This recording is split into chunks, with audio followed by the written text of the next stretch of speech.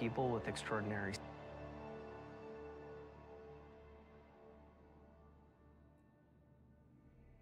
Lol, da läuft schon was. Hä? Wieso läuft da schon was? Ah! Das ist nur, das ist, ah, das, okay, das ist nur, das ist nur die Vorschau. Puh, mein Stress, ey. Ich dachte schon, ich bin schon wieder zu spät. Wir sind gerade rechtzeitig. Hallo und willkommen. Willkommen. Ich mach mal kurz hier Ingame-Musik leiser und so. Ähm, herzlich willkommen zum heutigen Stream. Wir spielen heute Diablo 4, aber hauptsächlich schauen wir erstmal den Diablo 4 Entwickler Talk, den Campfire Chat. Und, ähm, ja, der Stream von denen ist schon live, aber ich glaube noch nicht live live. Deswegen, wir haben noch zwei Minuten, ne? Schaut mal erstmal rüber hier. Bam, bam, bam, bam. Hello. Zauberin am Start hier. Was geht ab? Ich hoffe, ich habe nichts vergessen. Ich gehe einfach mal ins Spiel rein und Plan ist so ganz grob, ja, wir farmen wahrscheinlich ein bisschen rum und schauen diesen Chat in klein, weil da geht es eh hauptsächlich um das Gesagte und es geht diesmal um den PTR-Server und zwar den PTR für die nächste Season, für Season 6. Und da kommen eine Menge Änderungen auf uns zu und ich hoffe, dass wir dann auch ein paar neue Dinge erfahren. Ich muss das dann noch kurz einstellen, wenn es soweit ist. Ich schätze, die fangen wirklich ganz pünktlich um Punkt 8 Uhr an. Wir werden es sehen. Ich könnte gleich mal... Ja, pass auf, wir machen das so. Ich versuche uns das gleich mal hier einzublenden. Ähm, der gute alte Watch-Button auf dieses Fenster. Und hier Activate, dann ist es ganz groß. Ich glaube, ganz groß wollen wir heute nicht. Deswegen machen wir einfach mal... Wie groß hat man das immer? Ungefähr so. Darf nicht zu groß sein, es sollte, muss auch jetzt nicht zu klein sein. Wir können ruhig noch Vollbild machen, gar kein Problem. Kann man so Untertitel lesen? Wenn es welche gibt. Jetzt gibt es noch keine. Ich weiß nicht, ob es später welche gibt. Das sind dann immer so die Fragen. Hier läuft auf jeden Fall ein Video schon mal in der Dauerschleife. Ich kann mal Ton anmachen und stimme den auch gleich mit ein. Das ist noch ein bisschen klein. Das ist der Lead Game Designer von der Season. Das war es nicht zufällig. Also von der Season von von dem DLC von Vessel of Hatred. Wer er ist, weiß ich gar nicht. Noch ein bisschen lauter, oder? Nicht so laut. So laut vielleicht? Was reden die da überhaupt? Das Citadel, ah ja, das ist dieser äh, Koop-Dungeon, der kommen soll. So, ich lasse das einfach mal, ne? Man hört gar nichts vom Stream. Also have a currency that's dedicated to the Citadel, where as you play through, a vendor can be interacted with to buy custom cosmetics that are unique to the Citadel. Extra leise, ja, okay. Den noch ein bisschen lauter machen, ich merke schon. Muss mal hier beim Spiel alles abdrehen. Aber das macht es einfach ab Moment.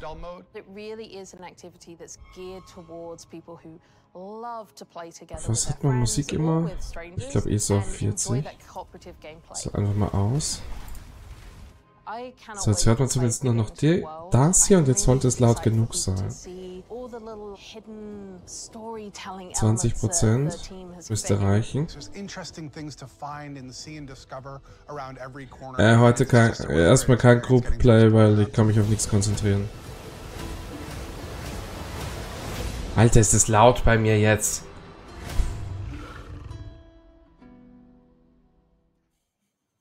So, jetzt geht's los, oder? Da sind wir. Hello, Diablo community. Natürlich sind die lauter. Natürlich. Ich wusste es doch. Patch 2.0 Campfire Tap for PTR. As you guys can see, we're in a little bit of a new environment. We're all doing this from home. Uh, we had to do a quick last minute pivot. So last was jetzt. Hours ago. Schauen wir mal. Die machen jetzt Homeoffice Campfire Chat. Das ist irgendwie so ein Campfire Chat ohne Campfire jetzt, weil. Ja, hier. Covid hat oder so, oder hatte, oder keine Ahnung. Ja, Adam. Wieder. Einfach auf der Gamescom eingeschleppt, wie frech. Ähm, nö, was ich sagen wollte, war eigentlich, die machen das jetzt mal halt von zu Hause. Jetzt ist die Frage, ob die ihren Sound schon beieinander haben.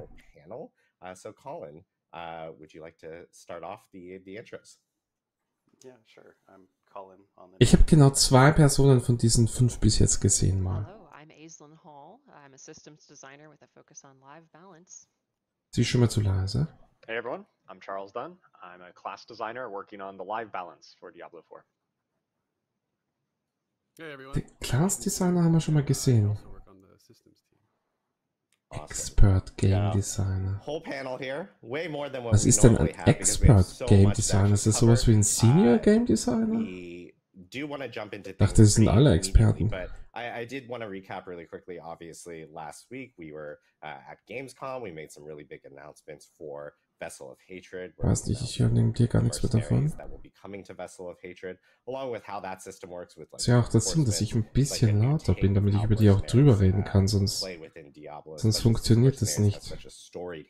Einigen wir uns auf 18%. Uh, du hörst das New Game Designer, du uh, meinst äh, nicht Senior, sondern Junior. Junior ist das freundliche Wort für Noob. So. Und laut Ausschlag bin ich noch laut auf jeden Fall. Keine Sorge, ich werde ganz viel die Klappe halten, weil ich mich eh selber konzentrieren muss. Ich finde es ein bisschen schade, dass wir keine Untertitel haben, aber okay. Dann müssen wir durch. Warte, ich gucke ich guck nochmal. About some pretty large systemic changes that will be coming with Diablo 4, along with some new stuff uh, that we'll be sharing as well. That will also be coming with Diablo 4. Uh, so we're going to start off with some progression updates. We're going to move off into some class and balance changes, uh, along with some quality of life updates, and then uh, we'll kind of cap it off with a cool new uh, announcement that will be coming with uh, Vessel of Hatred. So. Announcement. Ich wusste heute kommt irgendwas. Ich wusste es. Jump into some of these big progression changes that you guys were talking about last week. So take it away. Thanks, Adam. And I'm sure everyone has no idea. So, Colin. big surprises at the end. Big um, surprises. so, yeah, yeah, right. um, so yeah, let, us jump into uh, the progression. So, uh, when we launched the game, we had uh, a sort of vision for the game that we felt like was really fun to play through once, where you'd sort of traverse through these world tiers and you'd be gaining new sacred items rarely, and then you'd be getting ancestral items when hopping into world tier four.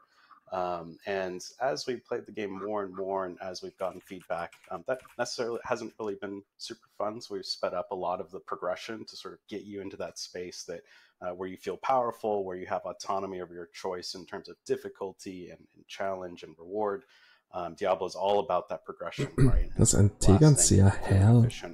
Um, so we wanted to take a step back after looking at itemization. We've added a ton of itemization progression um, that we think is feeling pretty good. There's a lot of ways to customize your character. There's a lot of ways to progress your itemization. Um, and we want we wanted to look at other aspects of the game. So um, that came in the form of like what hasn't aged super well. Um, what are the things that we really enjoy and we see that you all enjoy? And Hellas, um, ja, So two of those things are, are difficulty and um, overall hätte ich mal probiert. From your paragons, your glyphs, etc. We've sort so, of zum Punkt. taken the approach of like really doubling down and embracing again what has been really fun, right? Lasting, being efficient. Gott, wenn es schon so anfängt, das wird ewig dauern. Right? Profane Mind Cages is awesome when you can stack it to three and you can hop into those Helltides and just start getting tons of experience and, and reward for pushing that challenge. Kennst du es gar nicht? Ich trinke ja kein Bier, was weiß ich. Ah, doch, Tegernseer ist mir ein Begriff. Pretty much every endgame in the system at this point has a tiering system associated with it, and we think that's like pretty indicative of like what has been fun, and we want to embrace that. And part of that is, um, you know, that that idea of I can push really hard to get more efficiency. Part of that's conquering milestones, right? It's it's really good. It's it's a ton of fun to oh. hop into World Tier Three early Um, I think Was I had hopped in at level 25 in the in the latest release just to see if I could do it. And it was, it was das Schlimme ist, es ist der Typ halbwegs laut, jetzt übersteuert er, ne? embracing that yes. gaining power, um, in multiple ways, feeling super powerful. And then another thing that we really wanted to look at. ich kenne kenn die Marke schon, aber ich kenne, glaube ich, niemanden, der trinkt. Uh, the Mythic Uniques could be equipped at level 35, and if you've done that, it's a, it's it's a really badass experience where, um, you know, roll a barbarian, slap your grandfather on him, and uh, it, you just blast through the leveling experience, and it's a ton of fun. Um, that being said, we've added tons cool? sort of um, power to the equation, and we wanted to make sure that we also gave you more autonomy to to sort of challenge yourself with all that new power, and we're adding a ton of new power in the expansion as well. Um, so to, to, cover it again, right, we want to look at expanding the progression in other areas of the game come hmm. vessel, uh, come patch 2.0. Um, so with that, Aislinn actually has a bunch of exciting changes to talk about here. I do. Thank you, Colin. Okay, everyone, I want you to put on your thinking caps because we have a lot of details to cover. So buckle Alter, up. was? Uh, we in fact have a Die übersteuert jetzt komplett. here because there's so many things regarding progression that we're going to be talking about today. Die war vorhin so aber leise, die haben sie lauter gedreht. Die Aislinn oder wie sie heißt. Through what a character's journey would actually look like. You know, starting by talking about the character journey and then talking about some difficulty uh, tier changes that are coming and then going uh, deeper into Boah, die, you know how you're going to be die holen aus. uh, oh mein Gott. from those said was haben die vor? wie lange das heute dauert? Um so yeah without further ado let's simply jump in and yeah jump in please. character journey okay so some changes coming to how you're going to be leveling up um, there's going to be a level adjustment first of all uh, coming to patch 2.0 Right now in the 60, live game, okay. you know, you go from character level 1 to 50. Those are your skill point levels. And then every level after 50 is a Paragon level where you're earning four Paragon points per Paragon level. We're going to be splitting those out in patch 2.0. Um, and so you're going to earn Paragon points, which are which are going to be separate from your character level. Uh, levels 1 to 50 represent those character levels. And there's also going to be a new max character level, quote unquote, of level 60. And that means that you are going to be earning 10 more uh, skill points uh, from what you had earning uh, pre-patch 2.0. Gibt ja auch neue also going to be a reimagined pace to the leveling journey. So we have a lot new, a lot of new difficulty tiers that are being added to the game. More on that soon. Uh, but effectively, um, lower difficulty tiers are going to be offering you a slower pace if you're a near player, you just want a very casual, chill experience. But you're going to be able to bump it up if you want to. Like if you're, you know, engaging with tempering, you're engaging with all these systems that are making your character stronger, and you want something to test that against, we're aiming to give that to you. Uh, and these uh, difficulty tiers are going to be offering you uh, improved efficiency, improved rewards, and the goal is to improve your pace if you can blast through these difficulties.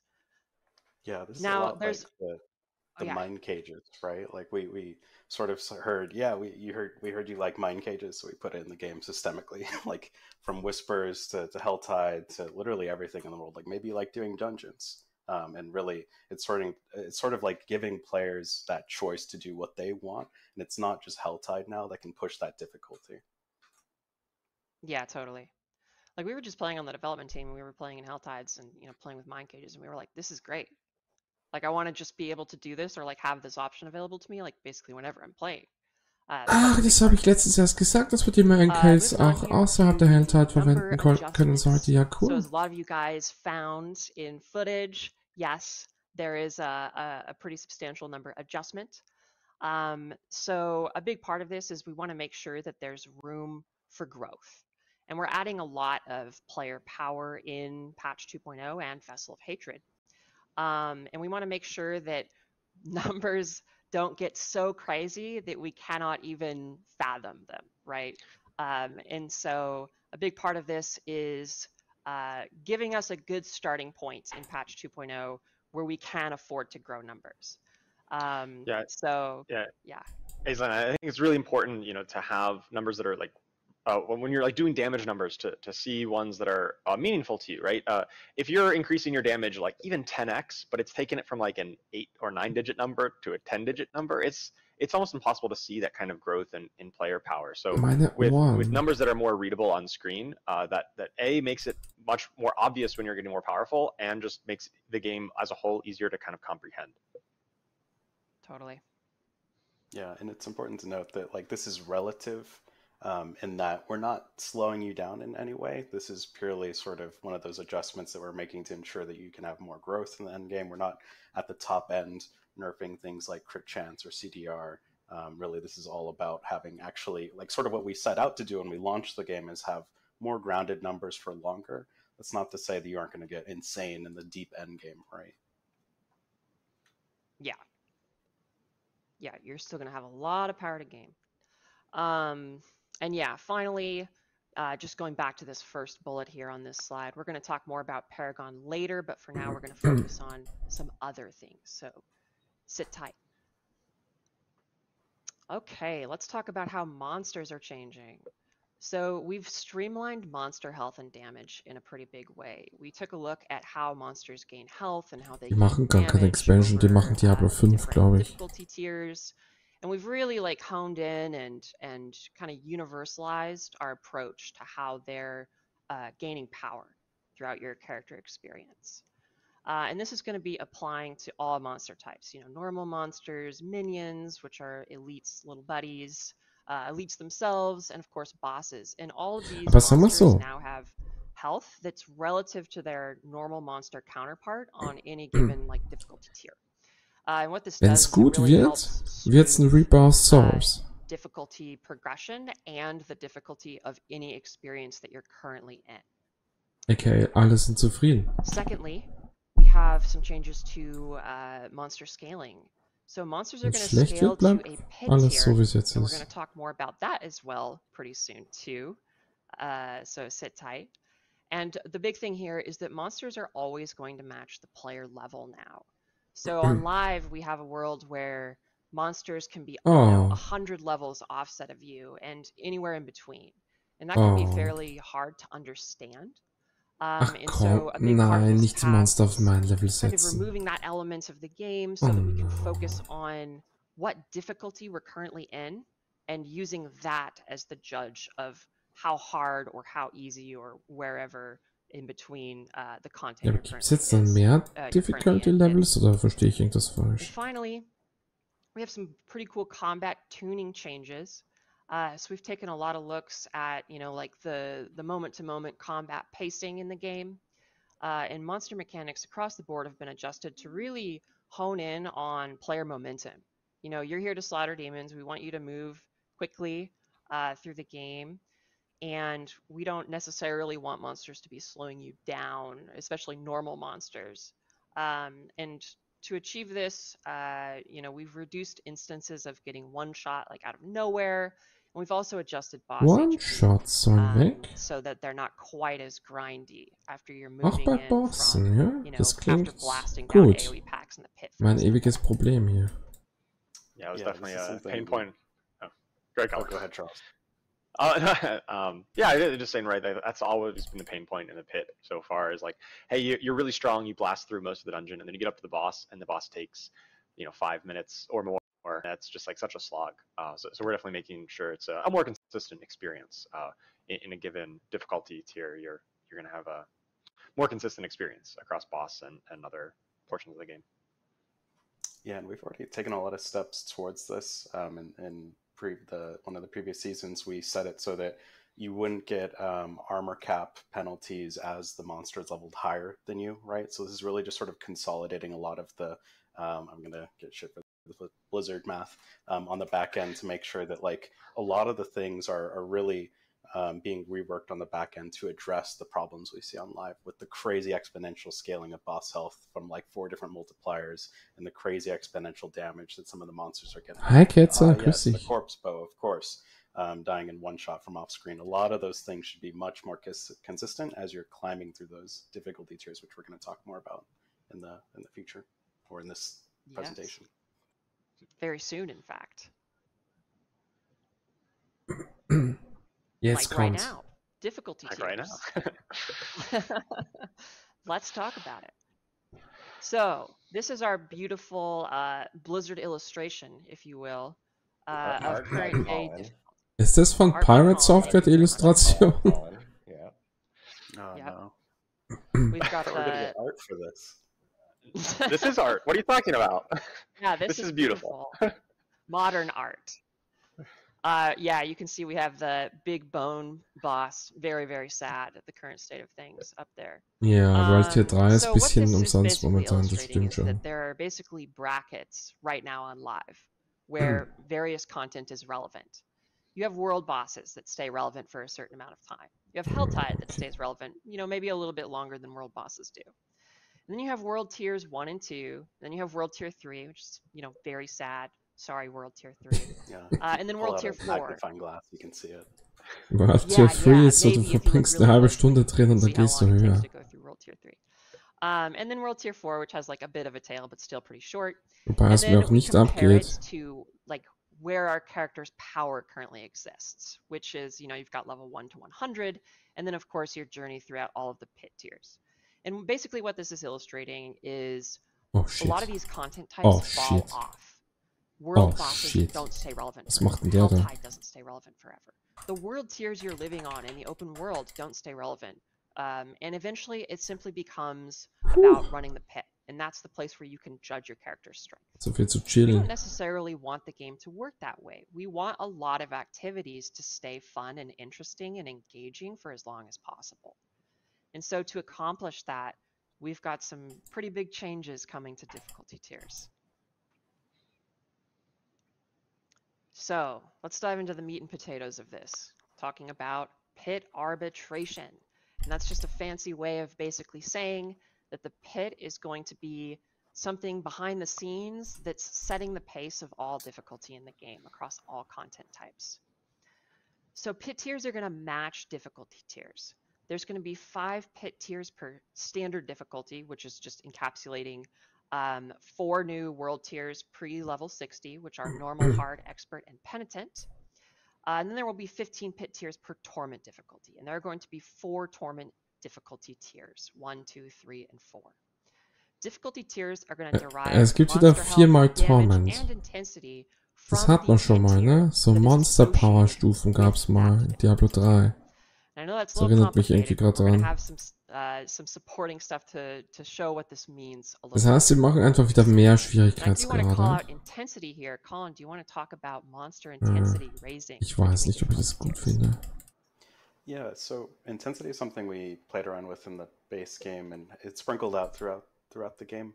Um, but when what intensity Und jetzt nämlich wieder schwieriger miteinander zu spielen. Controls, uh, monster aggressiveness as well as monster intelligence. So by aggressiveness, it's things like they attack faster, they have lower cooldowns, um, they move faster, and then intelligence is they predict your movement more, they'll face you more. So if you you know it has a big swing, it's actually going to try and track you a little bit more accurately. Um, so it's not just the health and damage that's going up through these difficulty tiers. The monsters are actually becoming a little bit more dynamic and fast paced. Um, and we think that feels pretty good, um, especially when it's sort of scaling through the new difficulty system that we have.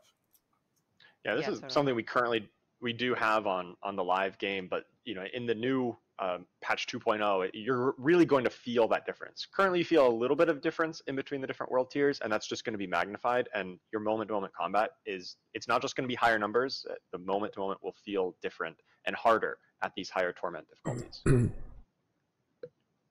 Yep, they're going to become bigger jerks as you ascend difficulties. All right, so let's talk about difficulty gating. So this is basically how people are going to be moving through these different difficulty tiers. So the pit is going to unlock uh, once you hit character level 60, which is the new maximum character level in patch 2.0. Okay, Pit erst auf So 60. pit tiers associated with uh, standard difficulties are going to unlock immediately, which is pit tiers 1 through 20. You're going to be able to challenge all of those immediately once you're max level. And you're going to need to beat pit tier 20 to unlock the first torment tier. Once you beat pit tier 20, you're allowed to go into the overworld on torment 1. And then, as we see here, there are 15 pit tiers per torment difficulties. So to unlock Torment 2, you would then need to progress through the pit and beat pit tier 35, at which point you can now go into Torment 2 in all other activities, so on and so forth. So, so this is basically creating a. Sorry, go ahead, Colin. Oh, I, I was just going to jump in and say like what what's kind of interesting is like Torment One you can think about as World Tier Three today, um, and what we're sort of doing is essentially saying now that level cap is sixty, um, you actually can find some of the best items in the game very early, right? Imagine if you were able to just start hmm. finding the best items in the game in World Tier Three. Um, okay. That's really sort of what we're talking about here. We're really speeding up when you can actually get to the end game where we've added things like the pit, we've added things like um, nightmare dungeons and, and more end game activities for you to engage with and item modification systems. So uh, it really is sort of getting you into the fun faster, which also makes alting a lot more cool, right? It's way easier to sort of get to that point where, all right, I'm in the end game. I'm going to start looking for awesome items. I'm going to start modifying my items. Um, so we think that that like sort of um, represents a pretty substantial change to how you play the game. Hmm. Oh yeah, for absolutely. us wondering why we kind of built it around the pit, you know, and why we associated difficulty with the pit. How do y'all think about that? Yeah, so right now the pit is a fantastic razor to judge your character against. Um, and I think that this overhaul is effectively turning the pit into the game's backbone to use kind of a gruesome term, but you know, we're Diablo, so whatever. Um, it's basically turning the pit into the game's backbone of like difficulty.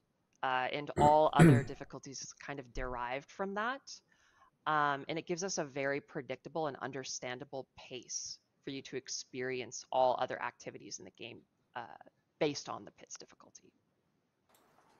Yeah, and that, that razor is great for pushing difficulty, right? You think about how um, part of what's really fun again about Diablo is that feeling of progression and that feeling of becoming powerful, then taking on a big ass demon, killing it, getting awesome loot. And what the pit is going to do is you're going to push that difficulty, then unlock new torment tiers, which is going to unlock more efficiency for you. Um, and right. you can sort of think about it as like we've added not just a world tier five, but a world tier five and six um, as part of this torment system. And it's something we can continue to sort of evaluate and build on as characters become more powerful and we add new ways to sort of play through the system. Yeah, and I think it's also a lot about consistency across content, right? Currently in the live game, we've got a lot of different, um, you know, levels of different types of things, right? You've got Nightmare Dungeon keys, you've got pit levels, you've got Infernal Horde tiers. Um, and, and, we just kind of realized that, hey, the pit is something that we have, you know, really good um, delineation between the, the different levels. So you've got a, a wide spread of, of um, you know, different uh, tiers for that. And that's something we can kind of peg difficulty against across the whole game to make a more consistent experience. When you're in a certain difficulty tier, you're just going to get a more consistent experience across all activities. Right. Yeah. Yeah. So like when you're on Torment 2, you're going to know that all content you're facing is on the level of Torment 2. But right now on the live game, you know, you have a you go into a pit tier 50 and you're like, okay, it's pit tier 50 difficulty. And then you go into a nightmare dungeon. Also die Pits sind da gebunden an den Schwierigkeitsgrad. And then you go into an Infernal Hordes tier 8 and you're like, wait a minute, this is extremely hard compared to these other hmm. ones. They're just not similar, right? And so we want to create a more level playing field. Oh, uh, das so war easy. It's easier to understand. It's also yeah, so the pit's like, like a kind of common language and shared experience for everyone. Mm-hmm. Yeah, that's definitely a benefit and it's also um, in some sense leveling up all the activities. Like i know that there's some people who really enjoy whispers for example. Was? whispers just falls off. Like if you're doing the pit you know, 100 you're level 90 in the pit. Was ist jetzt passiert? like whispers are, are terrible right? Like you're not actually going to run whispers um, when you're pushing that deep into the game. But now when sort of things are leveling up with torment tiers you have a place to go and sort of juice the efficiency from those different activities if you like that activity yeah, and this yep. this kind of carries over to other activities, not just whispers. It's like you know your hell tides. Yeah, the whole world hordes. is leveling, right?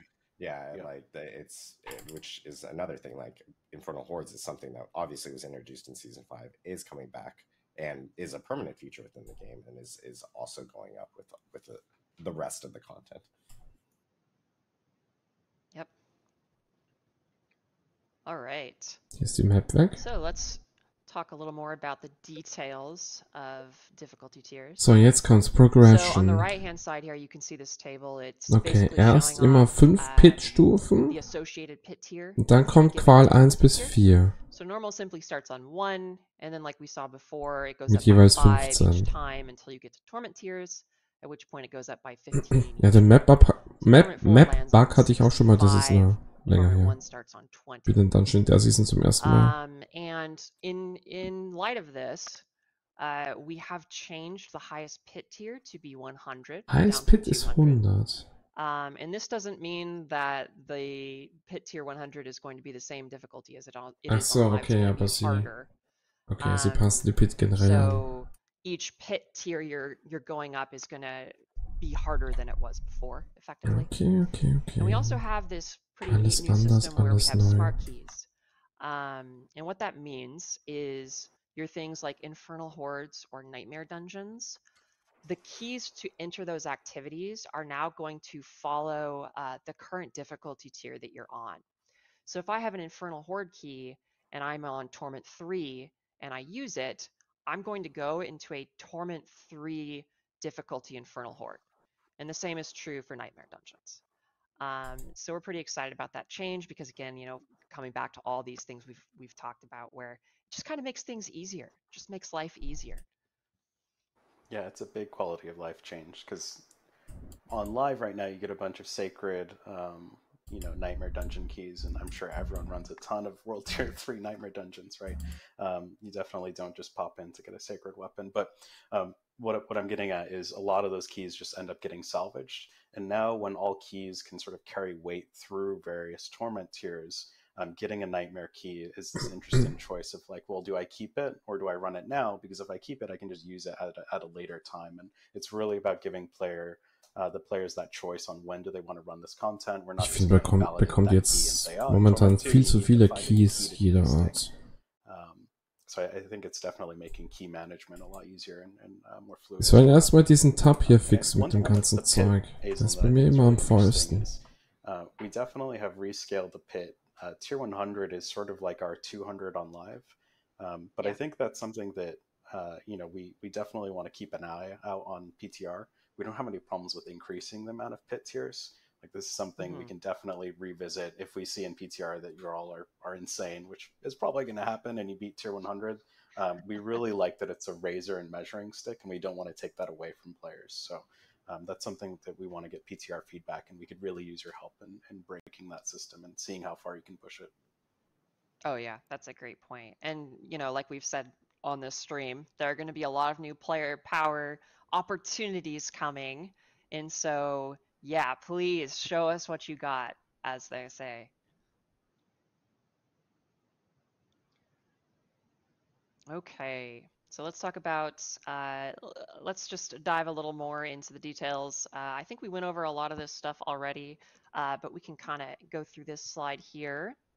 Um, so yeah, all content in the game exists within an expanded difficulty tier selection, like we were talking about. Um, I think an important thing to call out here is that, for example, Penitent um, is, if you're comparing it just to like kind of understand what it's going to look like relative to live right now. Uh, Penitent's kind of going to end up being like World Tier 2 if you added 45 monster levels on top of it.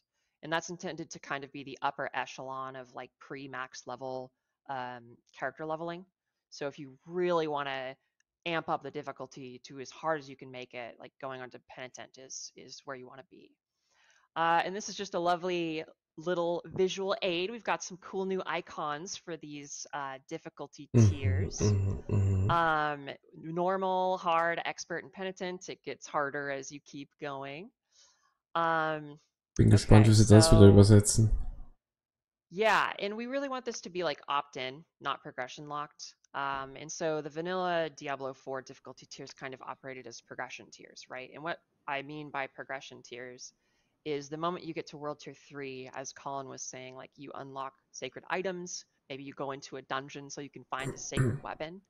And these things unlock so quickly and they drop so frequently that you kind of just got this huge burst of power and you never really got to feel that power. Um, and we want to make sure that you are like feeling each upgrade you get in the game and it feels really, really punchy. Uh, and we really want these new difficulty tiers to be player guided. Like we want you to be able to make your own decisions on when you're moving on to the next one and what's the right pace for you. And of course, these new difficulty tiers are going to give you uh, improving rewards you're going to find more gold, more experience, and you're going to have more loot efficiency per difficulty tier. So the higher difficulty tier you can fight the game on, the more efficient your experience is going to be effectively. Yeah, and I think yeah, that's really the, oh, go ahead, Charles. Good go. Uh, yeah, I was just saying that's really like what I view as the, the differentiating factor between you know what current D4 is and and in the new patch 2.0 is you if you enter Torment One, can find the best item in Torment 1. You could complete your character and get full best in slot and everything. It's just going to take a while, right? It's going to be less efficient. You're going to be getting less loot. And as whereas in in the live game right now, right, you just can't find the best things in World Tier 3. You you are kind of obligated to go to that World Tier 4. And now, if you're able to clear higher torments with efficiency, that's just going to be the, the best option for you to find. Eigentlich ist das eine gute Änderung. But you aren't forced into Torment 4 to find the best items in the game. Eigentlich ist es gut. Wenn ich dazu schlecht yeah, bin, wenn ich zu schwach really bin, kann ich trotzdem habe ich die Möglichkeit, bessere Sachen zu finden und dann doch höher spielen zu können. Right? Because, um, there's, there's Weil jetzt geht man oft auf, auf äh, WT4, obwohl man eigentlich so nur zu schlecht to, ist, einfach um anzugraden. Start to test your build after it's it's kind of gotten some real optimization. I think much earlier into the journey than before. Yeah, I couldn't agree more, Jeevan. And like a great example of that is what we're doing with the ladder bosses or the lair bosses. Um, all of those unlock in Torment 1. The cost to summon them is static. It remains the same throughout all the Torment tiers. Um, and what that means is if you can beat it on a higher Torment tier, you're going to get way more uniques. So you get a handful of uniques starting in Torment 1, uh, way more uniques and obviously Torment 4, but the cost because it remains static, uniques in Torment 1. extra like a Stygian Stone. That just means as long as you can kill that Torment 4 boss, you're getting way Ich habe aber noch nicht kapiert, auf welchem Level ich bin, really wenn ich... Like this, it feels amazing to sort of progress through those Torment tiers and just unlock way more Wenn ich was spiele, kann ich auf Torm, äh, kann ich dann auf Torment yeah, we, we don't really have this Charakter starten? Like a, you know, a regular version of the late game boss, like a regular version of Duriel, Jetzt kann ich nur auf Stufe 1 und 2 starten. That's not really a distinction that we have anymore. Um, whereas like previously it would cost, you know, more ma more materials to summon the tormented version, but it would give more rewards. Now it's the same cost across the different torment tiers. It's just if you're able to conquer him on torment 4, that's where you're going to get the absolute most bang for your buck in terms of uh, resources in to loot out. In Diablo 3 konntest du einen Char starten bis zu Torment 6 uh, hoch. Double down on like das war schon krass. Torment 1 is where the end game starts now. And just each torment tier that you're ascending is making your end game, you know, more fun, basically. Because you're going to be getting cooler Torment ist quasi Endgame Start. Okay, so enough about difficulty tiers. Let's move on to some itemization changes. So, item strength. We have what I like to call the item power shuffle happening in patch 2.0. Uh, items with item power above 5, 540 are going to be adjusted to 540. And uh, affix bands in lieu of this, or in addition to this rather, uh, are going to be adjusted as well. Um, so yeah, items at the new character level max are gonna they're gonna max out at 750 and that's not actually the highest item power that's going to be in the game and we'll talk about that more in just a second. Um, but most items you're going to be finding once you hit max character level will be item power 750 um, and you're uh, going to be finding much better item power items from levels 51 to 59 there's going to be big item power jumps so once you start leveling your character past those original 50 character levels, you're going to start finding a lot better gear. Okay, so let's take a look at uh, what an ancestral item looks like in patch 2.0. Oh. Oh. Oopsie. Okay, we, yeah, let's let's take a look here real quick. So You'll notice here that this item has 800 item power, which is 50 mm-hmm. higher than the max 750 that I was talking about before. Uh, you'll also notice on the right-hand side that that is the Torment icon. So ancestral uh, items can be found starting on Torment 1. They're going to become more frequent as you ascend Torment difficulties, but they're still going to stay pretty rare throughout all Torment levels. um, You'll also notice that the greater affix on this item is highlighted. That is because now whenever you find an ancestral item, they're always going to have one greater affix.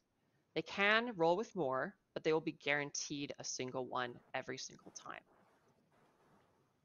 So let's dive in more into the details. that, right, Aislinn is part of yeah, like yeah. finding a greater affix on live right now is sometimes it's on life per second. It's like, oh, okay, uh, got a greater affix on life per second. But now when you see an mm-hmm. ancestral mm-hmm. item, it's always going to have a greater affix, and that ancestral eye power bump, the affix bump, is going to feel really good. Even if you miss that affix, it's still a huge upgrade to your character if you haven't found one of these before.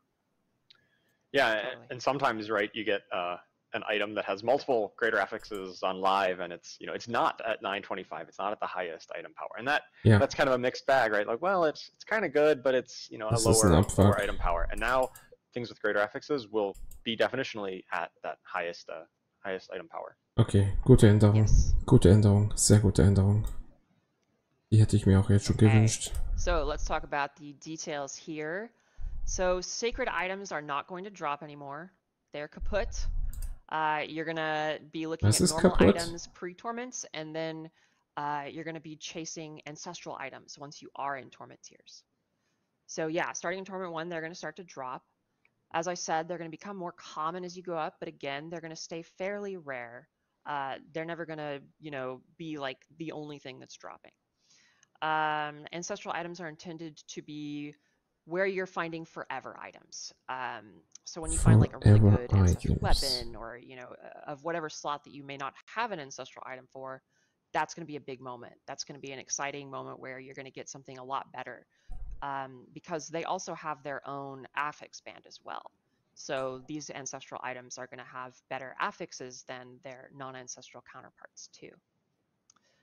Um, something to note is that greater affixes only drop on ancestral items. You're not going to be finding greater affixes on non-ancestrals. So when you see a greater affix drop on the ground, you're going to know that that is an ancestral item.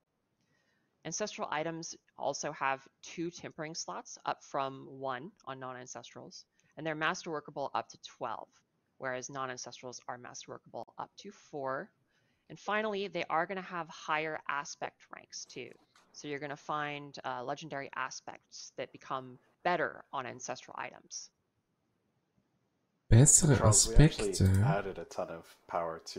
Mhm. aspects. Das, das war jetzt ziemlich viel auf einmal.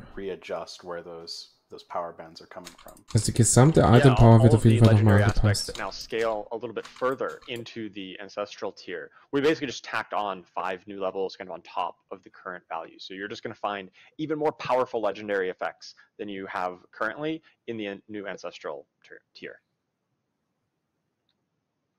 It's going to be a lot of fun to, right. to find those.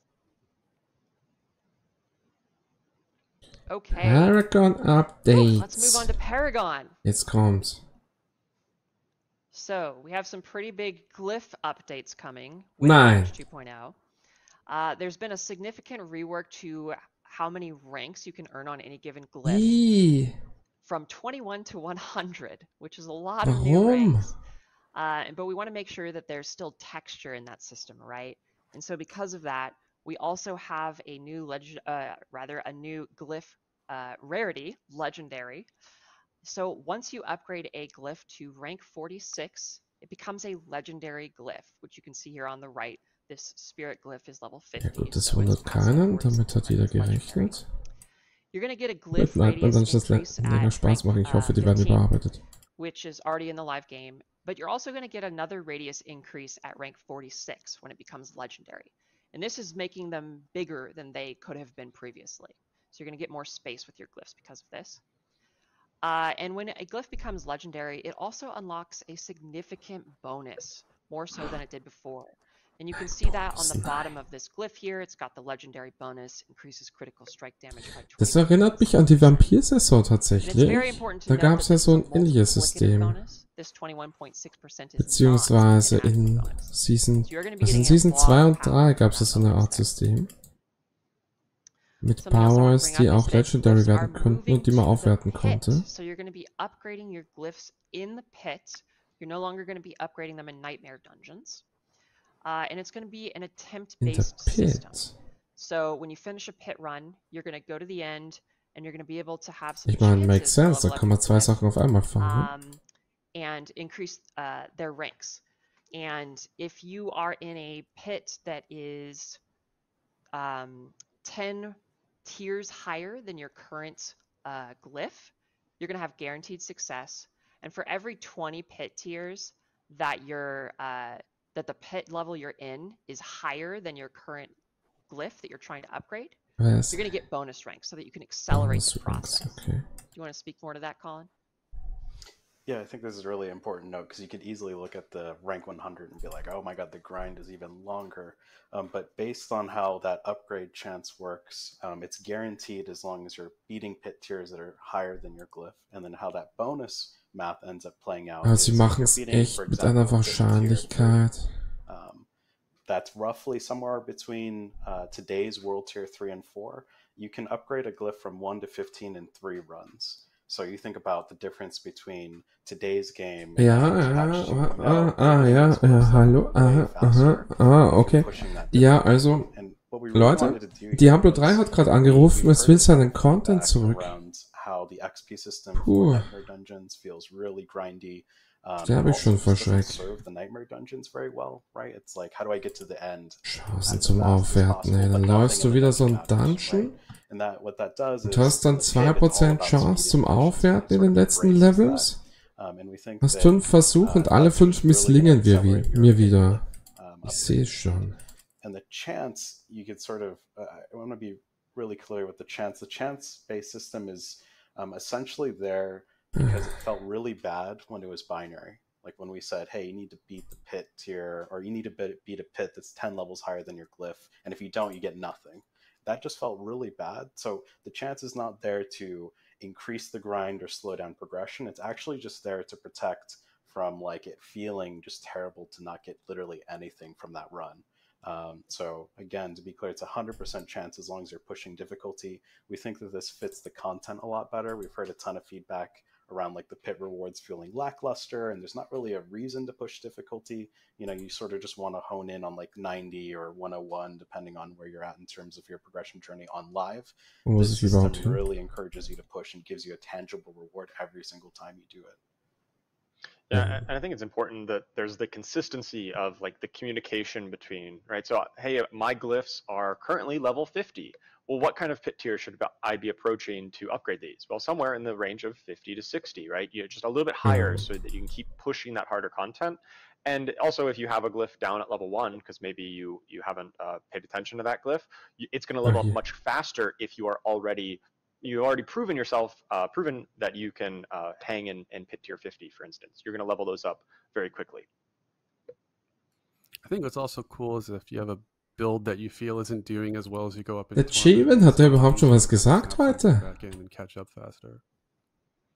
Ich dachte, der ist gemutet. Yeah, the further you progress, the easier it is to to level those up. So here we have a video basically just showing off what the new UI looks like for upgrading a glyph in patch 2.0. Oh, oh, oh, oh, was, so you can was, see was. that it's showing you the current pit level you're on, the current okay, success sieht eh so ähnlich aus wie das alte. get a rank up, uh, and something else I want to call out is that um, when you are, oh, yes, right. So this is rank 45 to 46 explicitly, which is the moment where you are increasing a glyph from rare to legendary. And something important to note about that is that it does cost a fairly significant amount of uh, gem fragments as well, but it's giving you that increased radius size and the new multiplicative legendary bonus, which is pretty sick. And here we have an example of showing how the radius gets even bigger in patch 2.0. I want to call out here that the midpoint says level 21. That is not correct. It is uh, level 15 where the radius increases. Uh, but yeah, previously there were only there was only one radius increase. Now with legendary glyphs at rank 46, ah. there is a ah. second radius increase. Auf 46. Oh, der Grind. Oh okay. Leute, der Grind. So, let's talk about some more stuff related to Paragon. uh, we have realm partitioning for Paragon now, and this is kind of realm getting into what? alting that uh, Colin was talking about. Um, we have realm-based Paragon points now, so your Paragon points are going to be shared across an entire realm. And remember that what a realm is is like uh, either seasonal softcore or seasonal hardcore or uh, the same for eternal. Those are realms. Um, and these Paragon points are going to stay latent on a pre level 60 character. And what that means is that, you know, if you have, let's say, 150 Paragon points on a realm, Also, das heißt, ich muss jeden Twink nur bis 60 leveln, basically? That's pre-level 60. But once you hit level okay. 60 on that character, they will have those 150 Paragon points. and it's also important to note that any Paragon points you earn on any of your characters in that realm are going to be shared among all characters in that realm. So if you earn ah, 25 okay. or 50 Paragon points on one character and then hop over to your alt, you're going to have 25 or 50. Diablo 3 ruft schon wieder an. Was soll ich denn machen? Ich kann den nicht die ganze Zeit wegdrücken. pretty hefty Paragon level increase. So right now the current max besides Renown and Altar of Lilith bonuses is 200 and we're increasing that up to 300 which is going to give you a lot more um, levels to chase throughout any given season.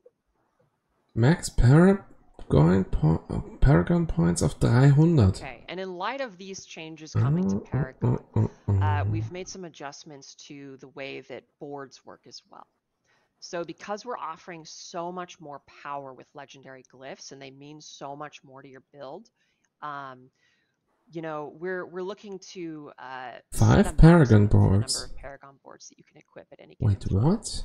Uh, and this is also because you know on live right now the best strategy is to aim for as many. Ich habe jetzt glaube ich sieben oder so. Go off. Uh, you oftentimes ignore uh, whatever legendary node ah. bonus you're getting, just for the glyph slot. Uh, and we want to make sure that you're really focusing on these legendary nodes and that you're focusing on these really cool legendary glyphs that you're getting uh, and, Eins, and really drei, think about vier, those fünf, sechs, sieben. instead of gunning for like every single glyph, for example. This also complements really... the additional I, I was just going to say this. This really helps complement the additional 100 more levels. Like we've heard a lot of feedback that it feels really flat once you hit 100. That there's just no more progression. You don't really need to kill any of the monsters anymore unless it's explicitly to get the the loot. Ja, dieser Nicht-Fortschritt um, and that, genannt Progression, die stört mich auch. Bad, right? Like I'm walking through this dungeon and like I get literally nothing out of killing these yeah. these monsters. So with the board limit uh, we've packed a ton of power with additional Paragon levels to grind, a ton of power with the legendary glyphs, but it also creates a situation where um, once you're sort of you've achieved all those different things, you don't feel so bad necessarily around um, not getting to that Paragon level 300. Um, at a certain yes. point, you start to really just sort of really need to hone in on your build, and those extra Paragon points are going to start providing you more of a show of sort of how badass you are, um, and, and, give you incremental progress that's a little bit less um, sort of das glaube ich nicht. Irgendwie kann ich mir das nicht vorstellen. Die ähm, Max-Level wird immer yeah, die Meta sein. That, you know, Und uh, Builds werden das voraussetzen. like my goal is to get a new Paragon board, and as soon as I achieve that, my goal is to get a new Paragon board and get off the one I just unlocked. And I think this change really lets me kind of explore the boards and think about what specific route optimizations I want to take, and and it lets me personalize that a little more, which I, I'm a pretty big fan of.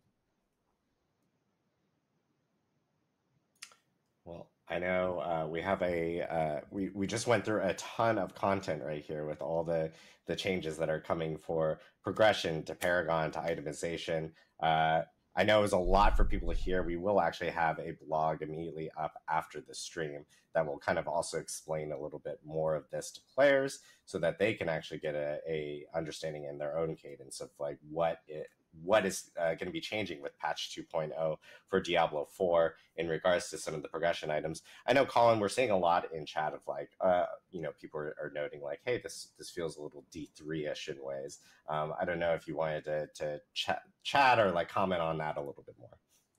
Yeah, I'm happy to. Um, it's definitely familiar, right?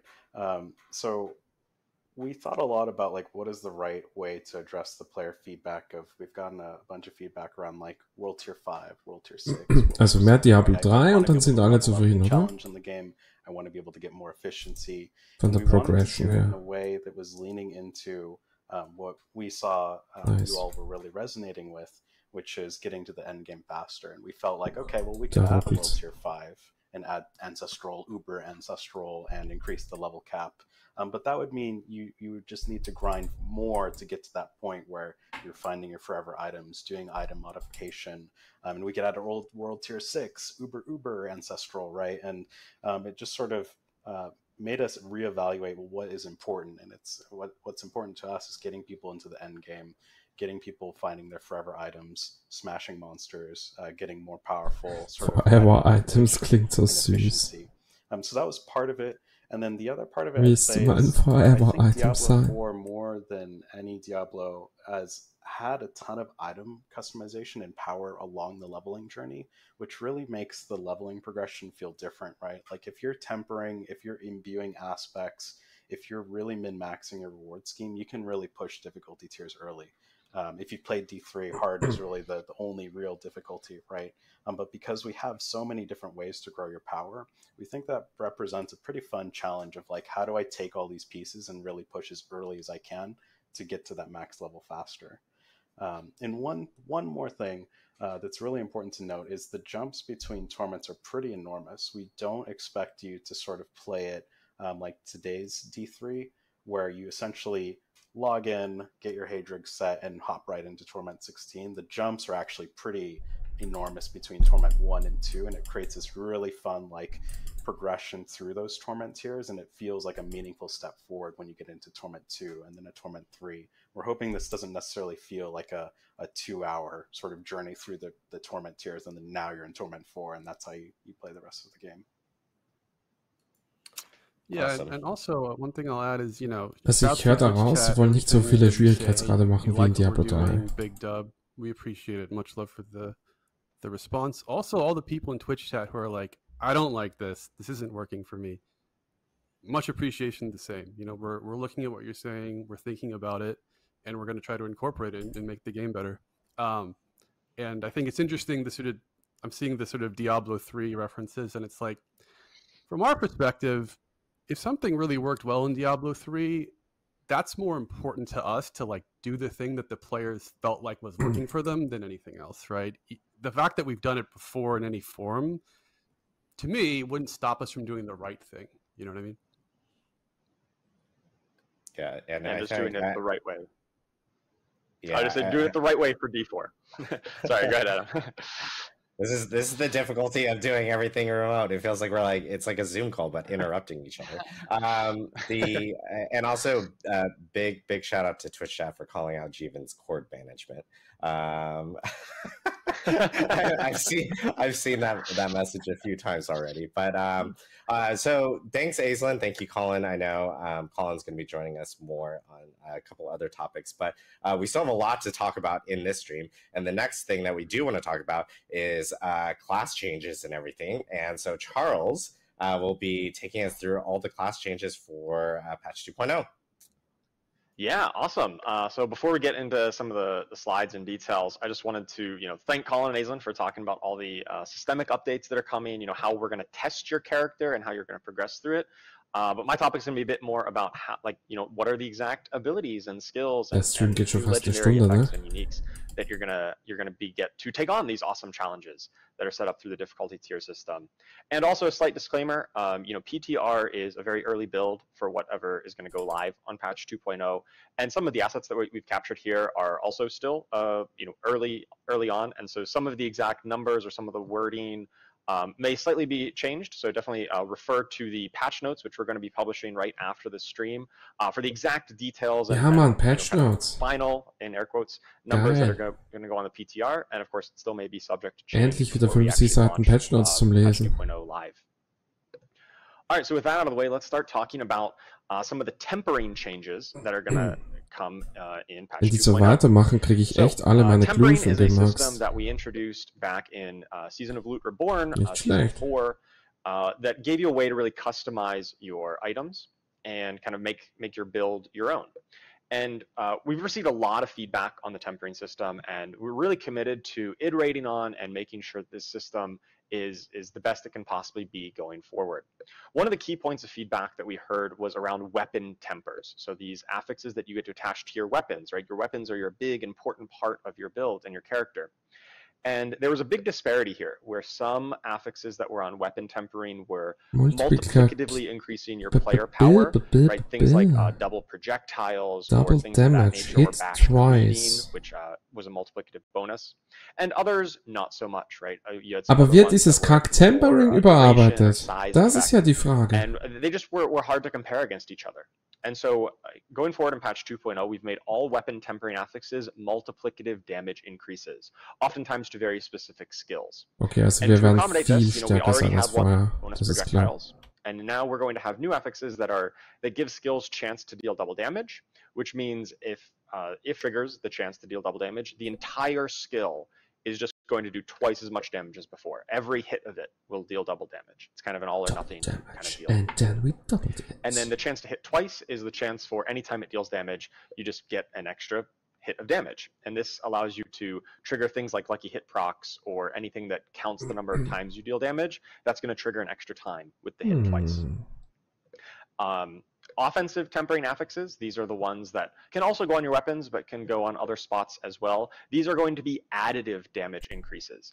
And these will often be to broader categories like bonus fire damage or bonus critical strike damage. Um, and whereas the weapon tempers are often talking to more specific skills. And so here we can see an example with the Shadow Augment's execution, where we had the Sever projectiles chance to cast twice, uh, but now we've got new ones that are chance for Reap to hit twice. So you cast Reap, and every target you hit, there's just a chance to get two hits on that target instead of one. And Corpse Explosion, whenever you cast Corpse Explosion, there is a chance for the entire skill uh, to deal double damage to every target that it hits. Uh, additionally, we, we've moved those size and duration affixes, which we think are really cool and really interesting ways of modifying your skills. We've moved those over to the utility category. So they're not directly competing with these multiplicative damage increases. You, are not going to feel bad that, oh, I'm missing out on damage just to you know, make my area hit a little bit larger or to have a longer duration on a buff. Uh, so there's not as much opportunity cost to investing in those size and duration affixes, which are still really cool uh, ways to customize your character. We just don't want them to compete with damage. And finally, uh, we know that uh, oftentimes tempering leads itself to, hey, I, I see this list of uh, five or even six affixes sometimes. Uh, we really are going to try to be limiting tempering recipes to at most four affixes that could possibly roll on them, just to give you a little bit better odds of actually hitting the one that you care about than the one that you want, and just be a little bit easier to, to kind of comprehend. And even so, we, we're trying to set this limit at four, but oftentimes we're aiming for just three on the recipe, depending on you know how the you know, grouping them together in ways that make sense. Um, so this is an active uh, area that we're working on, really trying to make sure that it's it, it's not quite. It's easier for you to get the the right affix out of the tempering recipe by limiting that uh, the number that are on there. All right, uh, next up, we've got changes to ultimate skills. So ultimate skills can now gain skill ranks. Uh, ja, bitte brauchbare Ultimates. Like Die meisten Ultis sind einfach sinnvoll, wenn du mich fragst. Just like every other skill, increasing the skill rank will increase the damage output of your ultimate skills, but it's also going to in, uh, give you cooldown reduction on these ultimate skills as well. Mm. So oftentimes other skills you just kind of get one or the other, right? Sometimes it's a cooldown reduction, sometimes it's a damage or healing increase. Uh, on ultimate skills, you're going to get kind of the best of both worlds. It's going to be increasing the damage output and reducing the cooldown. And uh, finally, uh, effects that do grant bonus skill ranks on this, such as you know Harlequin's Crest, the Shako, that gives plus to all skill ranks. These are only going to apply to ultimate skills that you've already learned in the skill tree. And this is to make sure that you still can only equip one ultimate skill. You can't like get plus ranks to uh, to all skills and then suddenly have access to four ultimate skills. We still don't want that. We still want you to just pick one.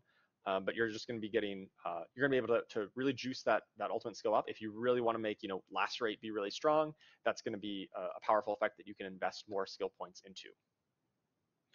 All right, so those are some of the general updates. Let's now talk about the new content coming for each individual class, starting here with our Barbarian. All right, so sometimes you're playing as a Barbarian and you experience a problem. right? You are standing here. ich habe immer das Problem, wenn ich Barb spiele. Over there. what to do? Well, a good barbarian is going to throw their weapon at the enemy over there to kill them at a distance. Right, so now we've got a new skill called Mighty Throw. It's going to hurl your weapon at an enemy. It's going to deal damage on impact, and then it's going to stick in the ground and pulse damage over time. So even if the initial impact doesn't kill them, there's going to be some extra pulses there. Additionally, we've got some uh, upgrades for it, just like our other skills.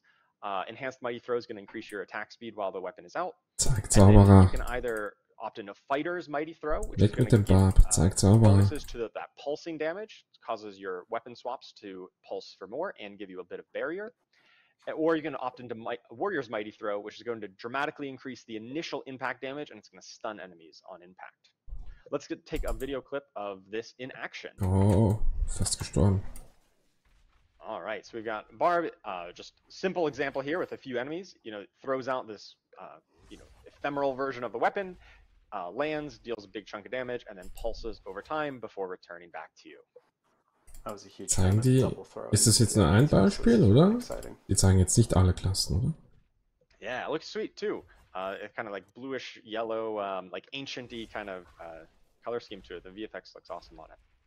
Ich bin gerade voll verwirrt, weil ich keinen Spielsound habe, aber ich höre Spielsound von, von dem Video For sure. If you want to spec really heavily into this, uh, yeah, you're, you're going to be uh, throwing weapons out like crazy. All right, so we've also got some new uh, key passives and new legendary Paragon nodes for, for every class here. So for Barbarian, we've got Barbed Carapace. This is going is a key passive, so it's going to increase your thorns. Da geht das jetzt echt durch, oder? And whenever you cast a skill with a cooldown, it's going to grant you unhindered for a duration, which allows you to move through enemies. And then enemies oh, that are close to you are going to take bonus, oh. uh, are going to take damage from your thorns. Muss meine alten Bart wieder ausgraben. Damage of your thorns every second. Now this is really cool. It really enables uh, Thorns Barb, which we had a, a, little bit of support for, but you know one of the big problems with Thorns is that you you really wanted enemies to hit you and hit you quickly, and uh, this gives you another alternative to deal uh, bonus damage or, or to, to really pay off for building up all that Thorns with this new key passive. Additionally, we've got a legendary Paragon node, the Force of Nature. Uh, your Earthquakes have a chance to spawn Dust Devils, and your Earthquake damage is going to be increased by your damage against close enemies. So this is really plays into these um, these earthquakes and dust devil effects, which uh, we kind of call sub powers internally.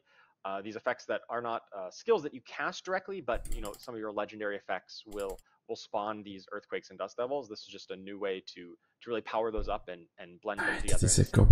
so hart, ne? Additionally, we're adding some new passives to the skill tree, and this has really helped to to give you a way, along with ultimate skill ranks, to spend a lot of those new points that you're getting by leveling up from 50 to 60 the you know those new skill points you're getting we're giving you some new new ways to invest those all right we also got some new items of course we've got uh, the ugly bastard helm uh, a new ugly bastard helm. and it makes you so ugly that whenever you are berserking all of your damage is converted into fire damage And so that's really interesting. You know, Barbaries Ach, du bist so hässlich, du brennst den anderen die Augen aus. Geht das auch im PvP? And now, if you really want to play a fire barb, uh, this is the. Das passt zum Barb, perfektes Item.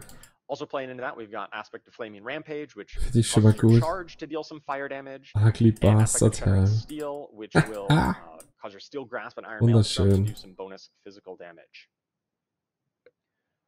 All right, moving on to the Druid. The Druid gets a new skill. Die gehen jetzt echt alle Klassen durch. uh, called Stone Burst. And this is a core skill that's channeled. It kind of has a, a, very unique kind of input mechanism compared to. Was heißt denn neuer Core Skill? Fällt dann, fällt dann ein anderer raus? It, the, uh, you target an area, Oder and, zusätzlich? Uh, as you channel it, the affected area grows in size over about one second of channeling.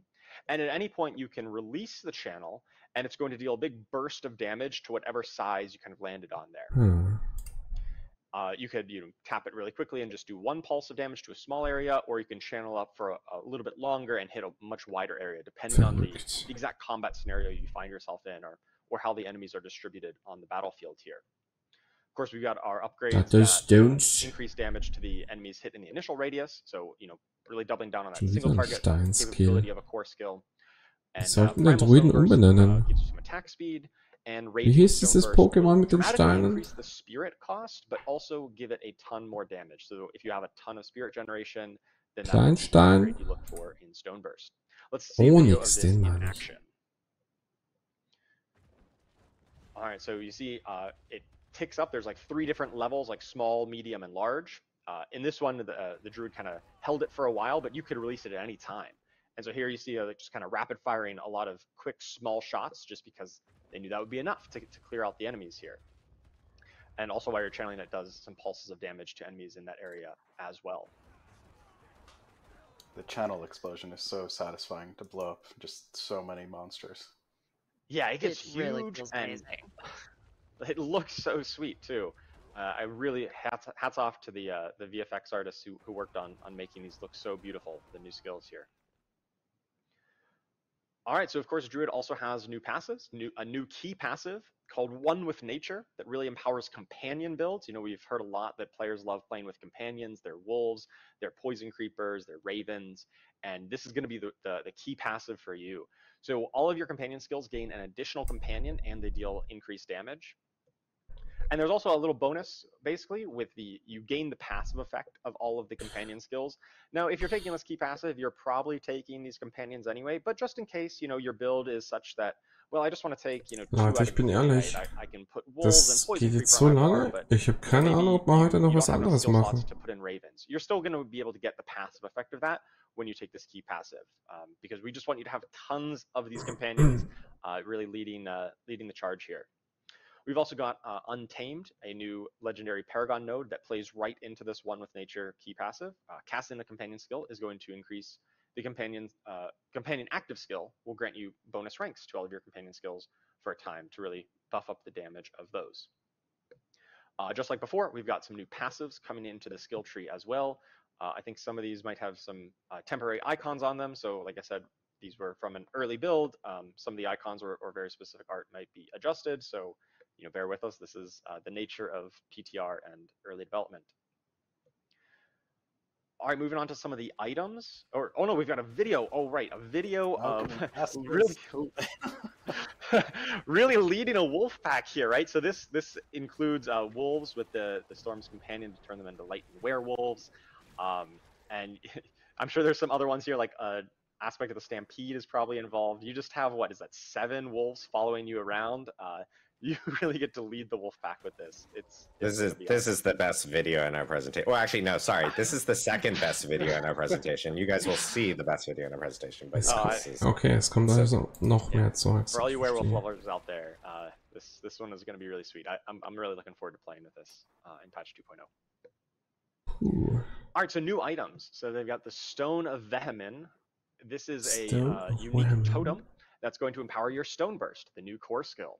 So channeling it is going to grant you some damage reduction, and the final explosion will deal increased damage based on how long you were channeling it. So uh, this just really encourages you to, to build it up to that max size and, and let off a huge explosion. And gives you some damage reduction, so you're kind of standing still for a bit. That's okay. You get a bit of bonus damage reduction. We've got uh, a little bit more legendaries on Druid than the other classes, just because Stone Burst being a core skill. Uh, we know that the ja, warum kriegt der Druide wohl mehr, ne? Warum sieht man wohl keinen Druiden mehr in Game? Ich weiß doch auch nicht. der arme Druide wieder. Legendaries here for Stone Burst. We've got the aspect of Anticline Burst, which causes Stone Burst to deal increased damage. And if you cast it at or above 100 Spirit here, it's going to immediately be at that maximum size. So you don't necessarily need to channel it as long as you are casting it when you have a lot of Spirit. This synergizes really well with the Earthen Might key passive, which gives you full spirit when it triggers. So you can trigger Earthen Might and then immediately get a huge stone, stone burst. We've got aspect of Shattered Defenses, which alters Stone Burst in a rather interesting way. It causes Stone Burst, or Stone Burst causes enemies to take increased damage from your other skills for a time and reduces Stone Burst spirit cost. This kind of converts Stoneburst um, away from necessarily being your primary damage source to being a bit more of a setup skill, right? You can kind of uh, debuff enemies and then you know, you can find some interesting Diese ganzen Sachen, die muss man halt erst wirklich ausprobieren, ne? Das heißt, nach dem DLC muss ich nicht nur die neue Klasse spielen, sondern auch alle anderen nochmal, weil sich alles ändert. Well, you know, what kind of builds you make with Shattered Defenses. Additionally, we've got uh, aspect of the Rabid Bear, which empowers your Grizzly Rage to apply rabies and increases your poison output. Stormcrow, which is just lightning ravens. Uh, you know, your ravens are now lightning. It looks awesome. And uh, aspect of the Agile Wolf, which gives ravens, Shred okay. a fourth attack. Shred uh, normally is like a, a three-part combo, and oh, now oh. it's a four-part combo that deals even more damage on that fourth hit, and it's going to knock down enemies as well. All right, so that is uh, Druid. Really looking forward to playing some Druid uh, in 2.0. But let's move on to the Necromancer because we've got a lot, lot to get through. Uh, we've got Soul Rift. This is a new Darkness Ultimate skill. So uh, necromancers kind of had three ultimates already. They had one that was blood, one that was bone, and one that was uh, related to summoning. And now we've kind of completed it, and we've added a darkness or shadow damage ultimate. Soul Rift creates an area around your character, kind of follows with you, that just constantly deals damage over time. Mm. And it's going to be sucking out the souls of enemies who you're hitting. And every time it sucks out a soul from an enemy, you're going to gain some essence and you're going to gain a barrier. So you can stack up this barrier. It helps you be survivable. Um, and it deals, you know, really good damage over time. Der Supreme Soul Rift gives you bonus damage for every soul that you absorb, and Prime Soul Rift causes the, the soul absorption to also apply vulnerable. Let's take a video of this in action here. Gobble, gobble, right, so enemies all are, coming up. Super useful, Charles. Right now that like you mm-hmm. have another way to give yourself defenses. Uh, Necro has historically had some trouble with that, right?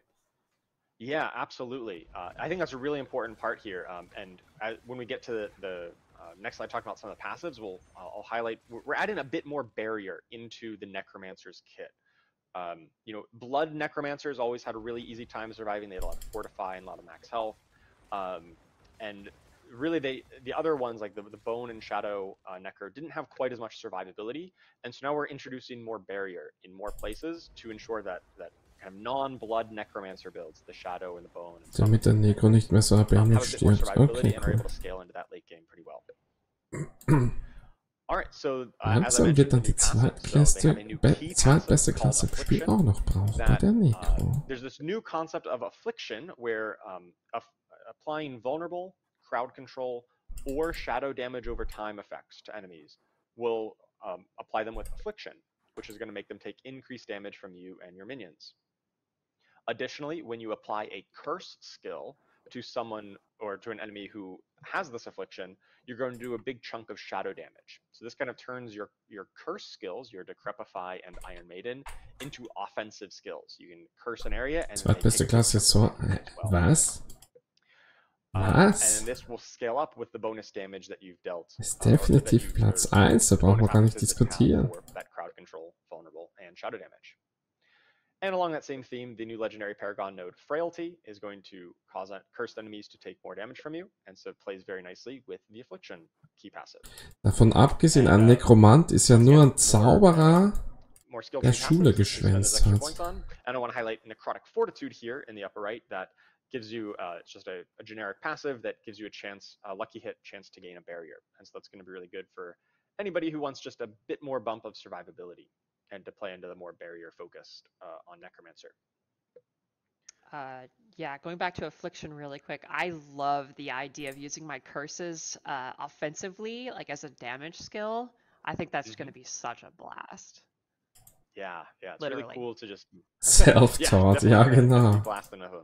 Um, Weil du das halt gar nicht auf legale Art und Weise lernen kannst, ne? It pairs really well with the utility changes now that we have way more size increases in utility. It gives you so many more mm-hmm. utility options. Those curses get pretty huge, um, and it, it feels great. Yeah. Yeah, for all of us who just want to win by debuff spamming. Eigentlich so wie in Skyrim. Ich finde, in Skyrim werden die Nekromanten so perfekt erklärt. Das sind auch immer solche Outsider, die es entweder einfach mal versuchen wollen oder halt irgendwelche gescheiterten Magier jeder Art.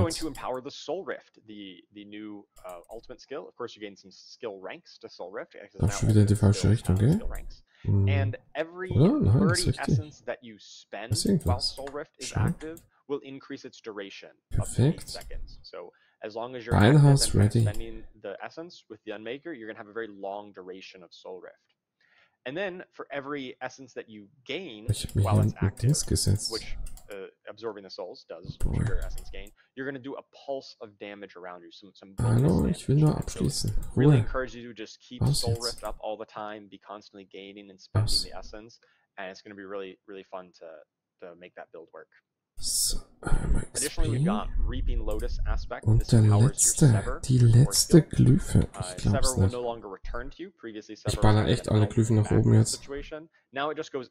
Wow. deals some extra bonus damage, and then that's the the end of the sever. So it really does empower it on on the the swing out, uh, and looks really cool. Uh, we got an aspect of Fell Gluttony that empowers your Golem whenever you cast your Golem's active. Fun Fact, ich habe noch nie sieben Glyphen gelevelt. Nicht in einer Season. So Auf 21, ja. Das ist jetzt die letzte.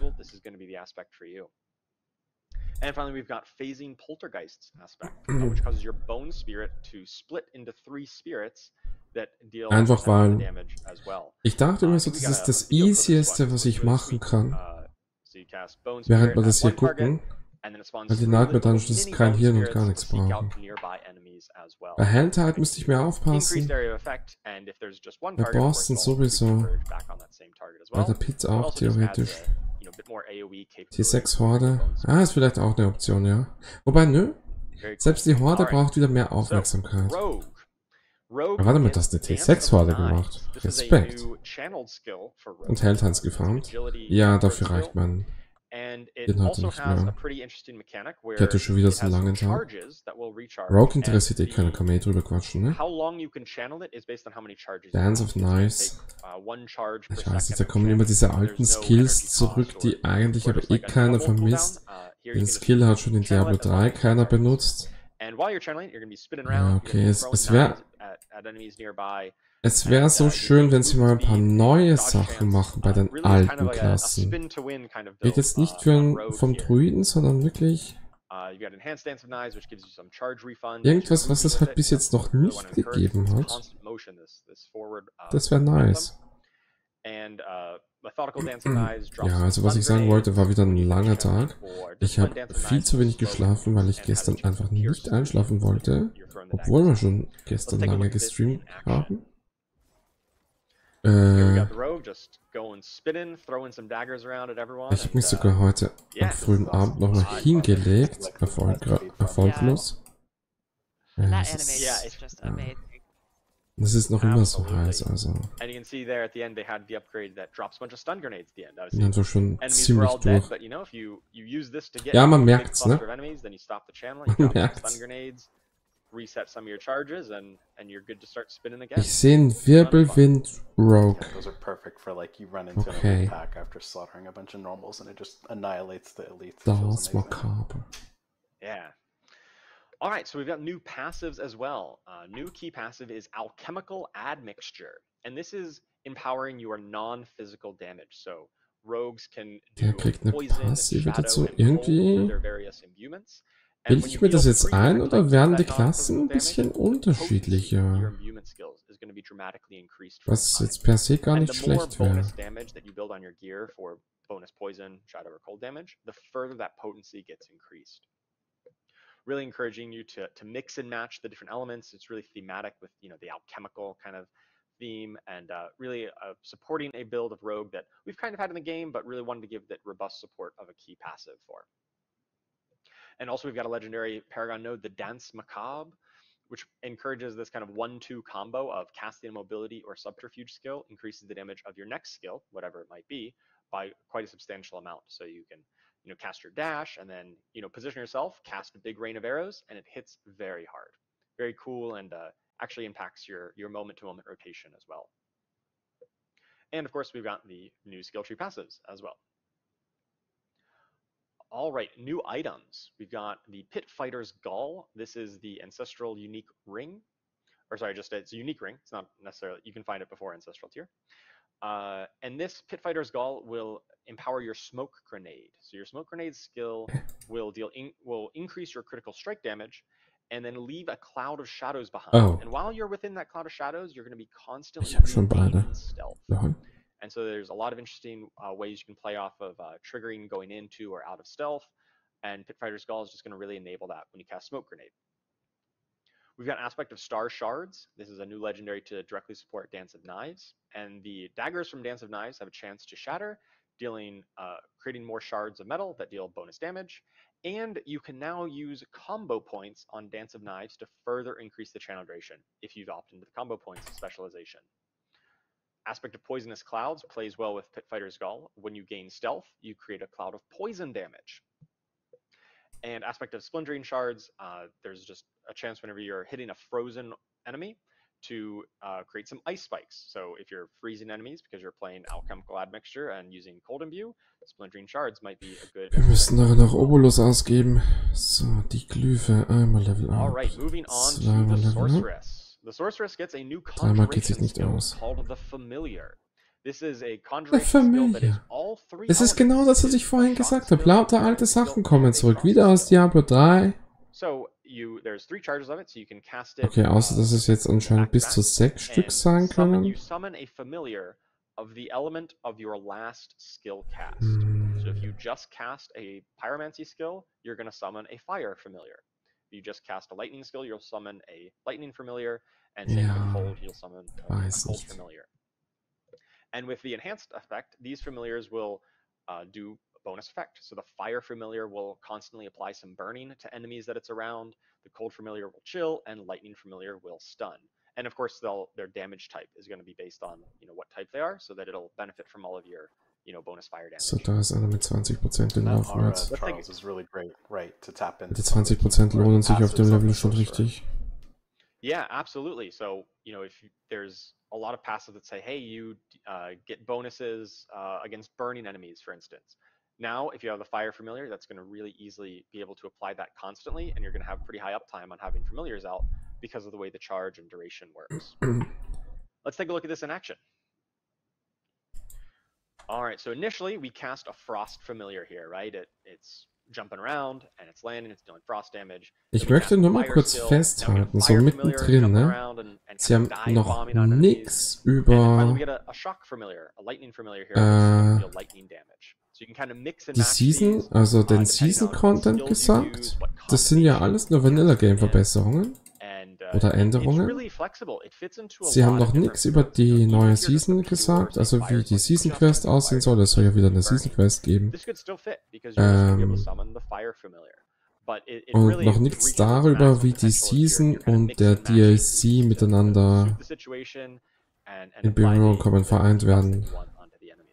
Weil du kannst ja die Season spielen, wenn ich es richtig verstanden habe. Kannst du die Season auch im Base Game spielen, in Vanilla, wenn du die Expansion nicht kaufst?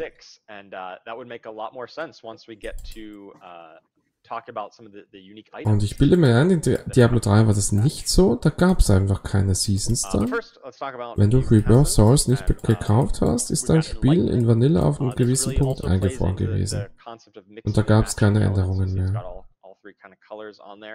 Casting a skill grants a stack of enlightenment or three stacks if your skill was a different element to the one before. So you're, you're alternating here. And whenever you gain max stacks, you're going to become enlightened and you get a, a ton of bonuses for being in this enlightened state. But then it, it drops off over time. It's really a reward for mixing and matching those elements, uh, more so than any other. Wo kommt jetzt der Butcher her?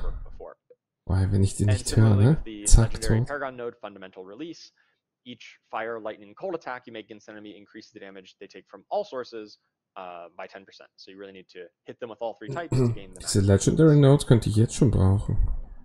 Alright, on to the, the unique items. So, uh, Sidhe Bindings. This is a unique gloves, and this plays right into the familiar. So whenever you cast familiar with this unique on, you're going to summon all three elemental variants at once. However, it does come with uh, a bit of restrictions on it. So Familiar's duration is going to be dramatically increased and its cooldown reduced, but you're going to have one less charge of it. So you you won't be able to spam uh, this quite as much, but you know you press the button once or twice, and then you get the max for familiars out. They're all over the screen, and they're going to last for quite a long time with this with this unique love. So it's going to be really really powerful too. If if you're all about this conjuration build, all about amping up the power of the familiar, it's an awesome unique for that. Additionally, we've got new legendaries for the aspect of overheating. After channeling Incinerate for a time, you're going to deal bonus damage to the, the target. And uh, casting Incinerate will uh, refresh and maintain the bonus. So uh, really just powering up your Incinerate. Uh, charged Flash, this empowers charged bolts. And after you hit a certain number of enemies with charge bolts, your next three casts of charge bolts will no longer send out bolts. They're going to send out big waves of lightning that deal even more damage, and it's always going to be a crit. And then aspect of elemental constellation, once again, uh, more about the the mixing and matching of all three elements. Uh, casting a one of the elemental skills will summon a matching type elemental dagger that'll pierce through enemies. And uh, if you the damage of that dagger is going to be increased if you get all three of the different element types in, in that time frame. All right, so I think, uh, oh, right, we've got myth, new mythic uniques. Of course, how could I forget? New mythic unique items. These are the strongest oh, items oh, oh. in the game. Uh, we've got Shroud of False Death. And I think the, the really cool part about this is uh, it's. It's going to grant plus one skill rank to all passives. And Ressourcengeneration. Eins auf alle Passiven. Okay, das ist nicht schlecht. Uh, and it's it's effective. Stealth if you und 40% Movement Speed. Seconds, you're going to gain stealth wow. And bonus movement speed. Now, stealth historically has just been a mechanic that has been on rogues. 200% gegen Engel und Dämonen. Wow, 20% Lucky, 20% Crit Chance. Movement sind und 3 auf Core Skills. Achso, ist aber ein Greater FX. And it's a really simple line, all passives, but Lilith's Favor. 60% Schaden. Das zweite ist richtig stark. And we've also got the Heir of Perdition, a mythic unique helm. And this one has as an interesting effect. So it it says give into hatred and earn Lilith's favor. Gegen Engel, naja, weil du, weil das halt von Lilith geht, ne? Huge damage bonus. Und ja, ich kann mir durchaus vorstellen, dass Engel noch eine Rolle spielen werden in Diablo 4. So this means if you're playing in a group with in Diablo 3 gab es ja nur gefallene Engel und halt Engel als Verbündete, ne?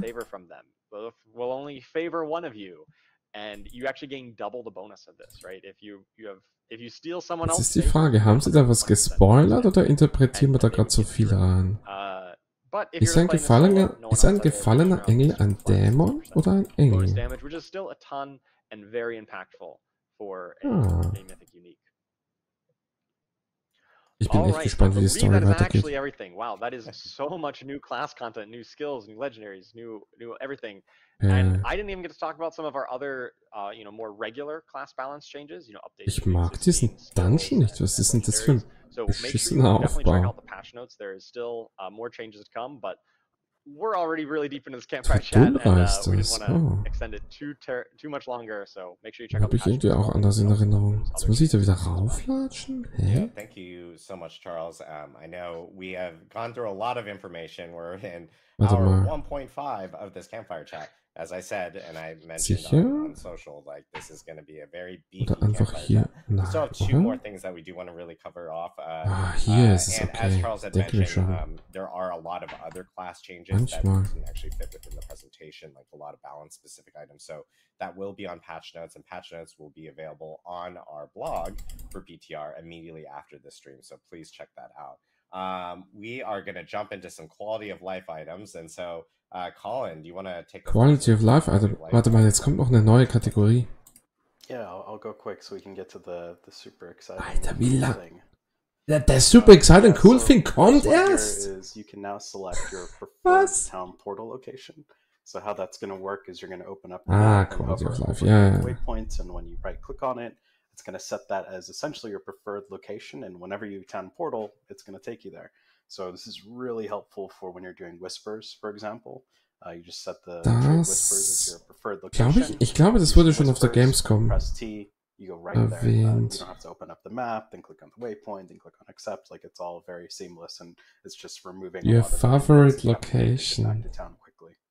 Süß. Uh, the next thing here is we're adding a dungeon key inventory tab for things like nightmare sigils. Um, so that just gives you more space for more activities. So much room for activities. Endlich! Um, the next one here is we've done a pretty substantial. Endlich Dungeon Key Inventory Tab, ja Mann! Of, um, Endlich! Really beste Änderung! Beste Änderung! Like Warum nur Dungeon Keys?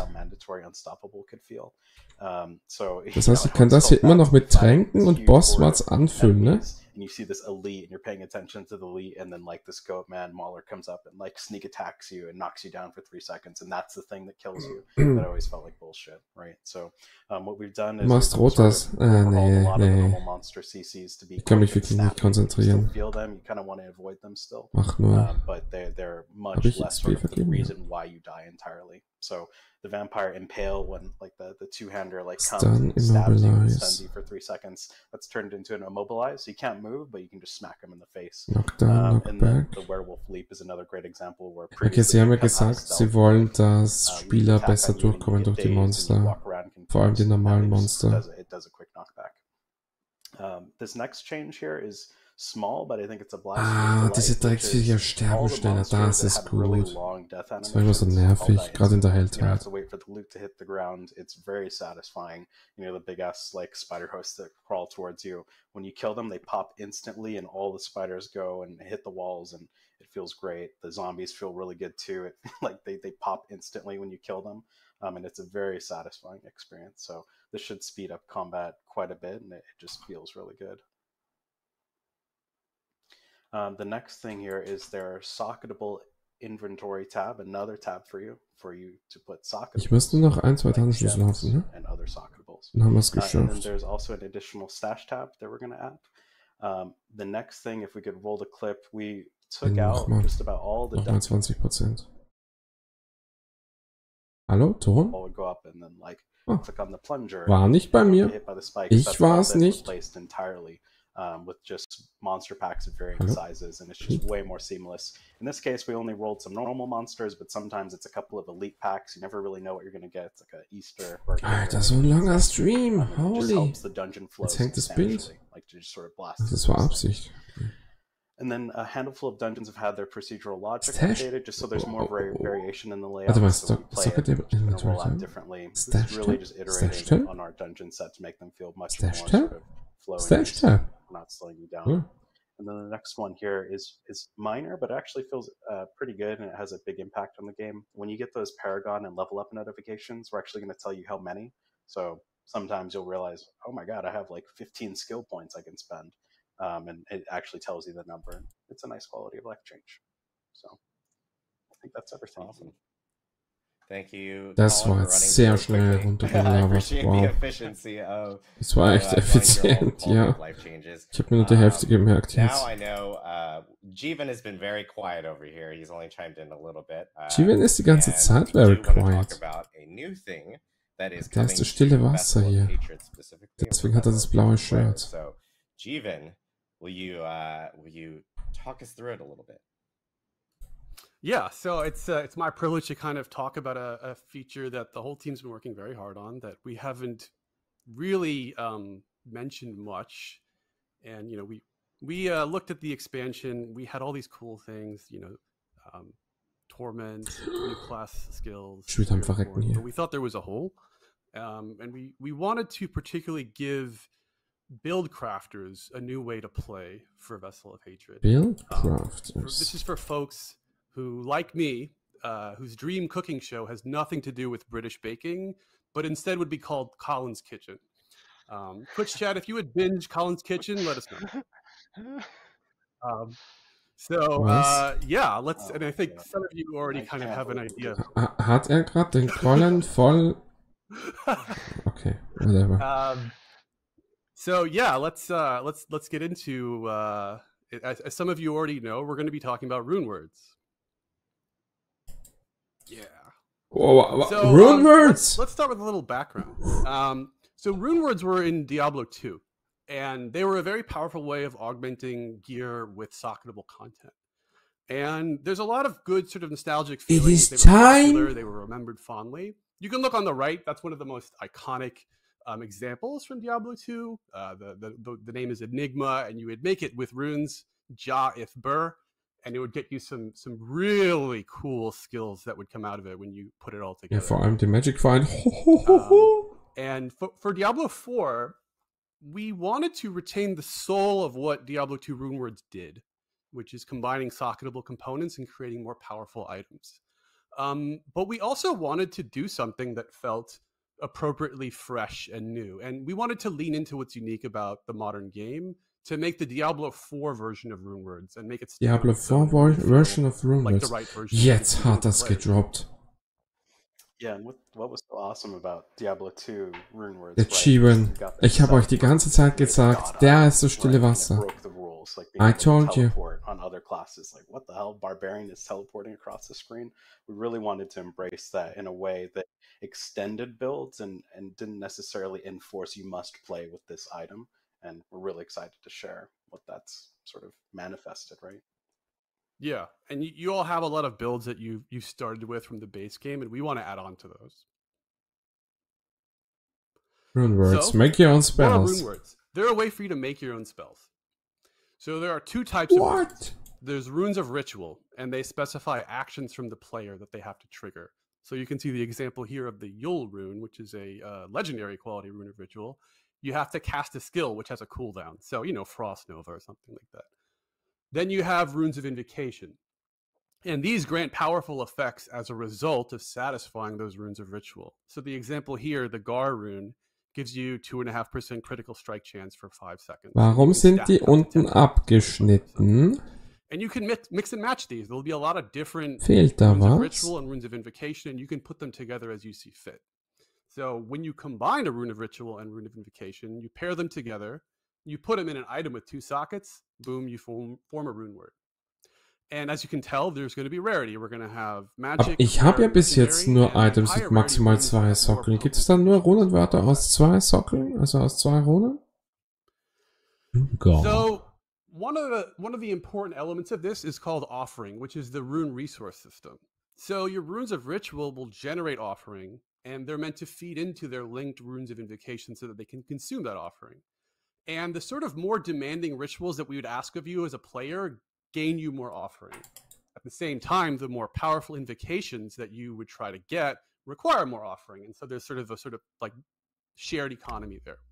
So if you can look at these runes on the right, you get 50 offering for casting a skill with a cooldown.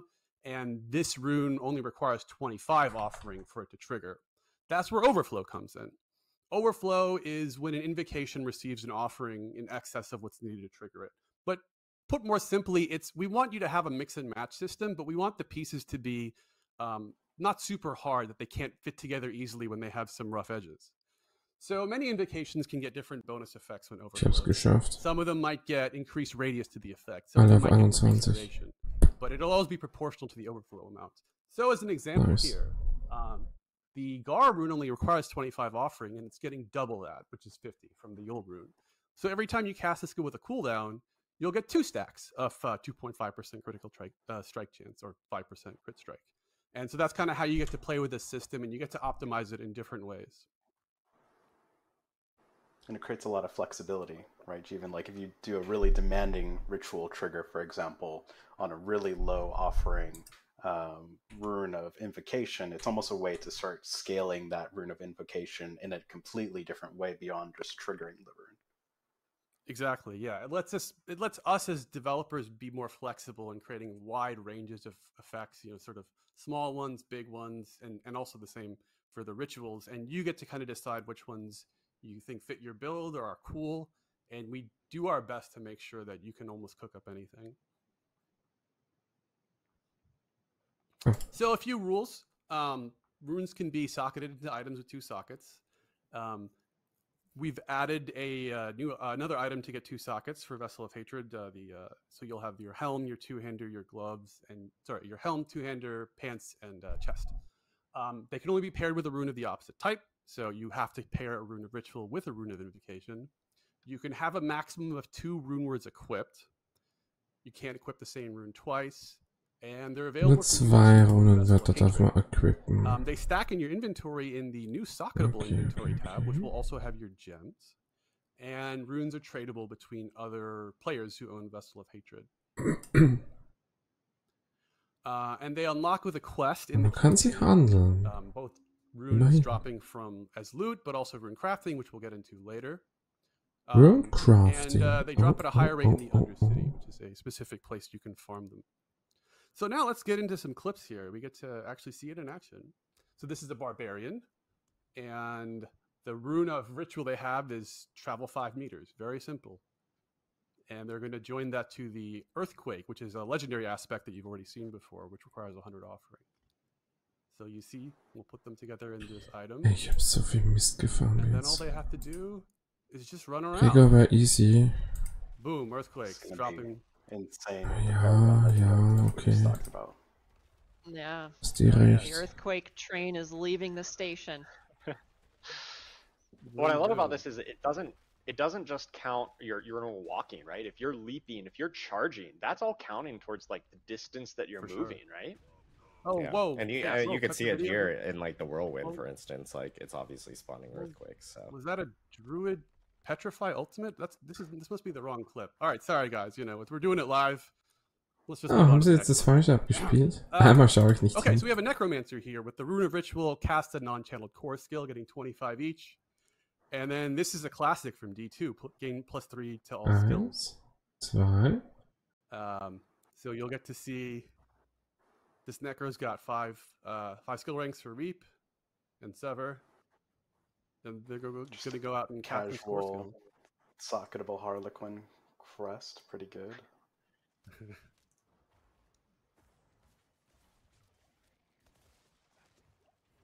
So a Wieso little sieht denn der so CPU, gut just doing your basic uh, core skill usage, filling up the offering needed. Das ist diese fette Sense, die Yeah, I really ich. like the, the little tracking buff that, that fills up as you as you're getting it. So you don't need to really micromanage this. You can just at a glance see that hey, I just filled it up, and Yeah. now I get plus three ranks of Sever. Yep. So now you're a plus three. There you go. What was that? So yeah, this this this necklace Ähm. is cooking and um. Ich habe Oh, what is this another? Eigentlich another viel zu wenig Gregor mages ne? What? What? Okay, I I, I, I think I think you guys teleporting necros. also ich bin gar nicht rotter geeignet. Yeah, I'll stop making jokes mostly. Um, yeah, so what we really wanted to lean into with D2 Runewords, among other things, was the ability to cast other classes' skills. Nö, wir haben now ganzen Star ausgegeben und ich habe seitdem So, keine Heldtag gespielt. get to do that. Uh, each Dann stimme going ich to jetzt einfach ein. And one legendary aspect. World Boss in 48 Minuten. Labern die jetzt echt so lange, bis der World Boss some of them are even going to get, get to cast improved versions.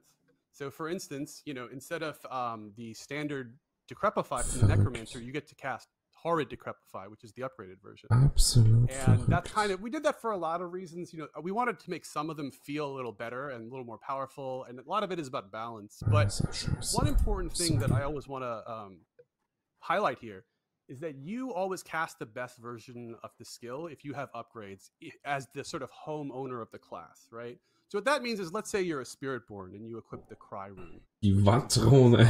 if you have points into the upgrade Oder die Kry-Rune. upgraded vortex when the rune goes Jah und Ohm kennt so man, ja? I don't think there'll be any class envy. Ah, die You know, like everyone will get the best version of their own skills, and then they'll get to use other classes' skills. And um, we're really excited to see how people can, can Die Skills anderer construct and Klassen, build das wäre schon wieder artifacts What interessant. they can do with using the power of the classes. Das könnte schon It wieder says enhanced war cry, so that means spannend necros sein. can become berserk, right? That indeed does mean that. And uh, So, was habe ich da that- eigentlich gefarmt? Enhanced Keine Warcry is a Ahnung. winner, I gotta say. That one's real strong. We've already seen people just chopping up the, the pit with that one. Obviously. Yeah, absolutely. Uh, Really looking forward to what kind of interesting new combinations and, and builds you can come up with by by dipping into other class skills uh, in, in unique Natürlich was ways. It really just like multiplies So the possibilities of, of what you can do with any given class. Yeah, exactly. And it, not only do we want you to augment your builds with other classes' skills, but you know, runes will scale with gear. So when you get more interesting runes of rituals, you'll find ways to optimize them as well and get more output. So we really feel like people will have a lot of theory crafting that they can build off of the rune word system, and I'm very excited to see how you break the game. By the way, that's what she do. She's doing PTR for me. Just break break the game. See every build you can find that that totally uh, destroys everything. Um, so now we have the crafting element. Um, so using three of the same rune, you can use them to roll a new rune. Uh, you go to the jeweler, or it might not be the jeweler, but we'll see. Um, and you will combine three of the same exact rune, and you'll get a new rune out that is guaranteed to be different than the rune you put in. And there's a chance to uproll it to the next highest rarity. So if you put three magic runes Wieso in, kommen die there's a Monster that nicht it'll be a rare rune. Same with same Hä? with rare. There's a chance that it'll be a legendary rune. Um, and then on top of that, we'll have the ability to craft mythic uniques. So you can use runes. Um, each each mythic unique can be crafted with a specific set of runes. Um, you'll need a legendary, rare, and magic runes of a certain quantity, and one resplendent spark. And this is in addition to the existing mythic unique crafting flow. So um, yeah, really... uh, Oh, I was just gonna say this really harkens back to the sort of crafting that was so core in D2. Uh, runes of being able to match three and oh. get the next upgrade, but in a way that's a little bit more flexible and gives you more progression out of it. And this is all tradable, right? So that match three, those crafting. What do you think that's gonna do with trading? Yeah, I mean, I, I think it's going to really build a, a, sort of player community around how to acquire the runes you need, whether it's because you want to combine, you know, you have two and you want to find that third one to combine for a new one, or you're hunting for a specific mythic unique. I think we're going to have a lot of player interaction and, well, someone's going to win the capitalism game there, so we'll see how that goes. I really like how how the uh, the, the rune crafting system makes it so you're kind of always progressing, right? If you're getting rune drops, then then you're you're you're getting materials that you know can use to progress towards higher rarity runes and potentially towards these mythic unique items. Uh, unlike uh, you know some of the other loot drops, you know if you don't find a good piece of gear, it just ends up being salvage. Here with runes, you're kind of constantly getting some of that progression, even if it's not always the perfect rune right now. Yeah, I think that's something that when we we did talk to a lot of sort of D2 diehards when we we built rune words, and one of the things that most of them tended to mention consistently was like every rune drop is progress, right? You're always moving up that ladder. And so we wanted to make sure that even if you didn't get the exact thing you wanted, it still meant something to you one way or another. Well, I know uh, we have we've talked a lot about a lot of stuff today. Oh, we had a progression, itemization, uh, oh, life. We talked about class uh, changes, and of course, the newest thing, oh, rune words, which will be in Vessel of Hatred. Um, but the one thing we did want to quickly talk about. So hart am Sterben schon hier drin. Warum ist es nicht vorbei? Uh, Aus jetzt. Give a little bit, or at least some specifics on what that PTR so dauert ja so lang. Au. From the team on exactly ja, what they're looking for uh, from you guys out there that are playing, like for feedback uh, as you guys play through the systems. Everything that we've actually talked about today is going to be present in this PTR. So uh, all the uh, class balance changes, the progression changes, uh, rune words will also be part of uh, the PTR. So we actually do want players jumping in and checking it out. So let's jump right into some of the PTR items. So, uh, as everyone knows, uh, PTR uh, from even the last PTR that we had uh, will carry over content from your main account. So, if you've already done all your renown, cleared your fog of war, your altar of Lilith stat, uh, uh, status will carry over onto your PTR account.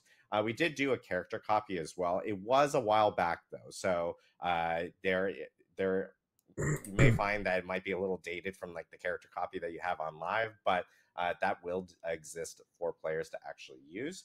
Um, one thing I will note is that we are planning on having two different testing phases for PTR specifically. Uh, the first testing phase will actually begin next Wednesday uh, and will run through Friday, uh, about midday, where we're going to actually give players the opportunity of kind of just starting characters from fresh uh, because we really need people to try out the new progression systems that uh, Colin and Aislinn were talking about specifically in the beginning of the stream. So Wednesday through midday Friday, we really need players to jump in, check that out, give us feedback specifically uh, regarding anything tied to the new progression systems.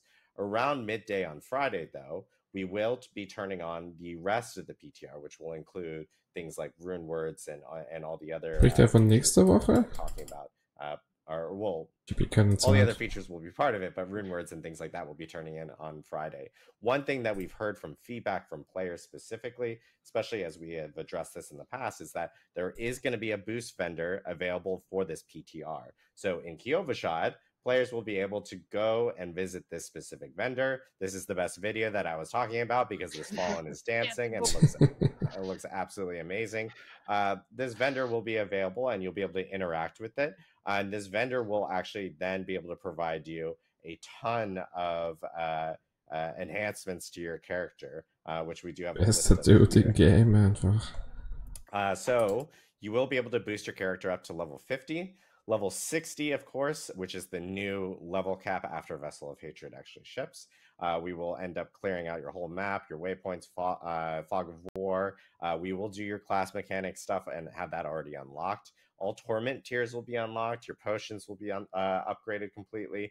And then I know, based off of feedback that we got from like the last PTR, was uh, hey, it'd be great if we could generate like legendary items, if we can get all the unique items, all the. Mythical beim First Gregor. Echt jetzt? But all the the runes, Echt jetzt? Like that, including masterworking ah, materials. Ah, 200 oder was? Actually, be available in this vendor. So this is a way for players to be more efficient while testing and being able to give us uh, more feedbacks, especially around end game related items.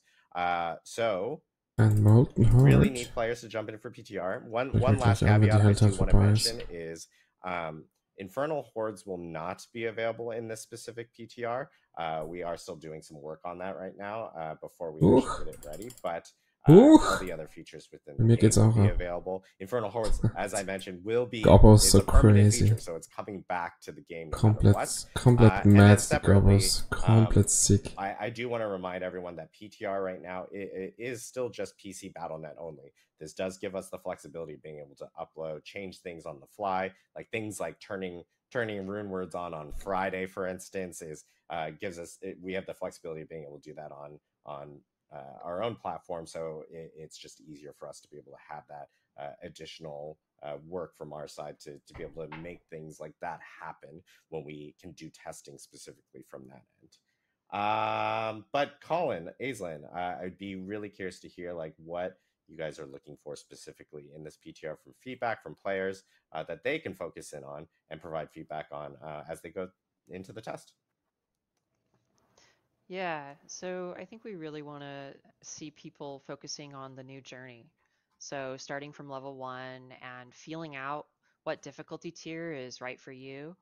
Um, and if that feels like it's the difficulty tier that you would expect to be on based on uh, how powerful you've managed to make your character and how many of the progression systems you've engaged with. Like if you engage with tempering and you go all out and you, you know, like you're like, I'm going to make my character a blaster, even though they're only level 30, like how far can you go with that? And are you going as far as you expected you would be able to go? Yeah, Lol. those are great points. It really is about, you know, are we hitting that expectation that we've sort of created, right? Which is we really loved how the mind cage was functioning. We loved how Ja, tormented ist nicht schlimm. bosses felt in Alles gut. hard mode versions of things. Ich hol mal jetzt noch 20 Sinn, das macht noch eine kleine Tour auf und passt. Expectations of all the things die that we hält eh rum. had in the previous game now mapped to a more streamlined system. Aber wie dumm war which das much- jetzt bitte? easier to navigate. Uh. Awesome. And I know on the class side, like Charles, would would Ist eigentlich der you falsche kind im of Sinn, das zu for- what is farmen hier. looking for on that front? Yeah, I think we're really looking at, at the new skills and the new key passives for each class and and how they're usable at, at all points in your character journey, right? They should feel good to press when you just first learn these new skills. Um, but they should also feel really good when you're in the late Für game. den mache ich zu wenig Area Damage. A build all around them, right? Around your your stone burst. Like, uh, does it feel like that has enough support and that you can you know make a stone burst build or or dance of knives and um, or all the other different skills? Like, do they fit in? What's their appropriate power level? And and we really want to make sure that the new skills and the new key passives uh, enable new ways of playing our classes and that and they feel satisfying to build that way. Awesome. And So- Jeevan, I know you okay. mentioned to everyone, break the game with rune words. So Break the Wait, game. is there any maybe any more ex- extra items you're looking for in terms of feedback? Oh. Yeah, I mean, it's, it's definitely Muss mostly noch eine Helltide laufen. See what people come up with. I want to see, you know, what you can cook in terms of builds. You can do something fun or cool or unexpected. And um, also, you know, I'm, I'm highly interested in, in the sort of balanced feedback. I think we'll get it from all of you, but um, we've had a lot of people on the team work very hard on conceptualizing how to make sure this stuff is right on the edge of broken without actually being broken. And you'll get to you'll get to prove me wrong if that isn't the case. Um, Awesome. Well, I know um, Auf die Kiste fehlen jetzt die 56. A, a little bit of Q and A before we kind of wrap up. I know we've been here for a little while, so we'll try to grab some questions specifically uh, from Twitch chat. I know uh, the probably the most uh, popular question right now uh, from from the community is about armory, and I do want to start off with that specifically And I do also want to just confirm that we are working on an armory.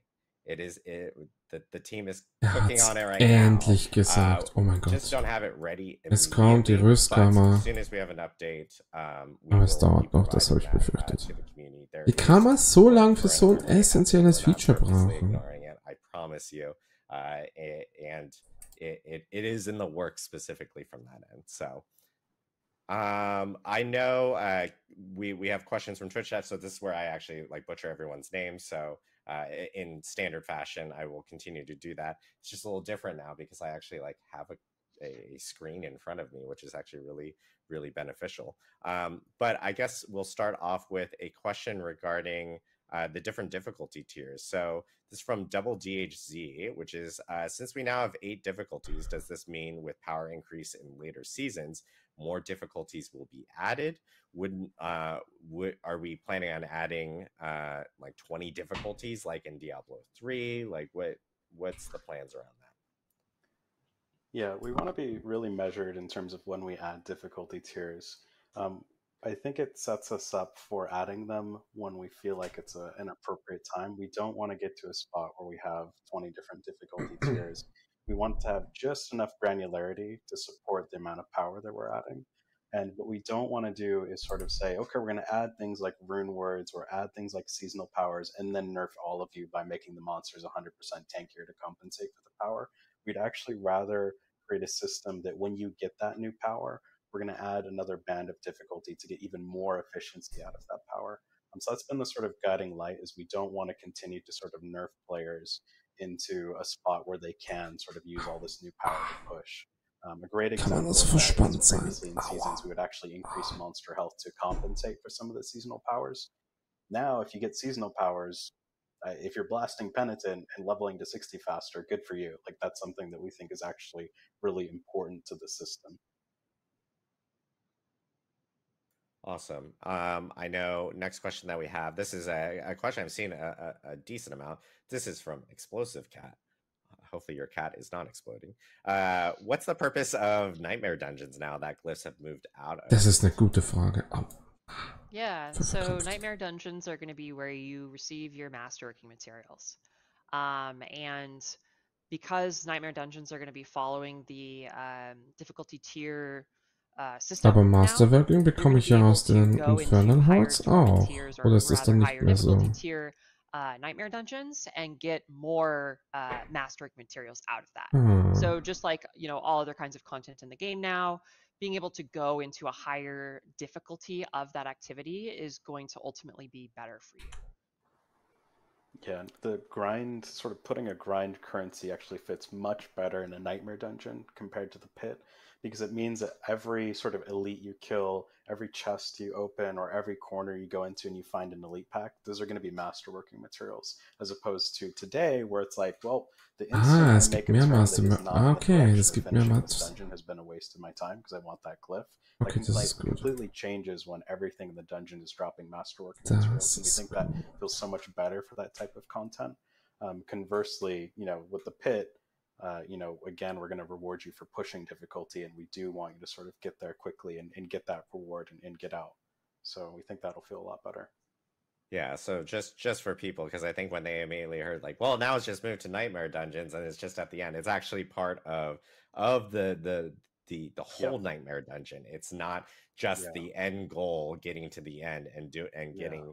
you know masterworking materials there. Just want to clarify yeah. for chat because I know immediately a good amount there's a good amount at, at the, the, end yeah. when you kill the boss, right? Of course, the boss has to have good shit, but like, what's really gonna feel great is like when you run into a massive elite pack, like you just randomly run into, you know, we we spawned maybe too many. Those are all gonna represent, you know, little loot bags of masterworking materials, which is gonna be huge.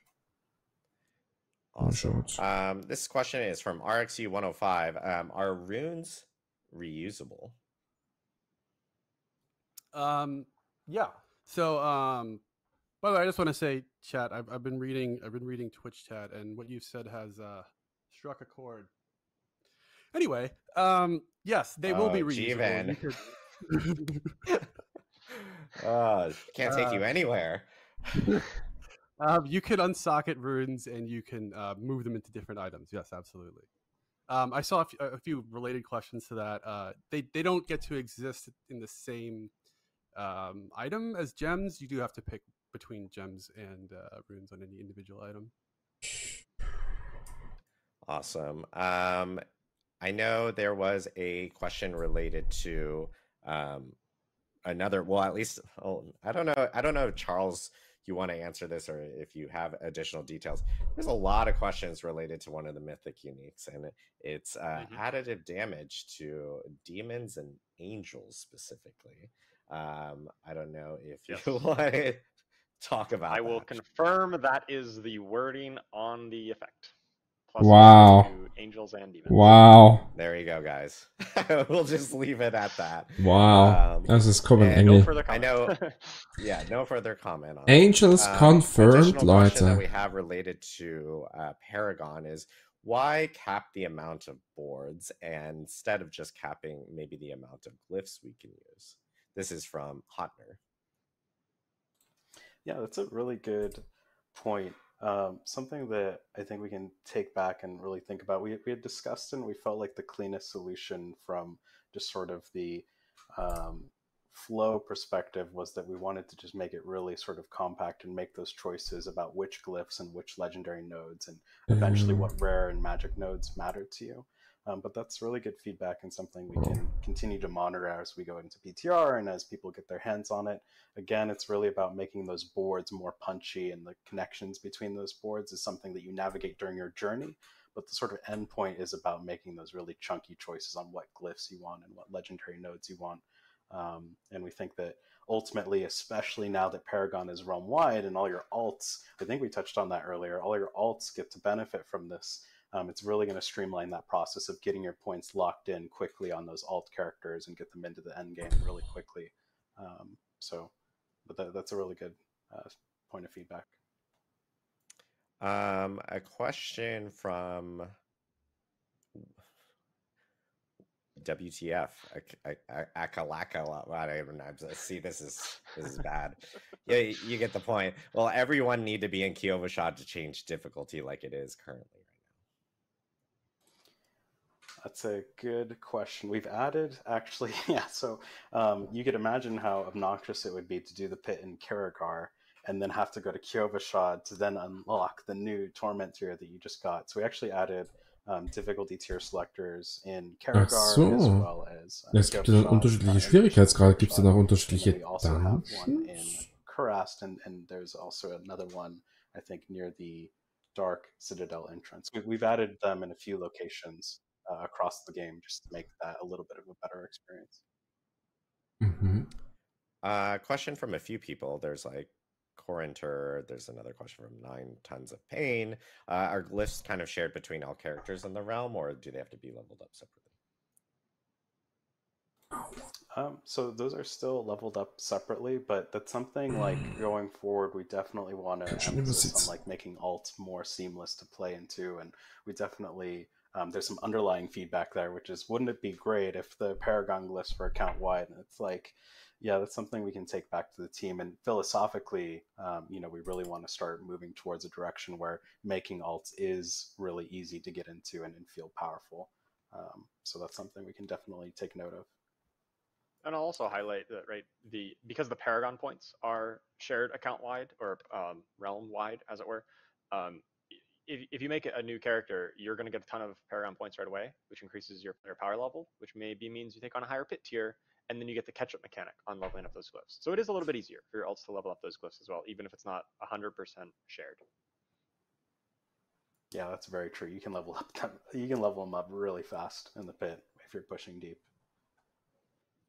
Um, there is a question regarding Eternal Realm characters like are and what happens to them when 2.0 kind of launches? What's the like do i'm assuming because they already have like 925 gear if they're at max level they'll be brought down to that to that uh, new eye level that we had mentioned.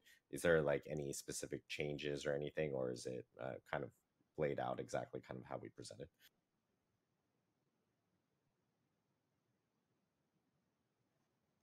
Oh, I can answer this. Uh, yeah. yeah. Um, so uh, we are doing some adjustments to for those eternal players who really like to play the game on one character. Uh, we wanted to make sure that there was new loot to chase. Um, we also just needed to make sure that with the new character level adjustments, um, you know, we, we sort of had to adjust the eye power of items now that the fact that the max character level is 60.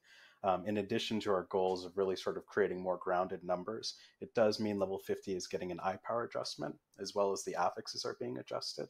Um, but we are going to max roll every single affix that we adjusted power wise. So, for example, if you get a five, we're going to take those items and adjust them. Uh, we aren't going to re-roll those affix bands. Like if you had perfect affixes, um, we're just going to essentially max roll all of them within that band. So there's no feels bad about, you know, I had this perfect item and you ruined it by readjusting it. Um, but the sort of main takeaway there is we wanted to make sure in patch 2.0 that there was new loot to chase. Um, you know, we wanted to make sure that the new uniques had a place to sing. Um, and that, that's all sort of in service to that for that type of eternal player who really likes that sort of long form progression. Awesome. Uh, question from Ice Panther. Rune words, are they applicable to all items and weapons? Or are they restricted to specific types of equipment? Um, additionally, can gems be inserted into equipment with runes? Yeah, um, they're they can be inserted into all types of equipment, so they're not restricted from being in uniques as long as you know you have sockets for that unique. And the the to restate the um, the slots that are available with two sockets, it used to, it, in on base game it's three. It's uh, chest, pants, and two hander. We're also adding a second socket to helm, so you'll have four slots. Um, ah, zweiter Slot of Helmen with gems in any item. Okay. And you wouldn't want to. You'd basically be losing the benefit of them. Awesome. Um, I know we have some questions related to like some co-op bugs. I, I will say that um, I've gone on, I know, like forums and Reddit and addressed, uh, at least addressed them that we are working on them. I can tell you the team is most definitely working on them right now. Excuse me as I cough. Still getting over my my sickness. Um, uh, and then I know uh, this is actually a pretty. I'm, I'm gonna ask this because it's a fun. Der Typ ist eh krass. For G and then Van. Hat Corona und, und streamt eigentlich schon mal seit oh, I mean, my zwei Stunden. would have let me do that, but I, I think I think we can't. Und er ist der meisten Quatsch. Can't do that sort of stuff. Unfortunately, I would have loved to. But I will say, um, there are, you know, the the the runes have these sort of um, phrases that they unlock when you actually compose the spells. And we have some i think fun references and easter eggs to you know the great diablo games of the past. And um, so hopefully that'll kind of make you smile when you see them awesome. And then uh, runes are they stackable? Yeah. They are stackable and we we have added a new tab for them as well. We have a socketable tab. So the rune all your runes and gems will go there um, so there we go you know would be pretty good for your inventory yeah, that it that would have been really messing with inventory if, if runes did not stack, and, and, and now that they have their own tab. Yeah, cool and stack. Okay, cool. Really so, um, cool. I know uh, we are going. We are very over on time. Um, so I do want to, I do want to make sure that we um, let everyone go here so that they can eat because we've now gone well past lunch over here in California. Um, just a reminder for everyone that Oh, haben sie ihre Mittagspause reingestreamt. Oh, uh, die Armen. Das ist jetzt der Grund, warum wir es jetzt abkürzen. It's 17,000 words, wow. a lot of words, so I apologize. Um, I will say that for other locales, it might be until like early next week before those Ja, ist auch, weiß ich nicht, war jetzt halt auch nicht, auch dann nicht so schlau, auch was für mich gut war, ich, ich konnte dazu rechtzeitig einschalten, aber so, so wirklich schlau um 11 Uhr zu starten, wenn man vorher schon weiß, dass es länger wird, ist halt auch nicht, ne? Uh.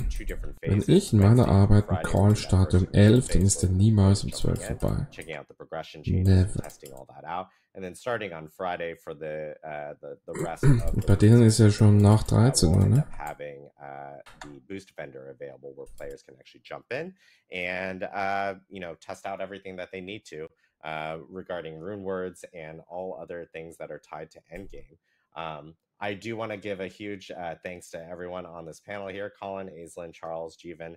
Thank you so much for going through a ton of information. Um, I do want to also call out the oh. rest of the Diablo team because they uh, have been doing a ton of work towards uh, Vessel of Hatred and, of course, patch 2, 2.0 and season 6. One thing we will say is that you guys actually haven't heard about season 6 yet. Ja, nichts über die Season. We'll be uh, sharing that more here in the coming weeks as we head towards launch. So there is still uh, a, a, seasonal uh, theme and mechanic with season six that Lass mich raten, es kommt uh, noch ein Campfire Talk. So, thank you guys, everyone, and thank you Diablo me for tuning in. Das hat jetzt nicht gesagt, ne? Das hat er nicht. Es hat er nicht gesagt. Uh, we'll see you guys in Sanctuary. Thanks again. Thanks everyone. Wir machen doch in zwei Wochen noch einen Campfire Chat. Ich riech das doch. Aber, oh, hübsch. Ja, was war das jetzt für ein komisches Ende? Logobo.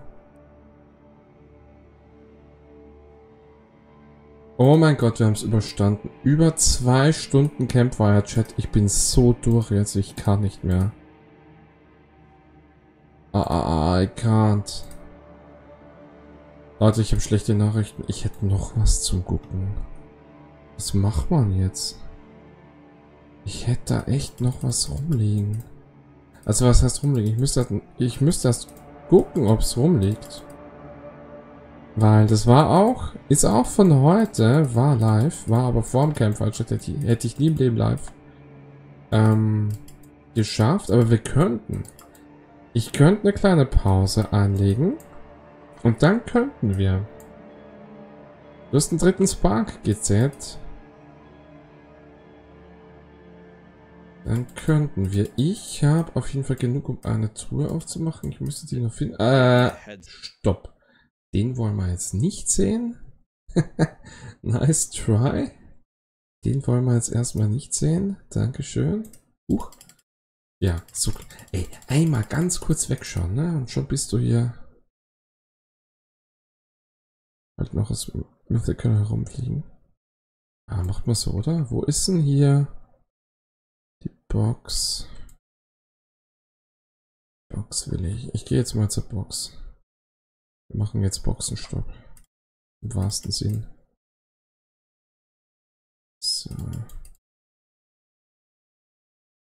Wenn ich diese Season komplett durchspielen will, wie der Apex mir weiß macht, dass man das machen muss, muss ich dann auch noch diese Drecks Helltide Commanders farmen ist dann das Einzige, was mir fehlt. Alles andere wäre erledigt.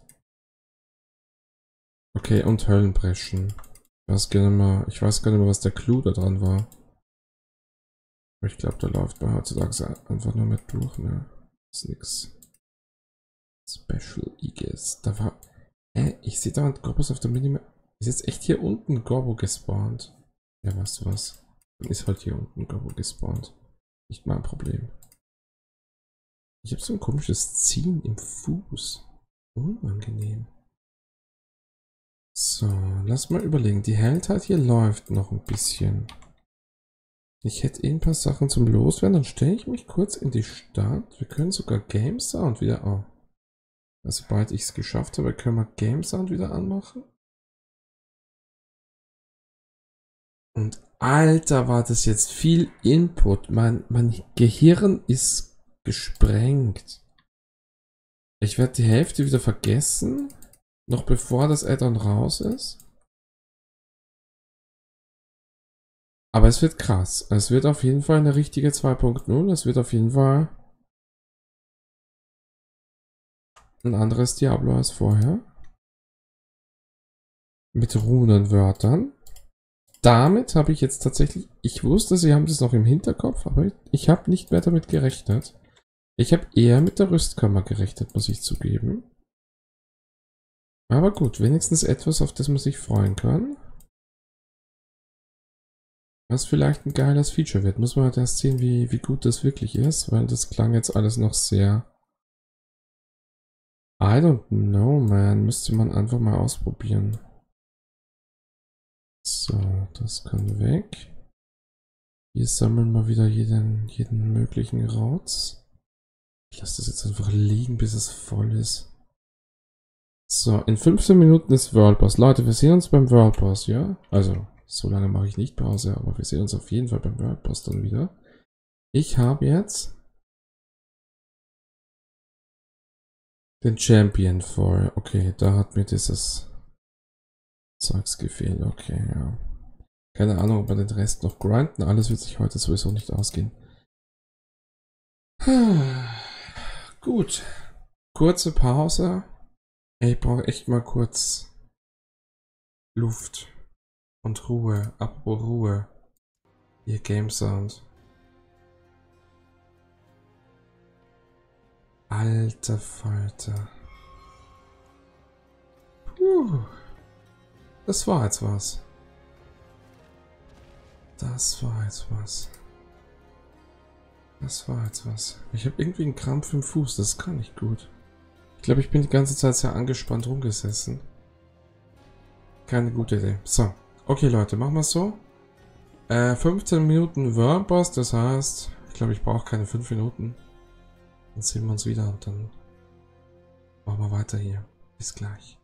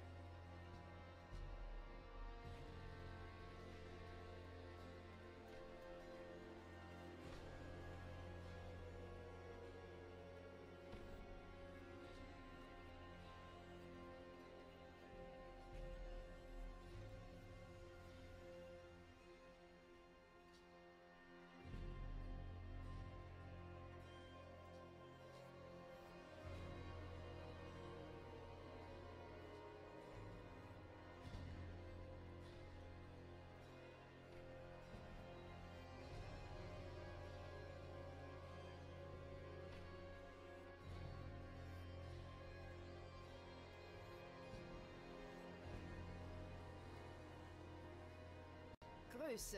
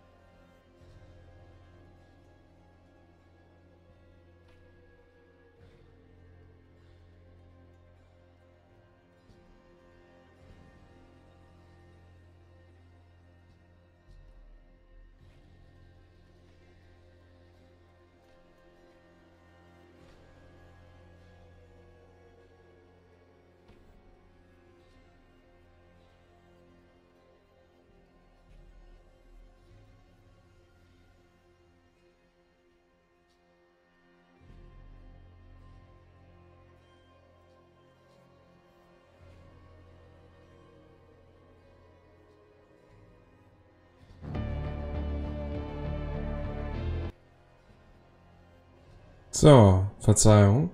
Warte mal, hi. Hier. Hier sind wir. Hier sind wir. Warum geht Krams eigentlich immer automatisch an? Ich wollte niemanden schrecken. So, warum ist es eigentlich wieder so laut? Ich hab hier noch was. Ich hab hier noch was.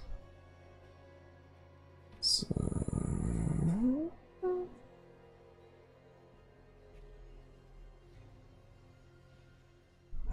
Ja gut. Also. Freunde. Ich weiß ja nicht, wie es bei euch aussieht. Ich stelle mich jetzt mal zum WordPress. Und dann hätte ich einen Vorschlag. So, wo ist denn der? Hier ist der.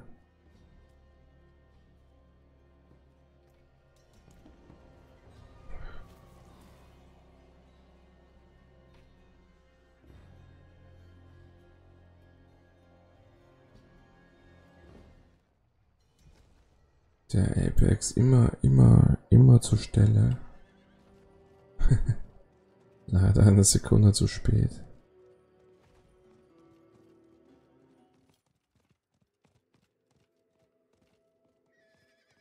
Oder mir immer einen Schritt voraus, je nachdem wie man es sieht.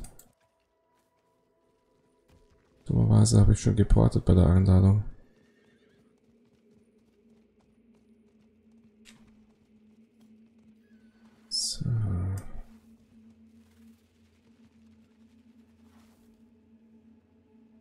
So, also, ähm, folgendes. Ich habe jetzt den, äh, habe ich noch offen, jawohl, okay. Huch, bei mir ruckeln schon wieder Dinge. Oh, wenn jetzt World Boss ist, ist das gar nicht so gut, gell? Da ruckelt es ja momentan auch. Hm. Okay, dann machen wir es so. Wir machen zuerst den World Boss. Drei Minuten braucht er noch.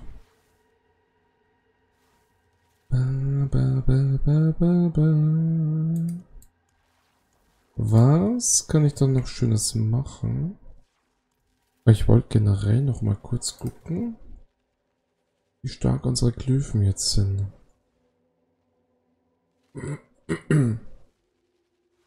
Ich glaube, ich muss die hier ansehen, da sieht man es besser. 125% auf seltene. Nice.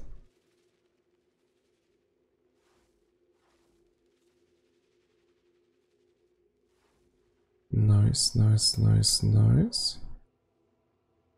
Dann haben wir hier nicht physischen Schaden. Ebenso nice. Schaden gegen Gegner mit Kontrollverlusteffekt. 5 Geschicklichkeit, bla bla bla. Dann hier. Das Beschwörungsschaden. Ah, der ist gar nicht so wichtig. Es geht hauptsächlich ums länger anhalten, glaube ich. Solange die aktiv sind, bin ich nämlich stärker. Dann haben wir hier Schaden gegen Unterkühlte. Weniger Schaden. Nochmal Kälteschaden obendrauf. Nice, nice, nice, nice. So, dann haben wir Schaden gegen Brennende und brennen lassen wir sie ja auch. Und hier zu guter Letzt Schaden gegen Verwundbare. Es ist doch ein Plan. Das kann ich mir jetzt gar nicht vorstellen. Sie haben nicht gesagt, dass sie die Bretter überarbeiten wollen, ne?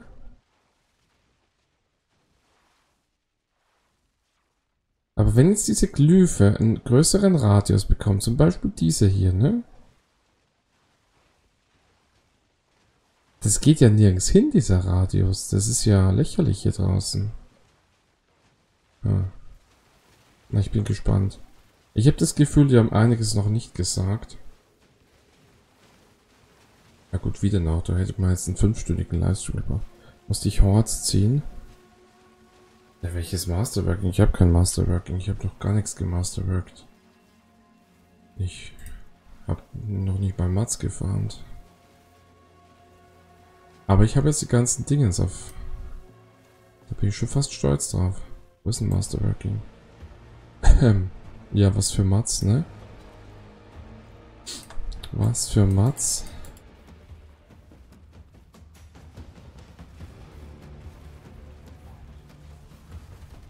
Wenn mich diese Horden nicht schon langweilen würden.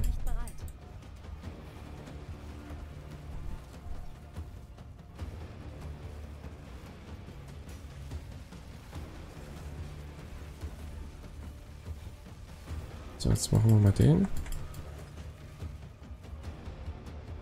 Kommst halt in den Horts? Ja, ist klar. Deswegen freue ich mich auf die besseren Pits in Zukunft. Und die sollen die Mods wieder aus den Horden rausnehmen. Das ist ja frech. Ich müsste blöde Breschen laufen, aber da bekomme ich nichts, ne? Gar kein Bock. Hab schon wieder so ruckeln hier. Lag?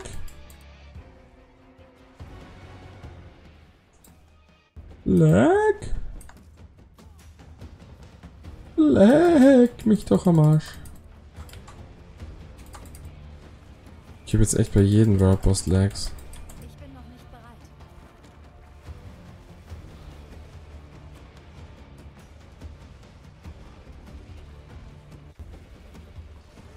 Selbst die Musik leckt ein bisschen.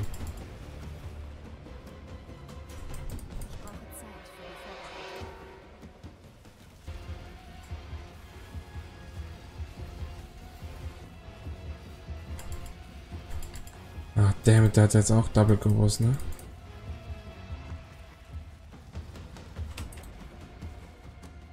So, wenn der eh abhaut.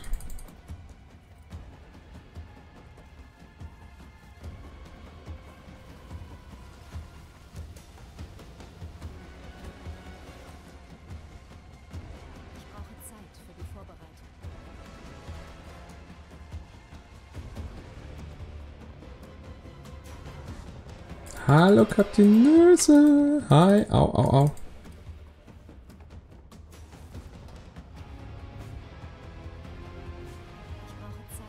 Na, wie geht's? Ihr einen Kobold gefunden? Ja, da waren zwei. Da waren zwei. Einer rechts, einer links. Und hier ist der Rest der Gobos. Was?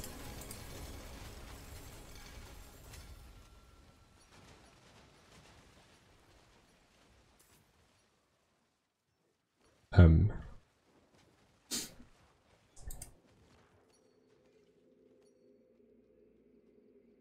Was?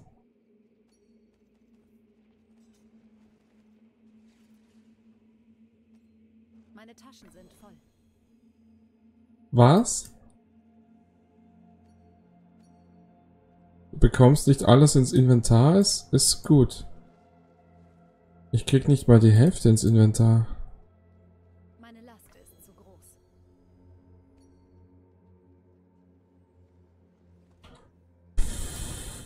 Ja, gut, den restlichen Stream werden wir jetzt Inventarmanagement betreiben. Ähm, und ähm, das war's dann, ne? es ist doch verrückt. Aber Leute, ich habe ich hab noch ein Video. Das wollte ich vorher schon sagen. Ich habe noch ein Video. Oh Gott, da ist noch die Tube von ihm. Ich habe ja noch ein Video. Schaut einfach alles. Äh, nein. Falsche Dude. Ich gehe mal zum Falschen hier. Ähm. So, dann haben wir Gobos Säckchen auch noch. Scheiße. Also jetzt habe ich Prisma ohne Ende diesmal. Das ist echt wow. Achso, warte, was wir auch gleich verkaufen können, ist der Stab hier. Ja, das ist mal der Start. So, jetzt blinkt schon alles in meiner Truhe. Das ist nicht gut, das ist nicht gut, das ist nicht gut. Ah, der hat mir jetzt aber nicht alles in die Truhe gepackt, ne? Nur ein Teil. Ich kenn den. So, und das hier können wir wirklich alles schrotten. Hoffe ich. Dann gehen wir mal zurück.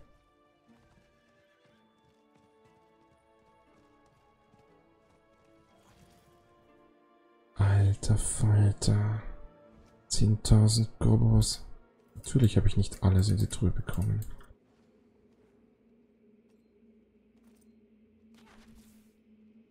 Ah ja, stimmt, der Baum ist auch noch, ne? Ne, warte, den habe ich vorher. Ha! Ich habe einen Baum vorher geleert. Haha! Weil wegen Helltide und so. Hab ich vorher schon.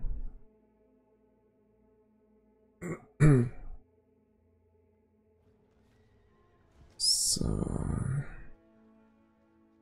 Etwas besser nach 5 Kilometern, schreibt sie die Kapitänöse. Habe ich vor lauter, vor lauter Loot fast überlesen. 5 Kilometer jetzt noch. Nicht schlecht, nicht schlecht. Respekt. Ähm, Im Verkauf mache ich eh nichts mehr. Du hast 14 Schatztaschen. GZ, ich habe heute schon 15 aufgemacht, glaube ich. Ich habe dummerweise jetzt wieder eine volle Loot-Truhe hier. Wenn wir das alles ausgezählt haben. So. Da haben wir auch einen Max Roll. Das kann schon mal weg. Schon Hooks. Okay, aus dem Telegram nochmal geschrieben. Ist ja alles eh gescheiter. Äh, Truhe. Schau mal, das ist einer mit zwei Aspekten, die unbrauchbar sind. Oh. Das ist, ähm... Ja gut, der kann, der kann dann weg, der Schuh, ne? Das ist äh, schade. Das ist schade. So, zumindest die drei will ich mir noch ansehen. Und das hier sind lauter Greater Affixes und da müssen wir dann irgendwann mal entscheiden, was davon brauchbar ist und was nicht. So. Ich habe hier eine blaue Rose. Die macht Schaden und kann sonst nichts. Ich glaube, die kann weg. Dann habe ich zwei Handschuhe. Einmal die hier mit 60% sogar.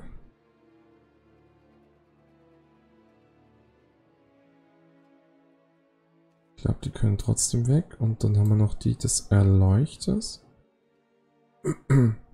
Das sind 0% gut, gell? Ja, dann kann das auch weg. Ist alles nichts für uns hier. Haben wir noch drei entsorgt. 69 Millionen. Ein bisschen hat sich's doch gelohnt, der ganze Grind. Jetzt haben wir zumindest ein wenig Geld angenommen, weil ich auch nichts ausgegeben habe. So, Tränke. Dann haben wir Blut. Zweimal Stahl. Das hier eine Puppe immerhin. Und die hier. Äh, Okkultist ist jetzt hier unten.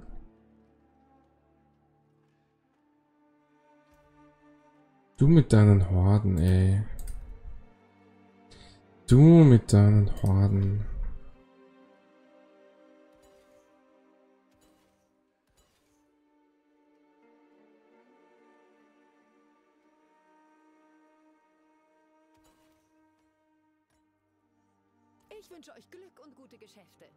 Ist nicht easy, das ist langweilig.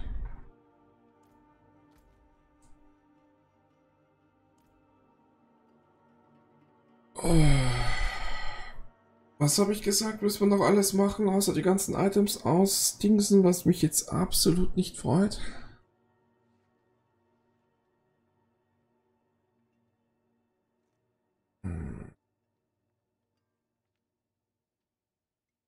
Pitzlauf muss ich auch noch, ja, stimmt. Die Pits geben die stygischen, ne? Wie viele habe ich da? 15. Ich glaube, das sind so ziemlich alle aus, aus Kisten. Ach so, und diese Höllenbreschen. Aber die sind ja so Schrott, ne? Ich muss das jetzt kurz nochmal probieren. Ich habe ich hab irgendwie komplett verdrängt, wie die ablaufen. Ich habe das... Wir, das hat man ein paar Mal während der Season-Reise gemacht, oder? Ganz am Anfang für die Season-Quest. Und dann gab es keinen Grund, das zu machen. Ich habe die irgendwie so in Erinnerung, dass die... Dass die einfach nur lang waren.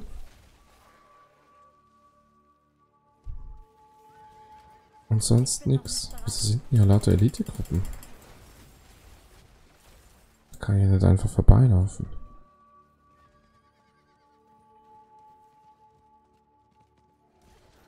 Au. Hat der mich jetzt echt erwischt? Exakt.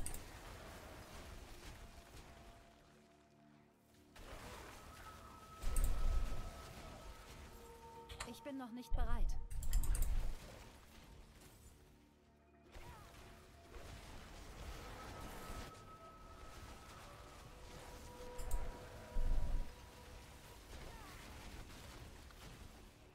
Horsey.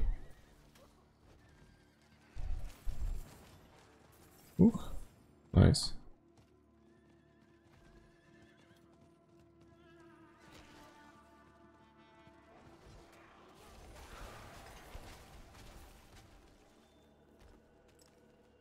So, was macht man hier? Die Bresche von Omat. Ich kann mich an das alles echt immer erinnern. Wir schauen uns das kurz an. Wir sind ja noch in der Gruppe ganz vergessen. Wo ist mein... Ich hab nur mal das hier, ne? Ich hab nur mal so einen Schluck Tee hier.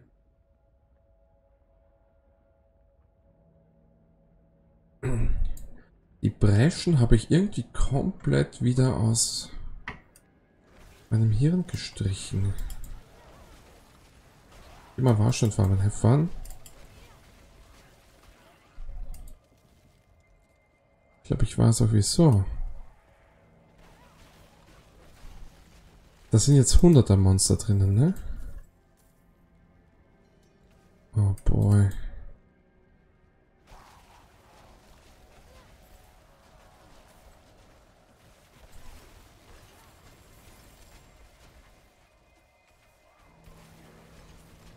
Muss ich mich da jetzt echt durchdingsen? Ich glaube, ich, ich glaube, ich weiß schon, wie wir es machen. Ich habe ja noch dieses Video, ne? Wenn wir echt noch diese Höllenbreschen machen, können wir das Video dabei schauen. Weil hier geht's offensichtlich echt um äh, gar nichts. Ich kann die Bresche auch nicht höher machen, ne? Ich wüsste nicht wie.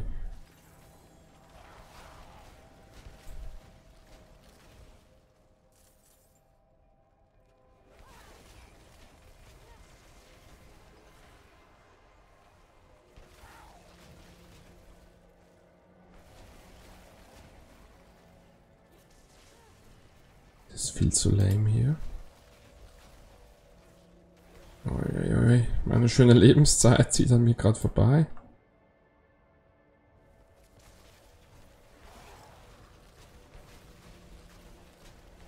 Da hätte man schlau sein müssen, das ist am Anfang des Season Farmen, ne? Tja, waren wir nicht. War auch nicht so interessant, dieses Ding hier. Oh, komm schon. So, eine noch. Und dann passiert irgendwas, ja? Das war's dann noch nicht.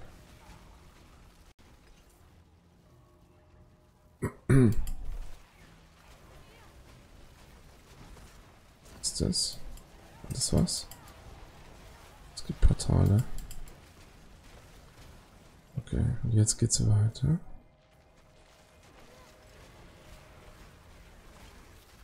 Ah ja, jetzt kommt das wieder. Ist eigentlich komplett egal.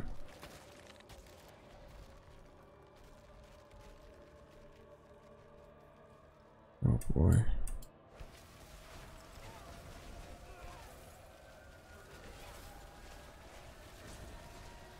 Nochmal Seelentürme? Echt jetzt?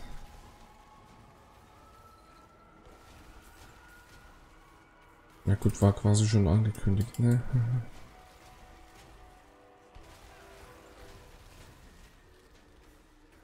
Ich brauche Zeit für die Vorbereitung.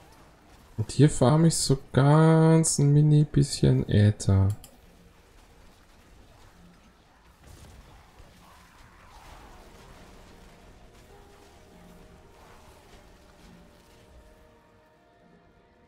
Der letzte Mob lässt immer auf sich warten.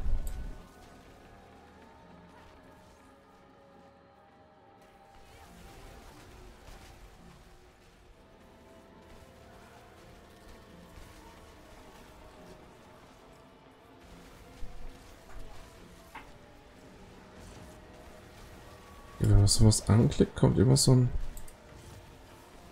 komisches Tor. Vielleicht sollte man das einfach machen.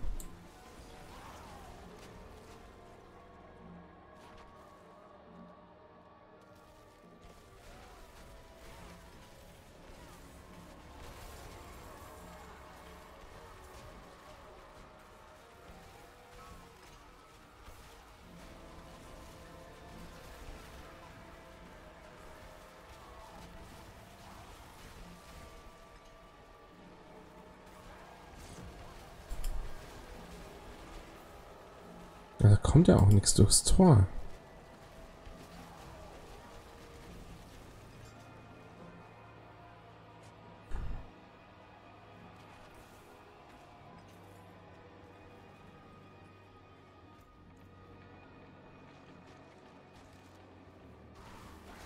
Das ist schon zäh. So, Höllenrufe. Äh, sieben Äther.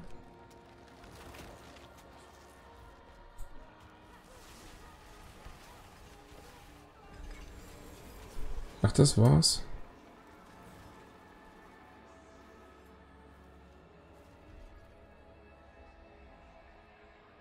Okay. Schätzte Hölle 2. Naja.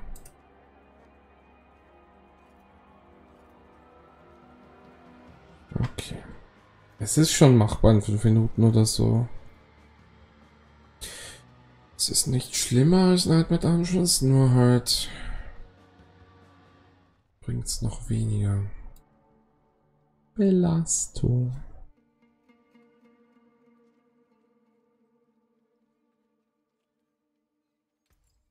Belastung. Ja, sicher, ich nehm's. Belastung.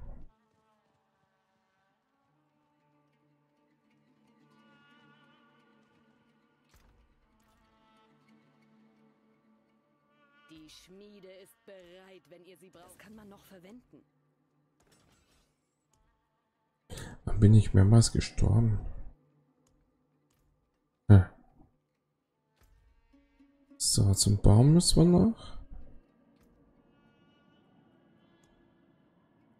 Eins ist durch, zwei ist durch. Und ich muss jetzt noch fünf so Breschen laufen für die drei. Für die vier ein Geflüster. Ah, lol, ja, das holen wir jetzt gleich. Und für den Schlechter diese Kommandanten. Ja, okay. So, hier haben wir auch noch was zum Abholen. Dann nehmen wir doch gleich alles mit. Boah, das ist aber schon... Puh. Das ist schon, ne? Insgesamt, puh.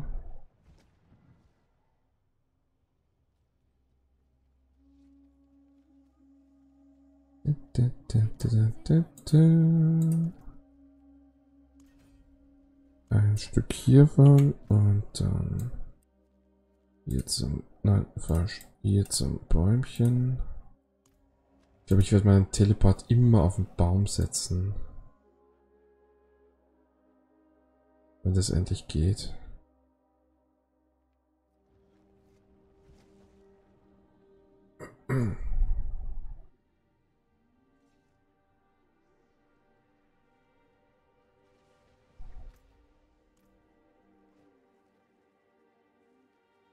Können wir sagen, wir haben zwischen den ganzen Videos auch noch ein bisschen was gespielt. So, einer oder Chaos? Ich bin für Chaos. Chaos ist gut. So. Einmal die Triole. Etappe 4 abgeschlossen. Einmal das Chaos.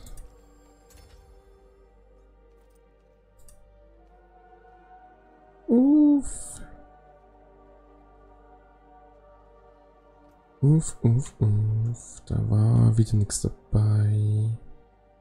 Edelsteine, die das Licht einfangen. Seht sie euch an. Wieder nix. Dafür habe ich jetzt wieder 20.000 von dem Krams hier. Stufe 3, Stufe 3, Stufe 3. Hm.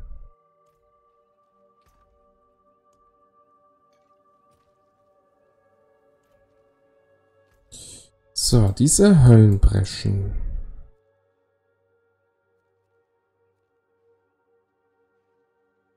Das wechselt immer, welche das Flüstern bringt, ne? Aber eigentlich wäre ich doch viel schlauer, wenn ich dann zumindest die mache.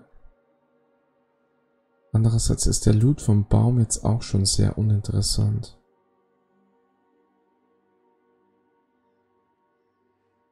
Ist fast egal.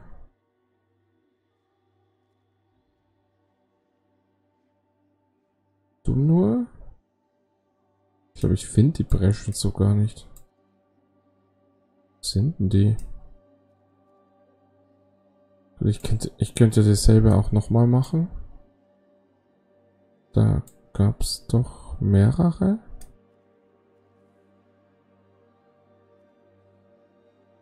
Bitte sag mir, dass es da mehrere gab. Hä? Da ist eine. Bresche von Dulera, die ist ja schon mal gelaufen. Wait a second. Wieso, wieso sehe ich jetzt nur zwei?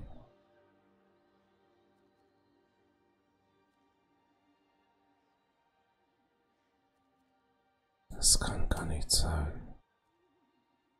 Das kann gar nicht sein. Nein. Äh.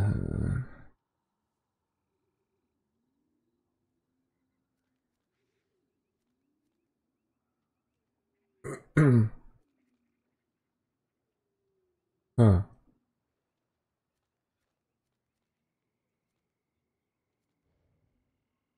Hmm.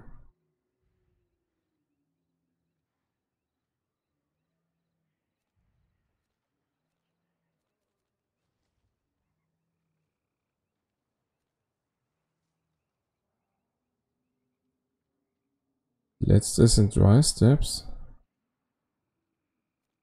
Ja, ja, die habe ich schon.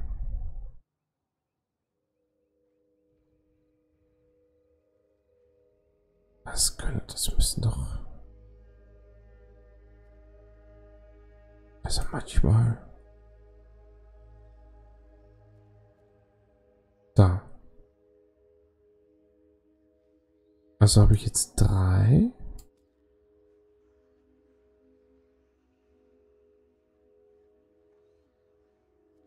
Warum muss ich dann 20 machen, wenn es nur drei gibt?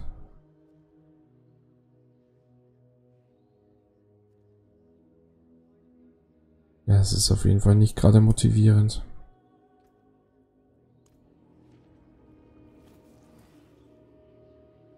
Hm.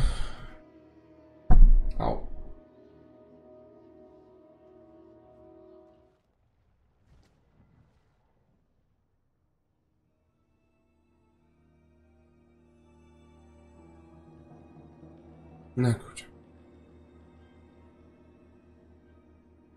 Leute, seid ihr bereit?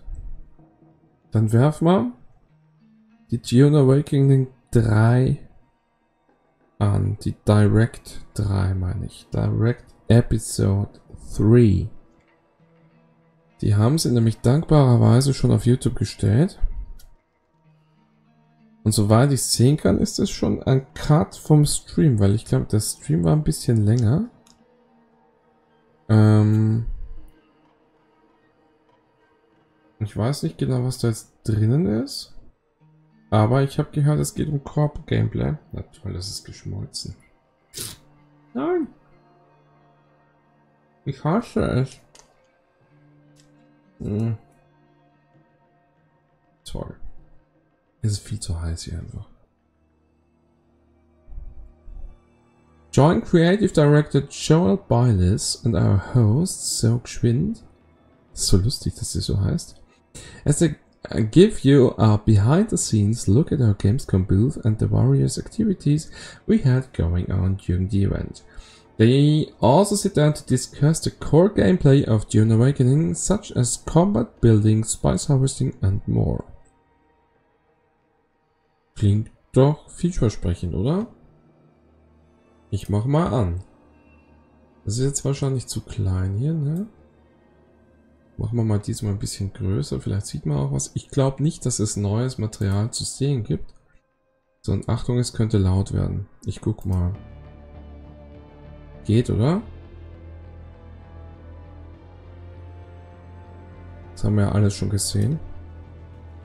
Ich mach Spielzeit aber wieder aus.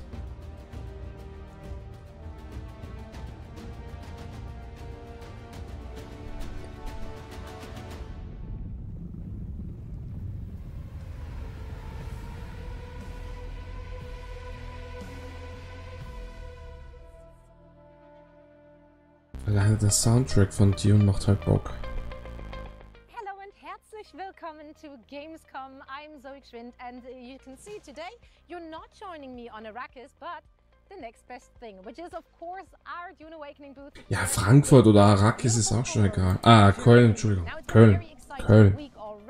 with the gameplay reveal at opening night live and of course all the streams mein Gehirn war gerade auf der falschen Messe.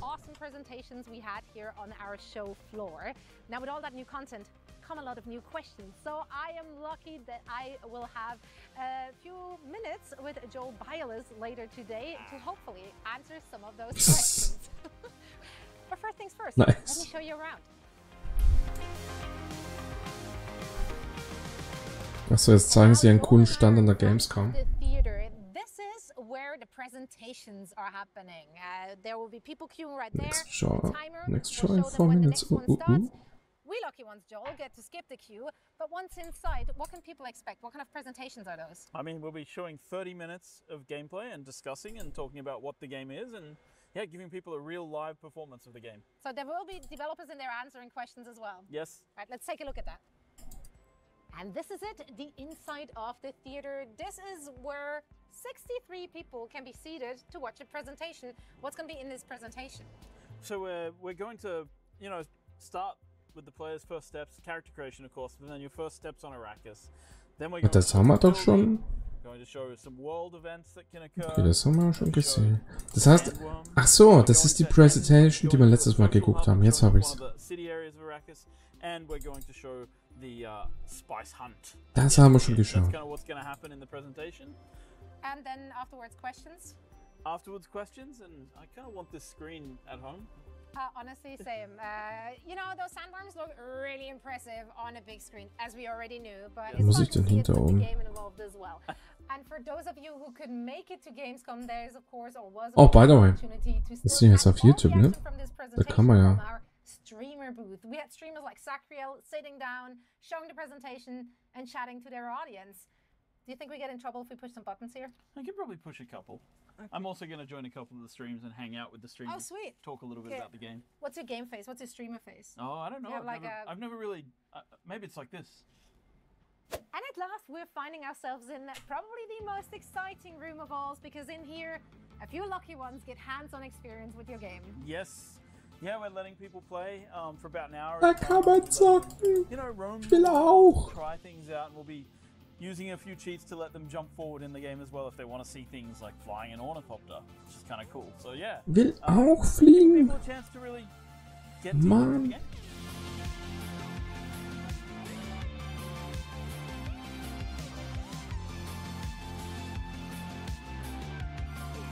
Ich dachte, das ist eine... Also die bisherigen Directs waren ein bisschen Director. Ja, die kenne ich noch von Conan. introducing them to our game, seeing so many familiar faces and new faces, and it's just been an incredible experience so far. This doesn't come around very often for me as a developer, but so far so good. It's been going really great. It's been great to sort of get connections with people, get in front of people, put the game in front of people ideally, and they can get hands on and start playing it and really give us some solid feedback. We've been, or at least for myself, been on the project now for around five years. So you know the chance to uh, birth the project, I guess, to the to, to the people.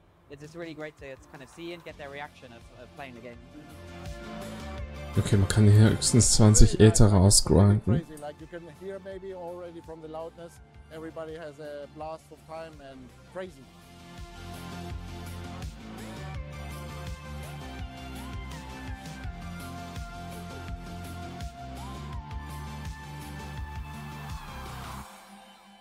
Joel, thank you so much for taking the time to sit down with me for a quick chat. Thank you for having me.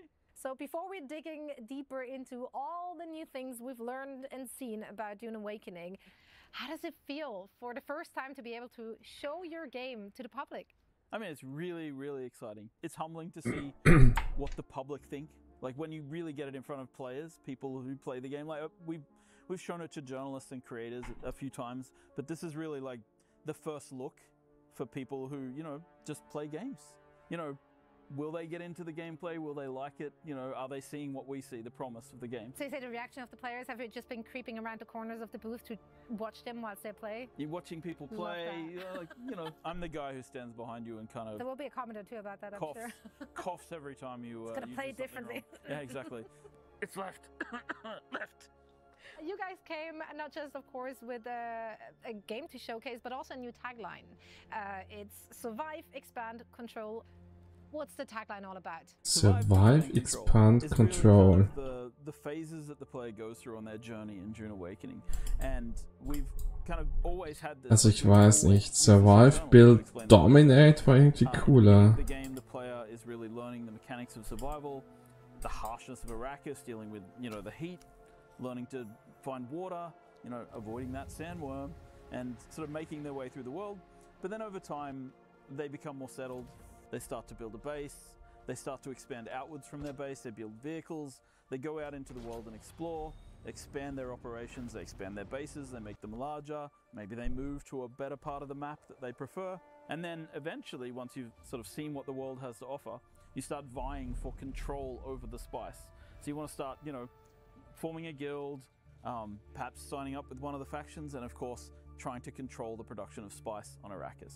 So it's like a, a bit of a checklist for the player, essentially. Exactly. These you three know, steps and then profit. These three steps, 300 hours later, and you're the king of the world. Easy. It's so simple.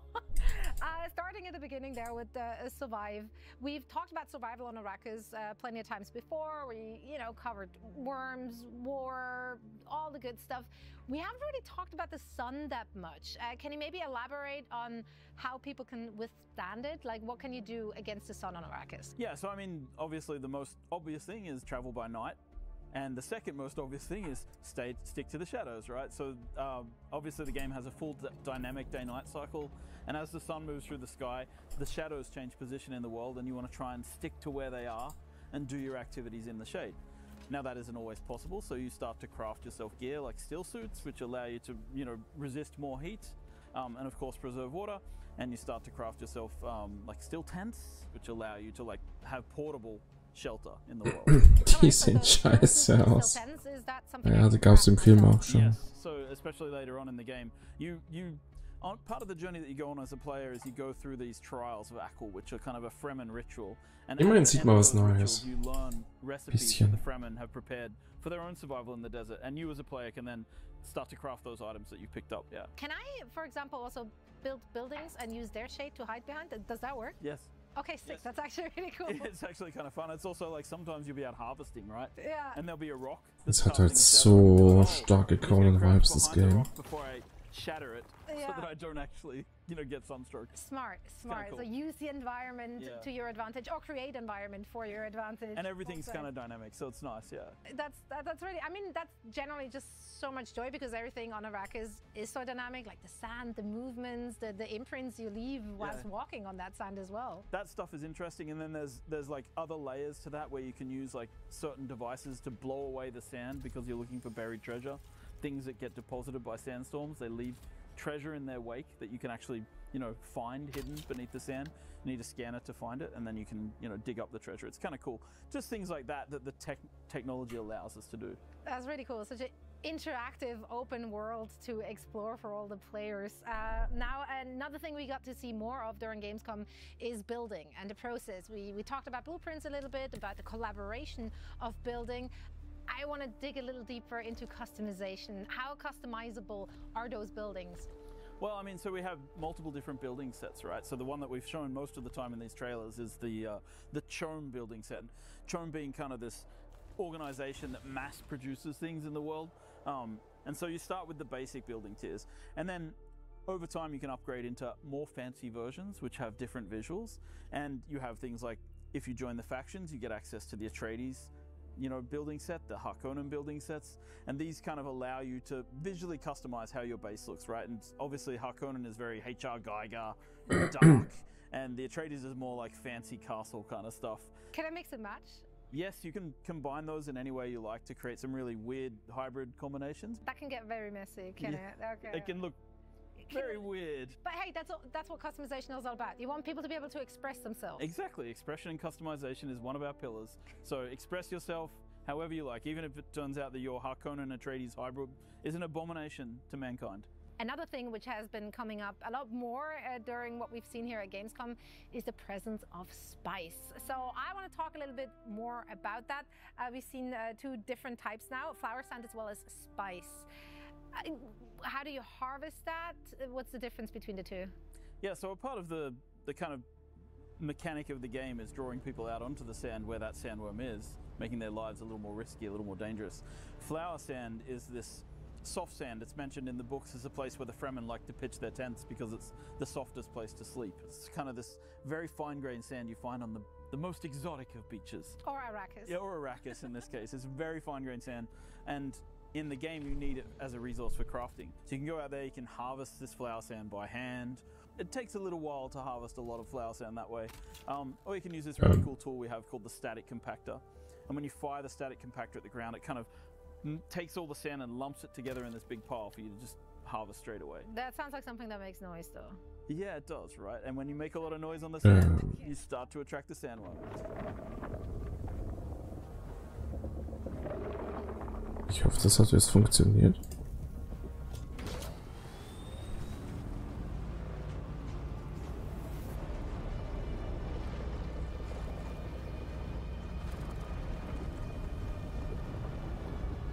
Wurmi. Die Szene hat man auch schon gesehen. So these are kind of the mechanics you use for harvesting flower sand, and then later on, when you get to spice, it works functionally. It's quite similar in that the big spice blows leave giant spice fields on the sand, and you kind of harvest in the same way. You can harvest by hand. Hast du schon wieder was gefunden? And of course, you want ich habe das alte angeschaut. The most, you want to bring a sand crawler, dump that on the surface, and use it to suck up as much spice as possible. And naturally, all of these things take place on the open sand. And the sandworm always comes. Is there is there an effect uh, from being around the spice for too long whilst harvesting? Like, can I, am I inhaling the spice? What is happening to me? Yeah, so just, so just by virtue of being die on a rack, Widerstände. Besten Creator FX auf die Widerstände des Vers. Um, and so yeah, as a player, if you if you stand around on a spice blow too long without proper protection, you start Not to inhale too much spice and it gets into your bloodstream, and, Not and that can lead to let's say certain effects on your character in the world and in the game. Yeah, like, you know the idea of these uh, these visions that Paul has, I think, is an interesting oh. thing. We're definitely exploring this kind of idea in the game. Um, what it is and what it means, I'll, I'll, leave for the players and their imagination. Hopefully one day they'll find out. Noted. Um, now that I harvested all that spice, though, what's what's the main usage for it other than the personal use? Like, why am I out there harvesting and you know? Um, I mean, risking my life for it, really. Sure. I mean, in the books, the Fremen use spice for everything. It's it's it's something that became a huge part of their culture. And in the same way, the player also starts to sort of find multiple uses for spice all the time. Um, you need spice residue for fueling some of the generators in the base. You start using spice to craft almost anything in the world, like some of the higher tier gear in the game really requires spice as a key ingredient. Use it to pay your taxes to the Emperor, because otherwise Wait, I have to pay taxes in this game too. This is how we this is how we claim a sub thief. Can't, can't escape it, man. Can't escape those taxes. I mean, you can. You don't have to pay them, and then you get killed by the Sardaukar and try that's to fight. So that's a, that's, yeah. that's an option you have. Okay. Um, and then of course, if you want to go into the Landsraad, spice is kind of the primary currency of the kind of political infighting that's happening between the major houses, and you can take a large role in that. And of course, you can sell it to make a lot of money.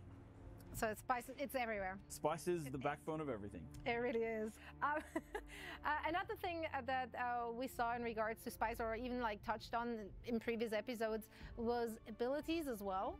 Um, is there anything you can share about the connection between spice and abilities? Yeah. So as as the player's blood gets saturated with spice, you can imagine how abilities might be altered by being able to see just a little bit into the future. And so, you know, we have oh, some yeah. of those effects in the game. I won't again spoil too much of it, but yeah, it's it will have an impact on your abilities. Fine, I'll take that. That was an answer. We take it. It's an answer. It's, it I can't go too far down that path. Um, well, speaking of abilities, though, uh, it was really, really exciting to see some new abilities showcased here at Gamescom. Uh, Shield was one of them. Can you maybe talk a little bit about adding new abilities, your philosophy when it comes to creating abilities uh, and make them work in your world? Sure. We have, I mean, so first of all, we have our different archetypes, right? And we try to maintain our consistency with the lore of who those people should be. So if you, if you, you know, are a mentat or a trooper, it's kind of like your basic set of abilities is kind of aligned around what that archetype would be using. So, you know, mentat, human computers, being able to see and calculate information really quickly in the world. But then from a gameplay and fun perspective, we're trying to build a game that has combat that is about getting in close for melee combat and then pulling back quickly to go back to range. So you're always switching your tactics based on the enemies you're fighting. If they're wearing shields, then you need to get in there and attack them with melee. Ranged attacks just won't do do the trick, right? So it's it's kind of really about this uh, push and pull, and so our ability design is really about giving players options. Whether that is about getting you to them as quickly as possible, that is things like the dash ability, getting you in really fast, or using a Shigawire Claw on the environment to pull yourself closer to the enemy, but also giving you abilities like the Voice Compel, which allows you to pull the enemy and compel them with the voice to walk to you so that they can be struck down by your blade. So it's kind of about combining these things, and our ability design really takes this to heart. How do we get people in and out as quickly as possible? So with the traversal abilities, I can really kind of pair that with items and, and, and, tech, right? Yeah, so I mean, of course, we have the suspensor belts, which basically at their lowest level allow you to fall without taking damage, but at their highest level allow you to fly basically freely without, with you know, obviously power drains over time, but suspensor belts really allow you full mobility in the air. I'm essentially the Baron at that point. Yeah, exactly, right? Exactly, and and that's the fantasy. Um, and then you can Your combine fantasy those. is to be the Baron, so oh, I need you know, to I've, stop you I've right been working there. on it for years. Okay. but um, no, so the the the yeah, the ability to like use suspensor belts to fly around, right, and then combining it with a Shigawire Claw, using the momentum of both of them to pull you through the world, you know, twice as fast as you could normally move, or you know, using the dash into a suspensor belt, which allows you to like really go quickly in the world. It's kind of crazy, and we might need to tone it down. But that sort of stuff is like it's super interesting to see, and that's kind of what we mean by our combined arms. It's like playing around in the sandbox with the way that the combat, the abilities, all these kind of things come together to just make combat feel really dynamic and interesting. Uh, there were a lot of interesting things, obviously, throughout the last few days here at Gamescom that were shown uh, during, uh, you know, the opening ceremony and also the things we see here on the booth. Also, we got to uh, get more sneak peeks into like the player hubs. So we got to see a sneak peek of an allegiance ceremony, for example. But that's something that you shared in the past that people do not have to align with one of the houses. That's still true, right? I, I do not have to get involved in any of that. It is true you as a player do not have to join one of these factions in the game. You're not forced to join them. Mm-hmm. You can play the game as a lone wolf or like with your little clan or guild of people who don't want to be part of the major faction, but you'll always kind of end up interacting with them in some way, right? The Harkonnen and the Atreides are fighting this war of assassins over the planet's surface, and in some way your contracts and the way that you work in the world, you're always going to encounter them in some form. But you don't have to join them. You don't have to be one of them. You can maintain your independence. You can help people who are participating in the Landsraad, but you don't have to be aligned necessarily with either of those groups. Now, das ist cool, dass man den nicht joinen muss, den Fraktionen. If you don't join, for example, the Atreides, you won't be able to get up, get their best gear. You won't be able to get, you know, all of the uh, building set, for example, that the Atreides has, and you'll definitely miss out on their cool "awoo" battle cry. he but, it in. But Shout out to Discord. Shout out to Discord. But the um, but you know, it's completely up to you as a player, and you will be able to buy things like Atreides outfits that other players craft and put on the. Oh, the blueprints. Yeah, I can, so like I can that. still so get my. People can put things out for you to buy. Yeah. Okay, so the the major drawback of not aligning with uh, one of the houses would just be that I'm missing out on like specialized items house in, in a way. House and, and, and, I mean, I think some of the the cooler pol political story stuff that we're putting into the game as well is is like it's interesting, but you don't have to do it. The main story is not tying you to one faction or another. How how locked in uh, how locked in am I? Like, can I still play both sides in a way? Is there a drawback once I'm tying myself to Atreides, but what is on? Then one day I wake up and I'm like, new day, new me. I don't want to be this anymore. I'd like, like, to go it, join the Baron. Exactly. Yeah, no. what what happens then? Can I leave? I mean, yeah, of course it's Dune, right? You, of course you can backstab people, and oh, certainly okay, an option. so you can go down that way if you really want to get those Lovely. of course, you can betray your solemn oath to the to the Red Duke. You can do that. I, I don't think he'll look kindly on you after that point, but you definitely have the option.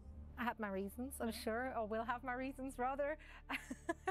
okay, so there's benefits and advantages and, and, a few drawbacks there, whether or not I want to align or get involved politically. Got it. Now, last but certainly not least, I think one of, if not the biggest announcement was, of course, a release window. Early 2025 is when players can get hand on the game all over the world.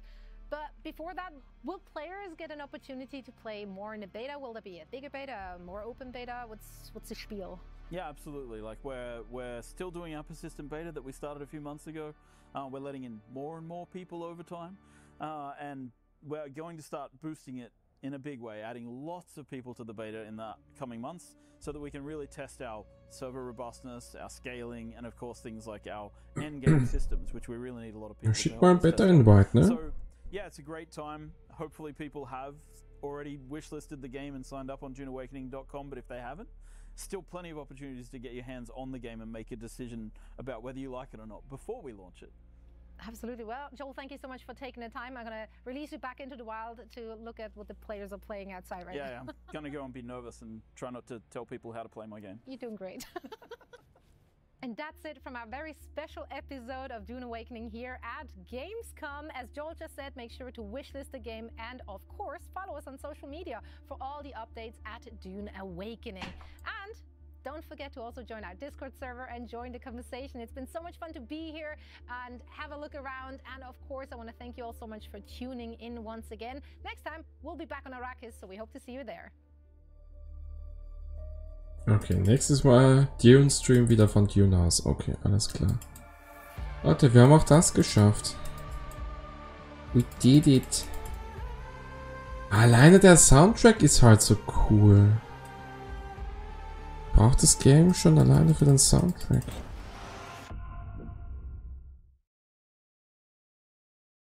Gut, gut, gut, gut, gut, gut, gut. Haben wir es geschafft.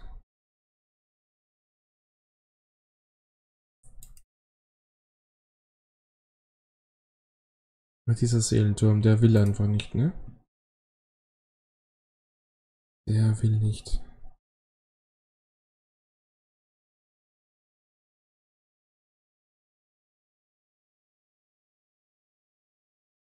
Ich wollte gerade sagen, es ist, es ist so ruhig gerade. Ja, warum wohl? Kein Sound mehr an. So, komm. Eins ausbauen noch. Dann haben wir die ganzen geschafft. Die anderen beiden Dungeons gehen schneller als der hier. Das ist einfach mein Pech, dass ich als erstes den ausgewählt hatte. Und jetzt wollte ich unbedingt nochmal die drei spielen. Weil ich zu faul bin, die zurückzusetzen. Über denselben zu laufen. Naja. Ist echt schon nach 23 Uhr, ne? Da guckst du mal zwei kurze Videos. Au. Und schon ist der Tag vorbei. Schlimm ist das. Schlimm ist das.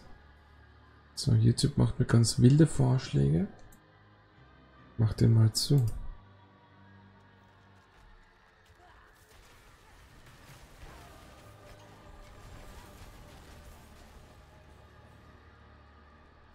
So, 20 Dinge haben wir wieder. Wundervollstens. Ah, ab zum nächsten. Der war... Ich habe da einfach keinen Blick dafür, ne? Ach, mal, jetzt ist die wieder... Die andere habe ich aber wieder übersehen hier. Hier. Die, die, die gönnt jetzt wieder. Dann gehen wir doch nochmal zu der, wenn die nochmal gegönnt.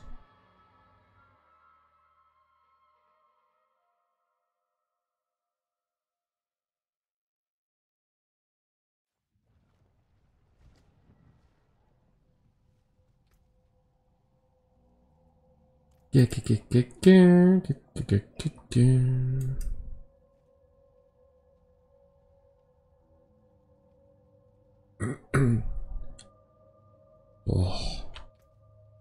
Bin schon so platt innerlich, echt.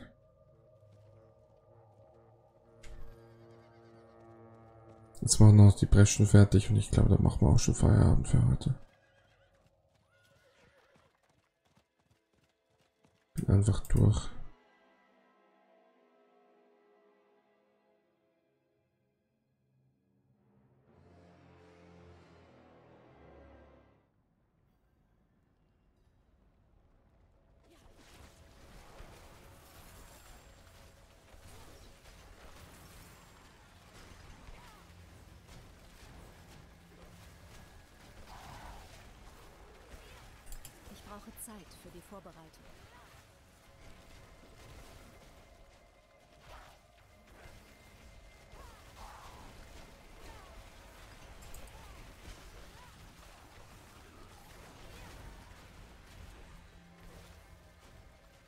Schade, dass diese halbe Season-Mechanik hier so, so komplett untergeht, so langweilig ist.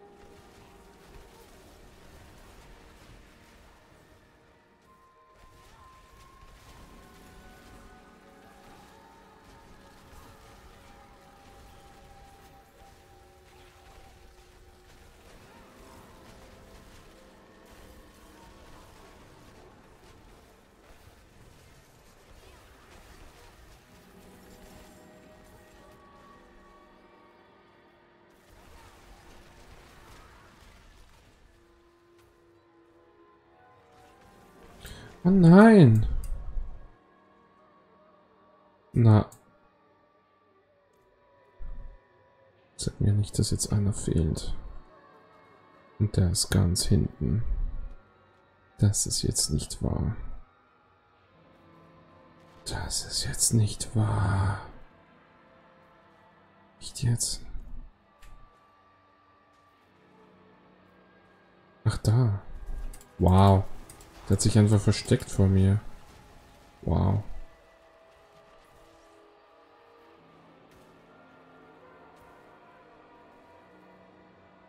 Oh, wow.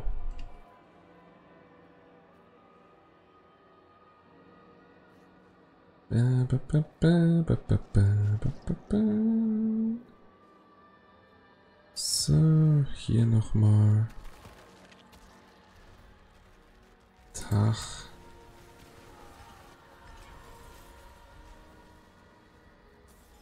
Bresche von Dulra.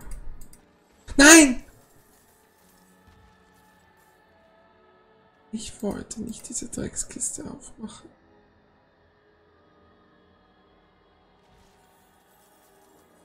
Oh Gott, das ist ja null Gold. Kriege ich ja hier mehr raus. Oh no. Ich habe die Dreckskiste aufgemacht.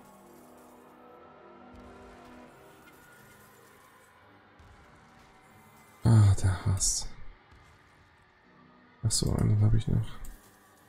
Ach, der Hass. Hm.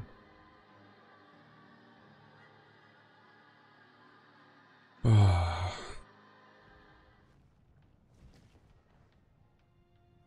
Unnötigst.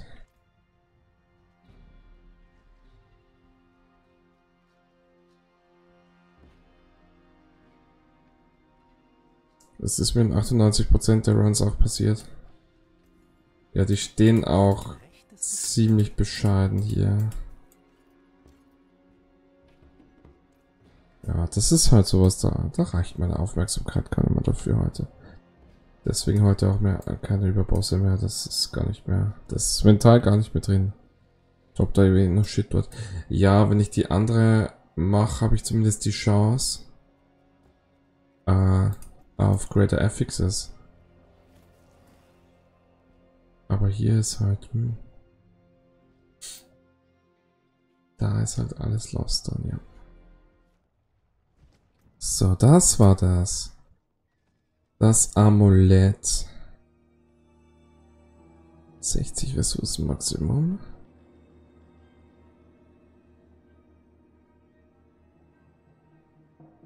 Das ist so nice.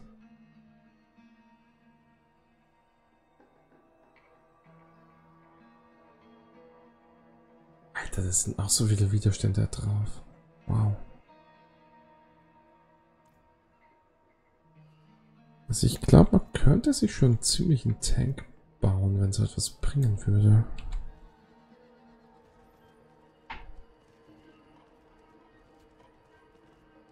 Theoretisch ist nice für mich. Oh ja, das glaube ich dir.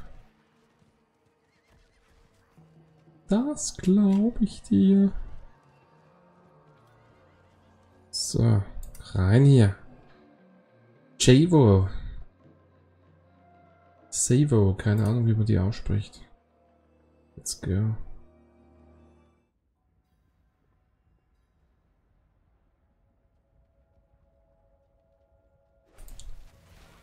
Die hoffentlich letzte, außer ich habe irgendwas übersehen.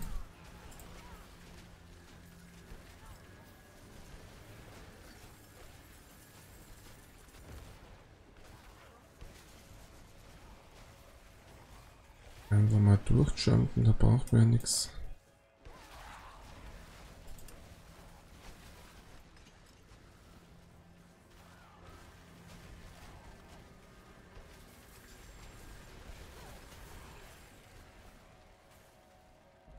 Drei von fünf. Einmal noch dumm rum und herum. Ich bin noch nicht bereit. Bin auch nicht bereit. Was soll ich denn machen? Und wieder falsch gelatscht.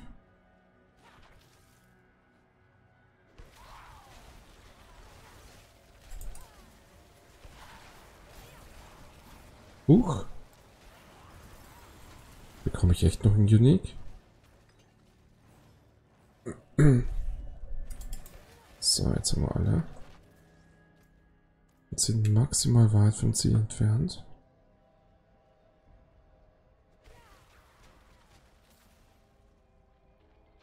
Natürlich mein erster...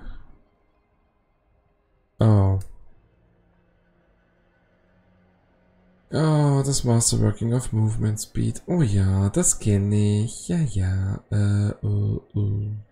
Eigentlich jetzt ziemlich egal. Was wir hier machen. Oh, ja, ja, da kommt die Möglichkeit wieder. Bin heute schon beim Heimfahren fast weggepennt.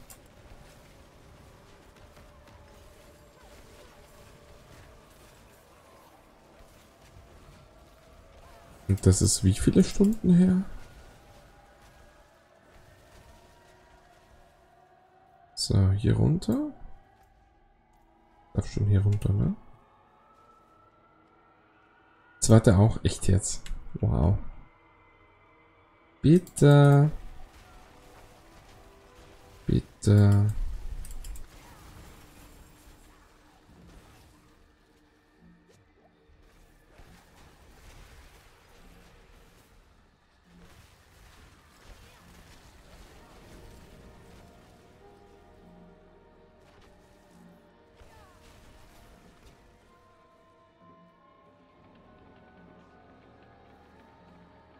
Nein.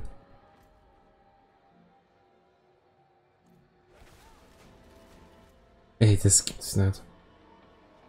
War da hinten echt noch einer?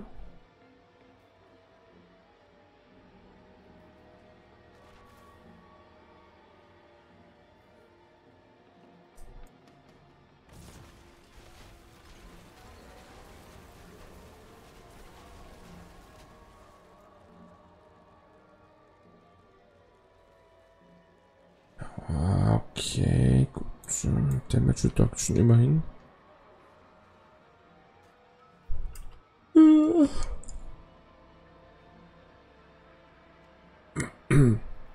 Masterworking ist immer bitter, wenn es schief geht, aber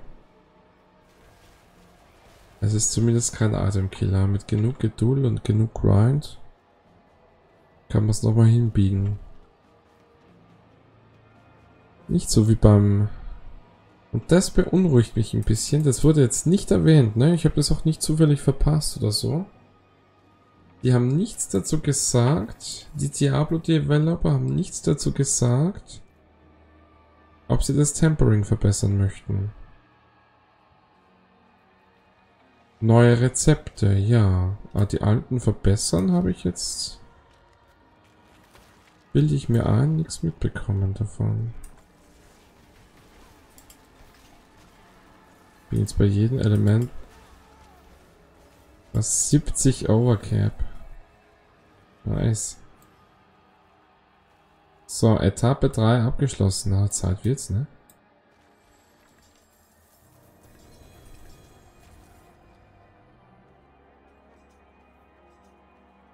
Zeit wird's. Und einmal noch fast vollgeladen mit Krempel.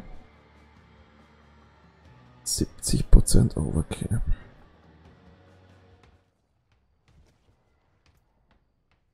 Wie viel bin ich das so drüber inzwischen? 55, 26, 61, 16, 16. Ja, geht. Ist eigentlich nur eins krass drüber, das ist Feuer. Habe ich Feuer noch irgendwo am Gear? Ich glaube fast... Ah, hier. Die Handschuhe haben noch Feuerwiderstand drauf, den muss runter. Aber Handschuhe versuche ich eh zu farmen. Ihr habt es vorher vielleicht mitbekommen, ich habe beim Kuriositätenhändler lauter Handschuhe geholt. Aus genau diesem Grund.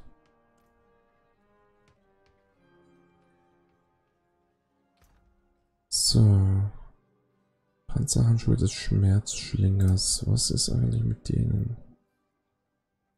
Ach, die habe ich gar nicht in der Sammlung. Wait, what? Das ist das Basis-Fertigkeiten-Dings. Okay. Ich habe gerade 70, 70, 120, 90, 90 Overcap. Holy. Ja gut, mit solchen Items, wen wundert's?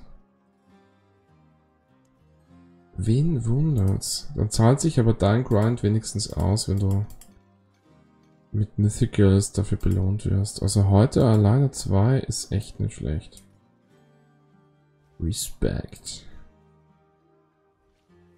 So, da haben wir noch zwei Caches. Droppen mir Dinge und den einen kriege ich jetzt genau nicht mehr unter, ne?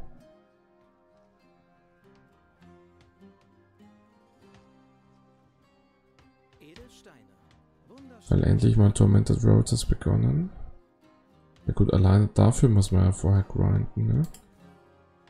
Das ist halt schon... Auch das bedarf Vorbereitung.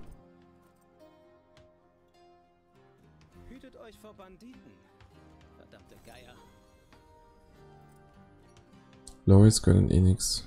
Ja. That's right.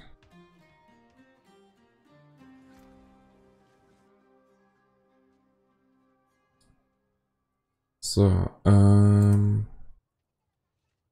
Eins, zwei, drei Greater Affixes sehe ich hier noch und sonst nichts. Kommt das alles weg. Ich hoffe, ich habe nichts übersehen. Auch, zwei. auch Level 200 Gregor und Warschau sind down in 10 Sekunden. Nicht schlecht, aber gut in der Gruppe, ja. Kann ich mir voll vorstellen, dass das da auch schon so schnell geht.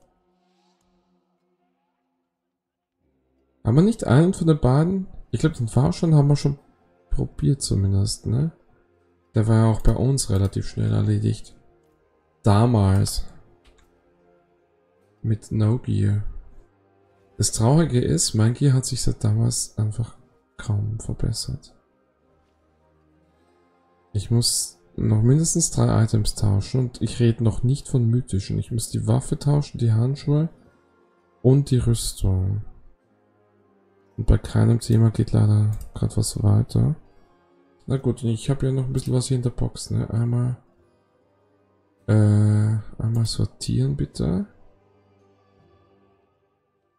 Puh, fangen wir denn da an? Fangen wir mal mit Rüstungsitems an.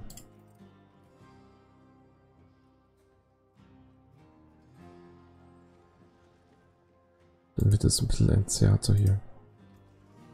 Alles, was nichts kann, wird sofort deleted, wie das hier. Und das hier. Und das hier. Das hier.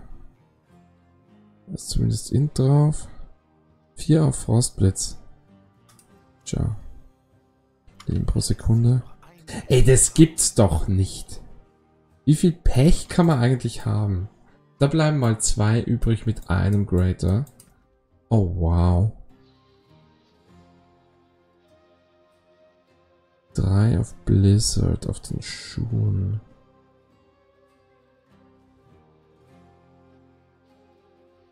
Ah.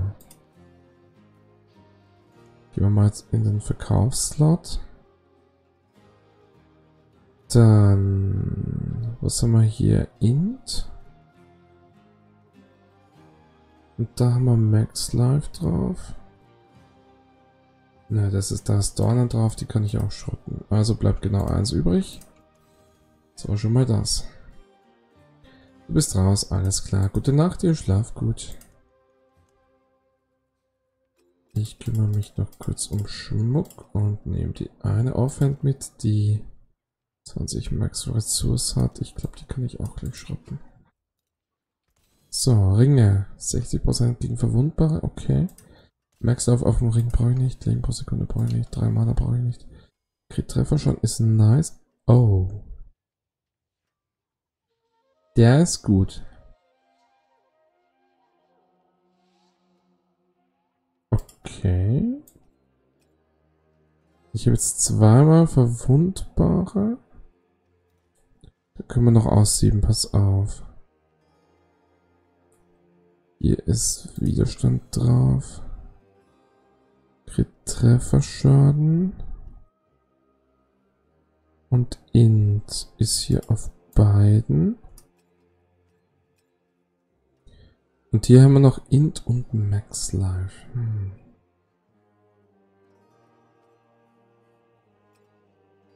Ist der was wert? Ist der was wert?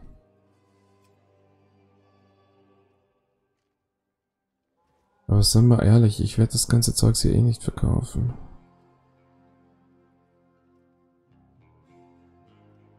By the way, meinen alten Ring, glaube ich, zerlege ich. Ich glaube, ich bin jetzt so weit, dass ich den mal loswerde. Ich glaube, ich brauche den wirklich nicht mehr. Ich werde ihn mal zurückwechseln. Sagen wir es, wie es ist. So, Schädel weg. Jetzt gucken wir nochmal. Ich habe natürlich auch hier noch Ringe rumliegen. Also hier meine ich. Drei Stück. Crit-Treffer Chance. Crit-Treffer Schaden. Und Int.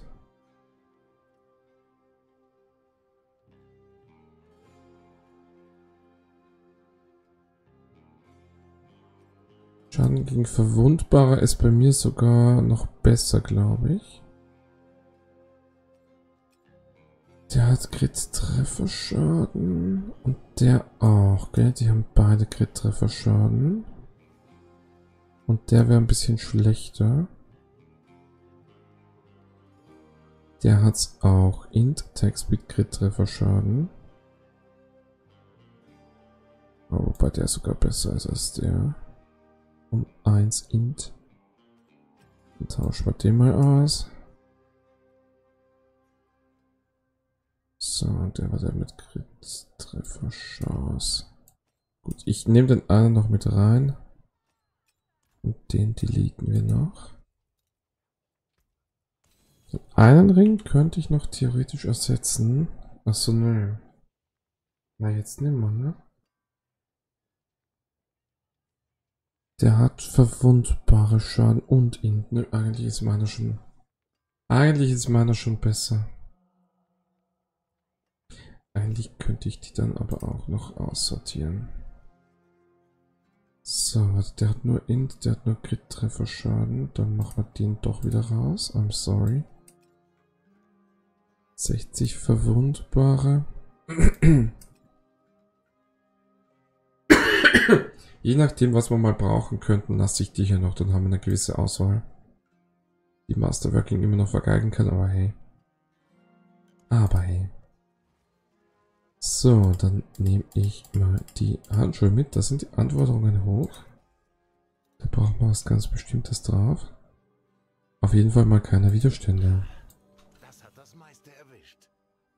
Int reicht hier eigentlich auch nicht.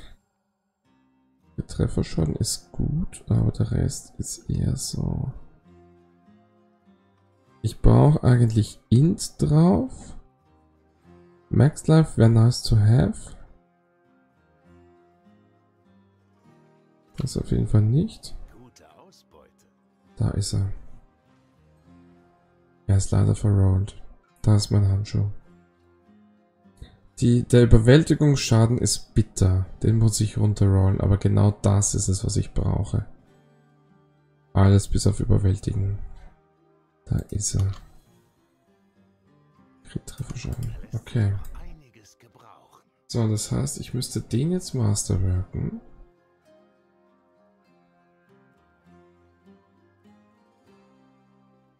Na, ich müsste den jetzt erstmal tempern. Bevor wir irgendwas machen, machen wir Tempering und schauen, ob wir verkacken. So, gucken, was ich, was ich da überhaupt brauche beim Tempern. Betäuben und Kälteschaden. Naja, dann äh, wünscht mir Glück, ne? Offensiv, Frost, Finesse, Härten. Dann gegen Verwundbare. Nochmal. Eisstachelschaden. Nochmal. Eisstachelschaden, das waren schon drei Versuche, ne? Das ist der vierte. Ich verkack's wieder. Verwundbare. Hasse alles. Kälte, aber Min-Roll. Absoluter Min-Roll. Da sind 4,5% mehr drauf. Autsch. Okay, aber ein Roll ist ein Roll. Und ich glaube, der Kugel Damage, der ist schon noch ausschlaggebend.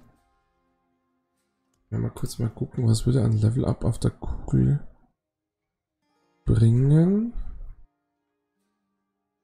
Äh. Ja, sehe ich ja. Warte, 5 von 5 habe ich. Ja, ich glaube, das bringt schon einiges in puncto Schaden. Das ist halt ein Muss für mein Bild. Okay, zweites Tempering und dann Masterworking versuchen. So, Vielseitigkeit. Weltliche Gunst. 15% auf Betäuben ist gut genug.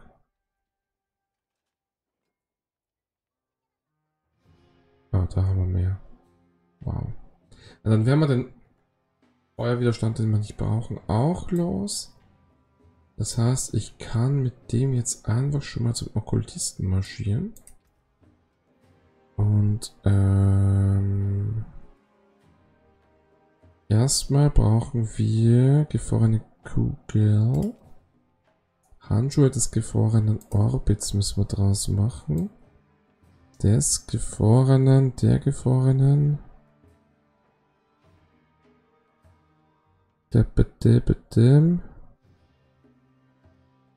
Des gefrorenen Orbits und jetzt auch mit Max Roll. Lohnt sich das gleich. Und dann müssen wir noch, noch mal Glück haben, indem wir hier statt Überwältigung was anderes drauf machen. Und leider geht dabei das Greater FX verloren. Rip me. So, da wäre schon mal Leben drauf. Und Leben ist nicht mal verkehrt, ne? Ist jetzt halt nur halb so viel Le Leben wie da drauf ist. Dafür haben wir mehr Int. Es ist okay, nehme ich an. Man könnte es noch weiter rollen, aber solange ich keinen Wunsch habe, würde ich es, glaube ich, glaub mal auf Leben belassen, weil Leben ist immerhin der Grund, warum wir nicht sterben. Und wir sinken dann eh unter die 25k auf 24 sogar. Wenn ich die tausche. Das ist natürlich bitter. Aber okay. Dafür haben wir Frozen Orb plus 3 ohne Masterworking. Und jetzt kommt Masterworking noch drauf. Das heißt, da kriegen wir ja noch ein bisschen was wieder raus. Ich glaube nur, dass ich gar keine Mats habe für Masterworking, ne? Zu wenige auf jeden Fall. Einmal kann ich. Zweimal kann ich. Ja, nun.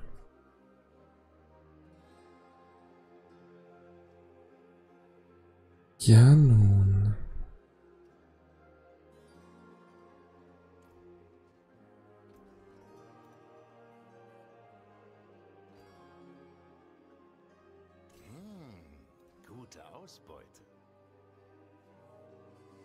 Gelbe Mats habe ich auch nicht, oder? Scheinbar falsch. 75. Ich habe 10 Niedereisen. Warum so wenig? Ich habe halt überhaupt keine Mats, ne? Wenn ich die 10 Niedereisen tauschen würde. Wäre das so laut gefragt. Das lohnt nicht, ne?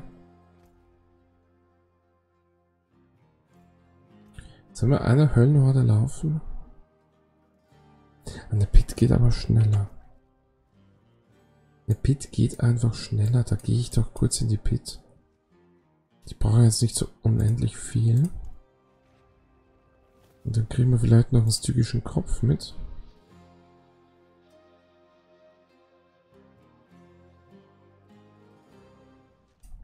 Maybe.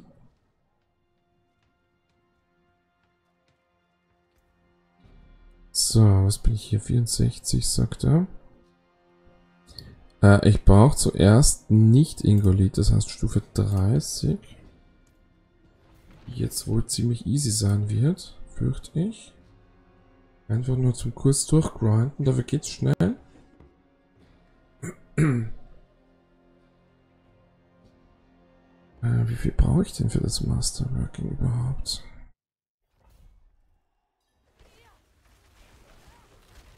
War das einmal 40 und dann irgendwie 80 oder so? So, was haben die hier für ein Level 129? Ist doch gar nicht so niedrig, ne? Muss ich ja fast schon aufpassen.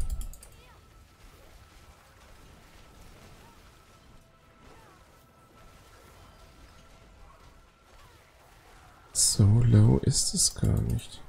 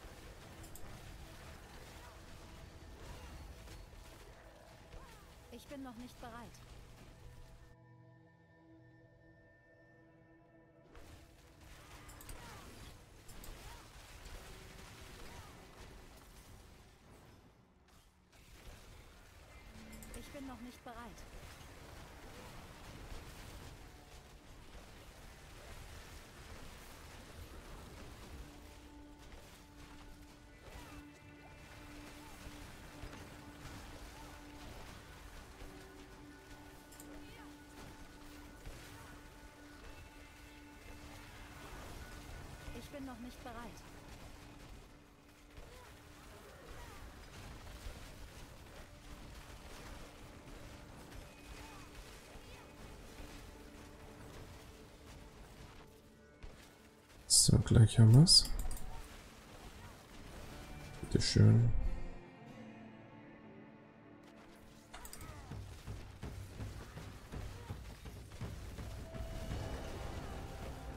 Au.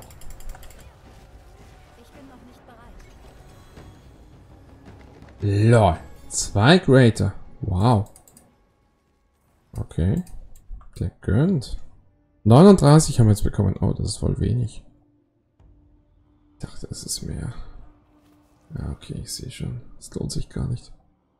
Aber einmal müssen wir jetzt können, oder? 10, 20, 40. Ja, muss hier, da muss jemand irgendeinen Höllenwaden laufen. Ich, ich sehe schon. Äh, Verendung. 30, okay. Einmal aufwerten. Und dann kostet die nächste 40. Ich wollte die Handschuhe doch eh verrollen, ne? Was haben wir da gefunden? okay. Okay, die ist, die, die ist nice. zweimal knapp am Min-Roll und dafür aber zweimal richtig fett da, ne? Oh. Oh, aber die, ah, okay, ja gut. Aber generell ist die nicht gut.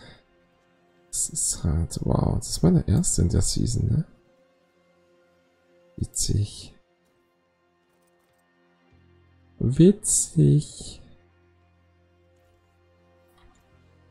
Witzig. So, ich, ich hole jetzt noch diese drecksblauen Mods, ne? Kostet ja nichts. Dafür muss ich keine Horde heute laufen. Die gelben kann man dann wieder per Horde holen.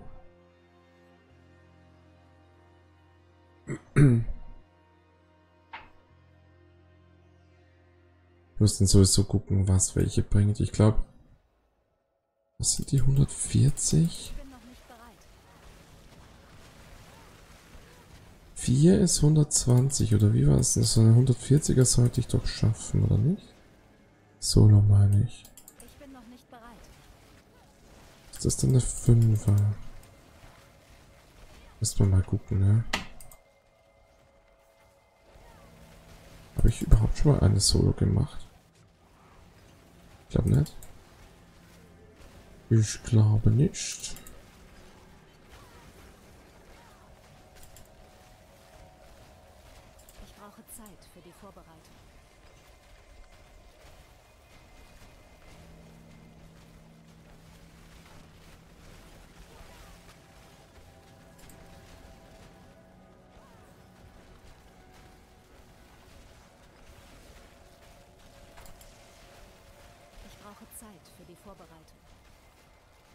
Geht auf jeden Fall ganz entspannt hier durch.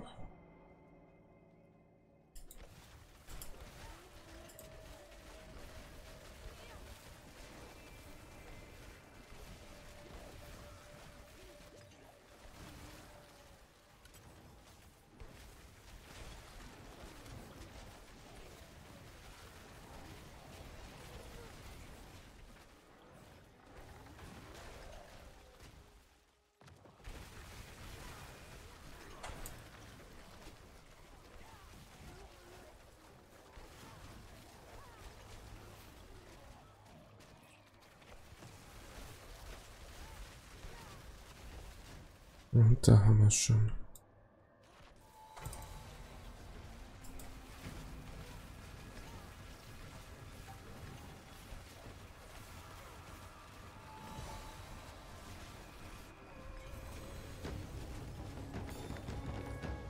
So, nochmal 39 Stück. Gefühlt ging die jetzt auch schneller als vorher. Ich hatte das echt nicht mehr im Kopf, dass die so wenig gegönnt haben.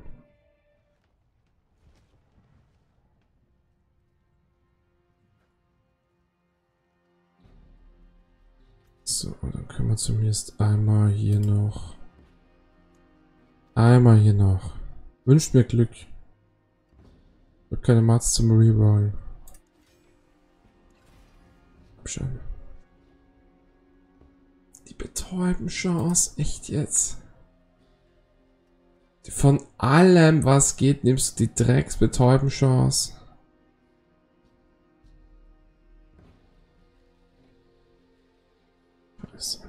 Ja, es ist verrollt, ne? Ist verrollt, müsste ich wieder alles rausnehmen.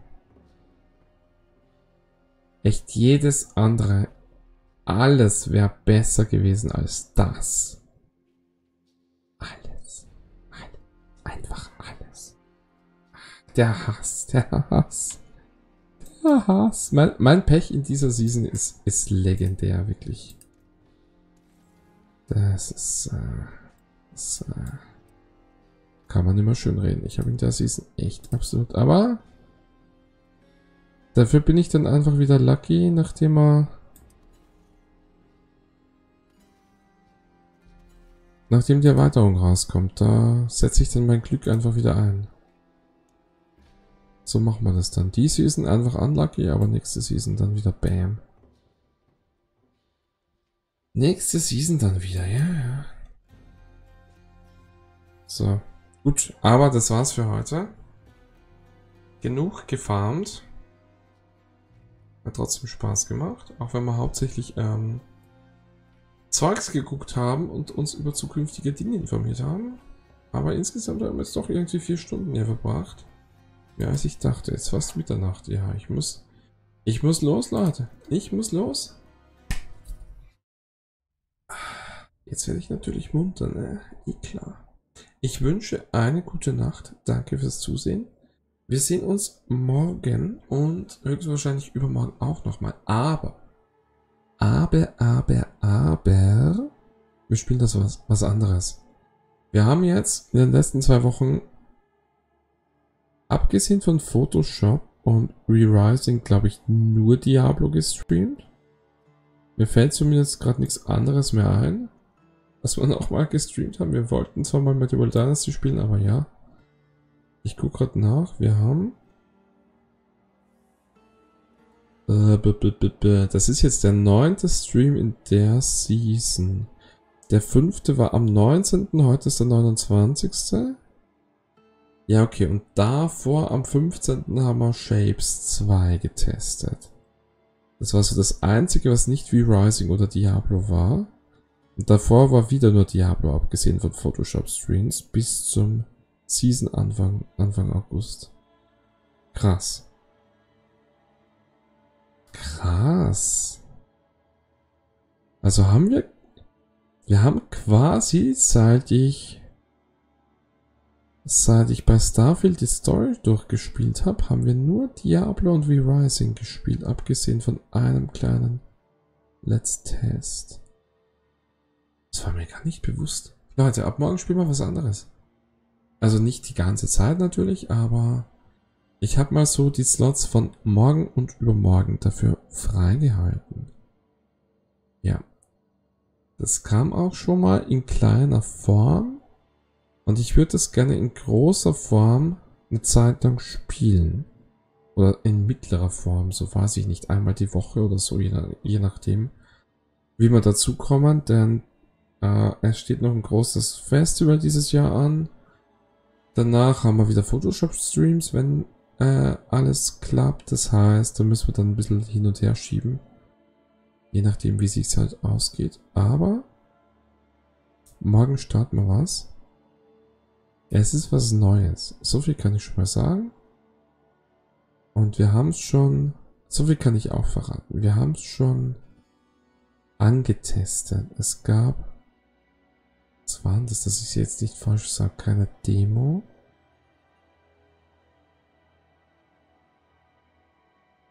Das war ein, ein, ein Stress, was? Ein Stress-Test? Ne, es war kein Stress-Test, das war irgend so ein... Irgend so ein Beta-Test. Es war irgend so ein Beta-Test. Ich weiß es schon, der Lupus. Ja, der Lupus weiß schon Bescheid, ne? Morgen dann, Lupus. Jetzt müssen wir erst einmal das machen. Gute Nacht. Ich bin mal raus. Endscreen Time. War eh länger als gedacht jetzt. Bin schon fast stolz auf mich.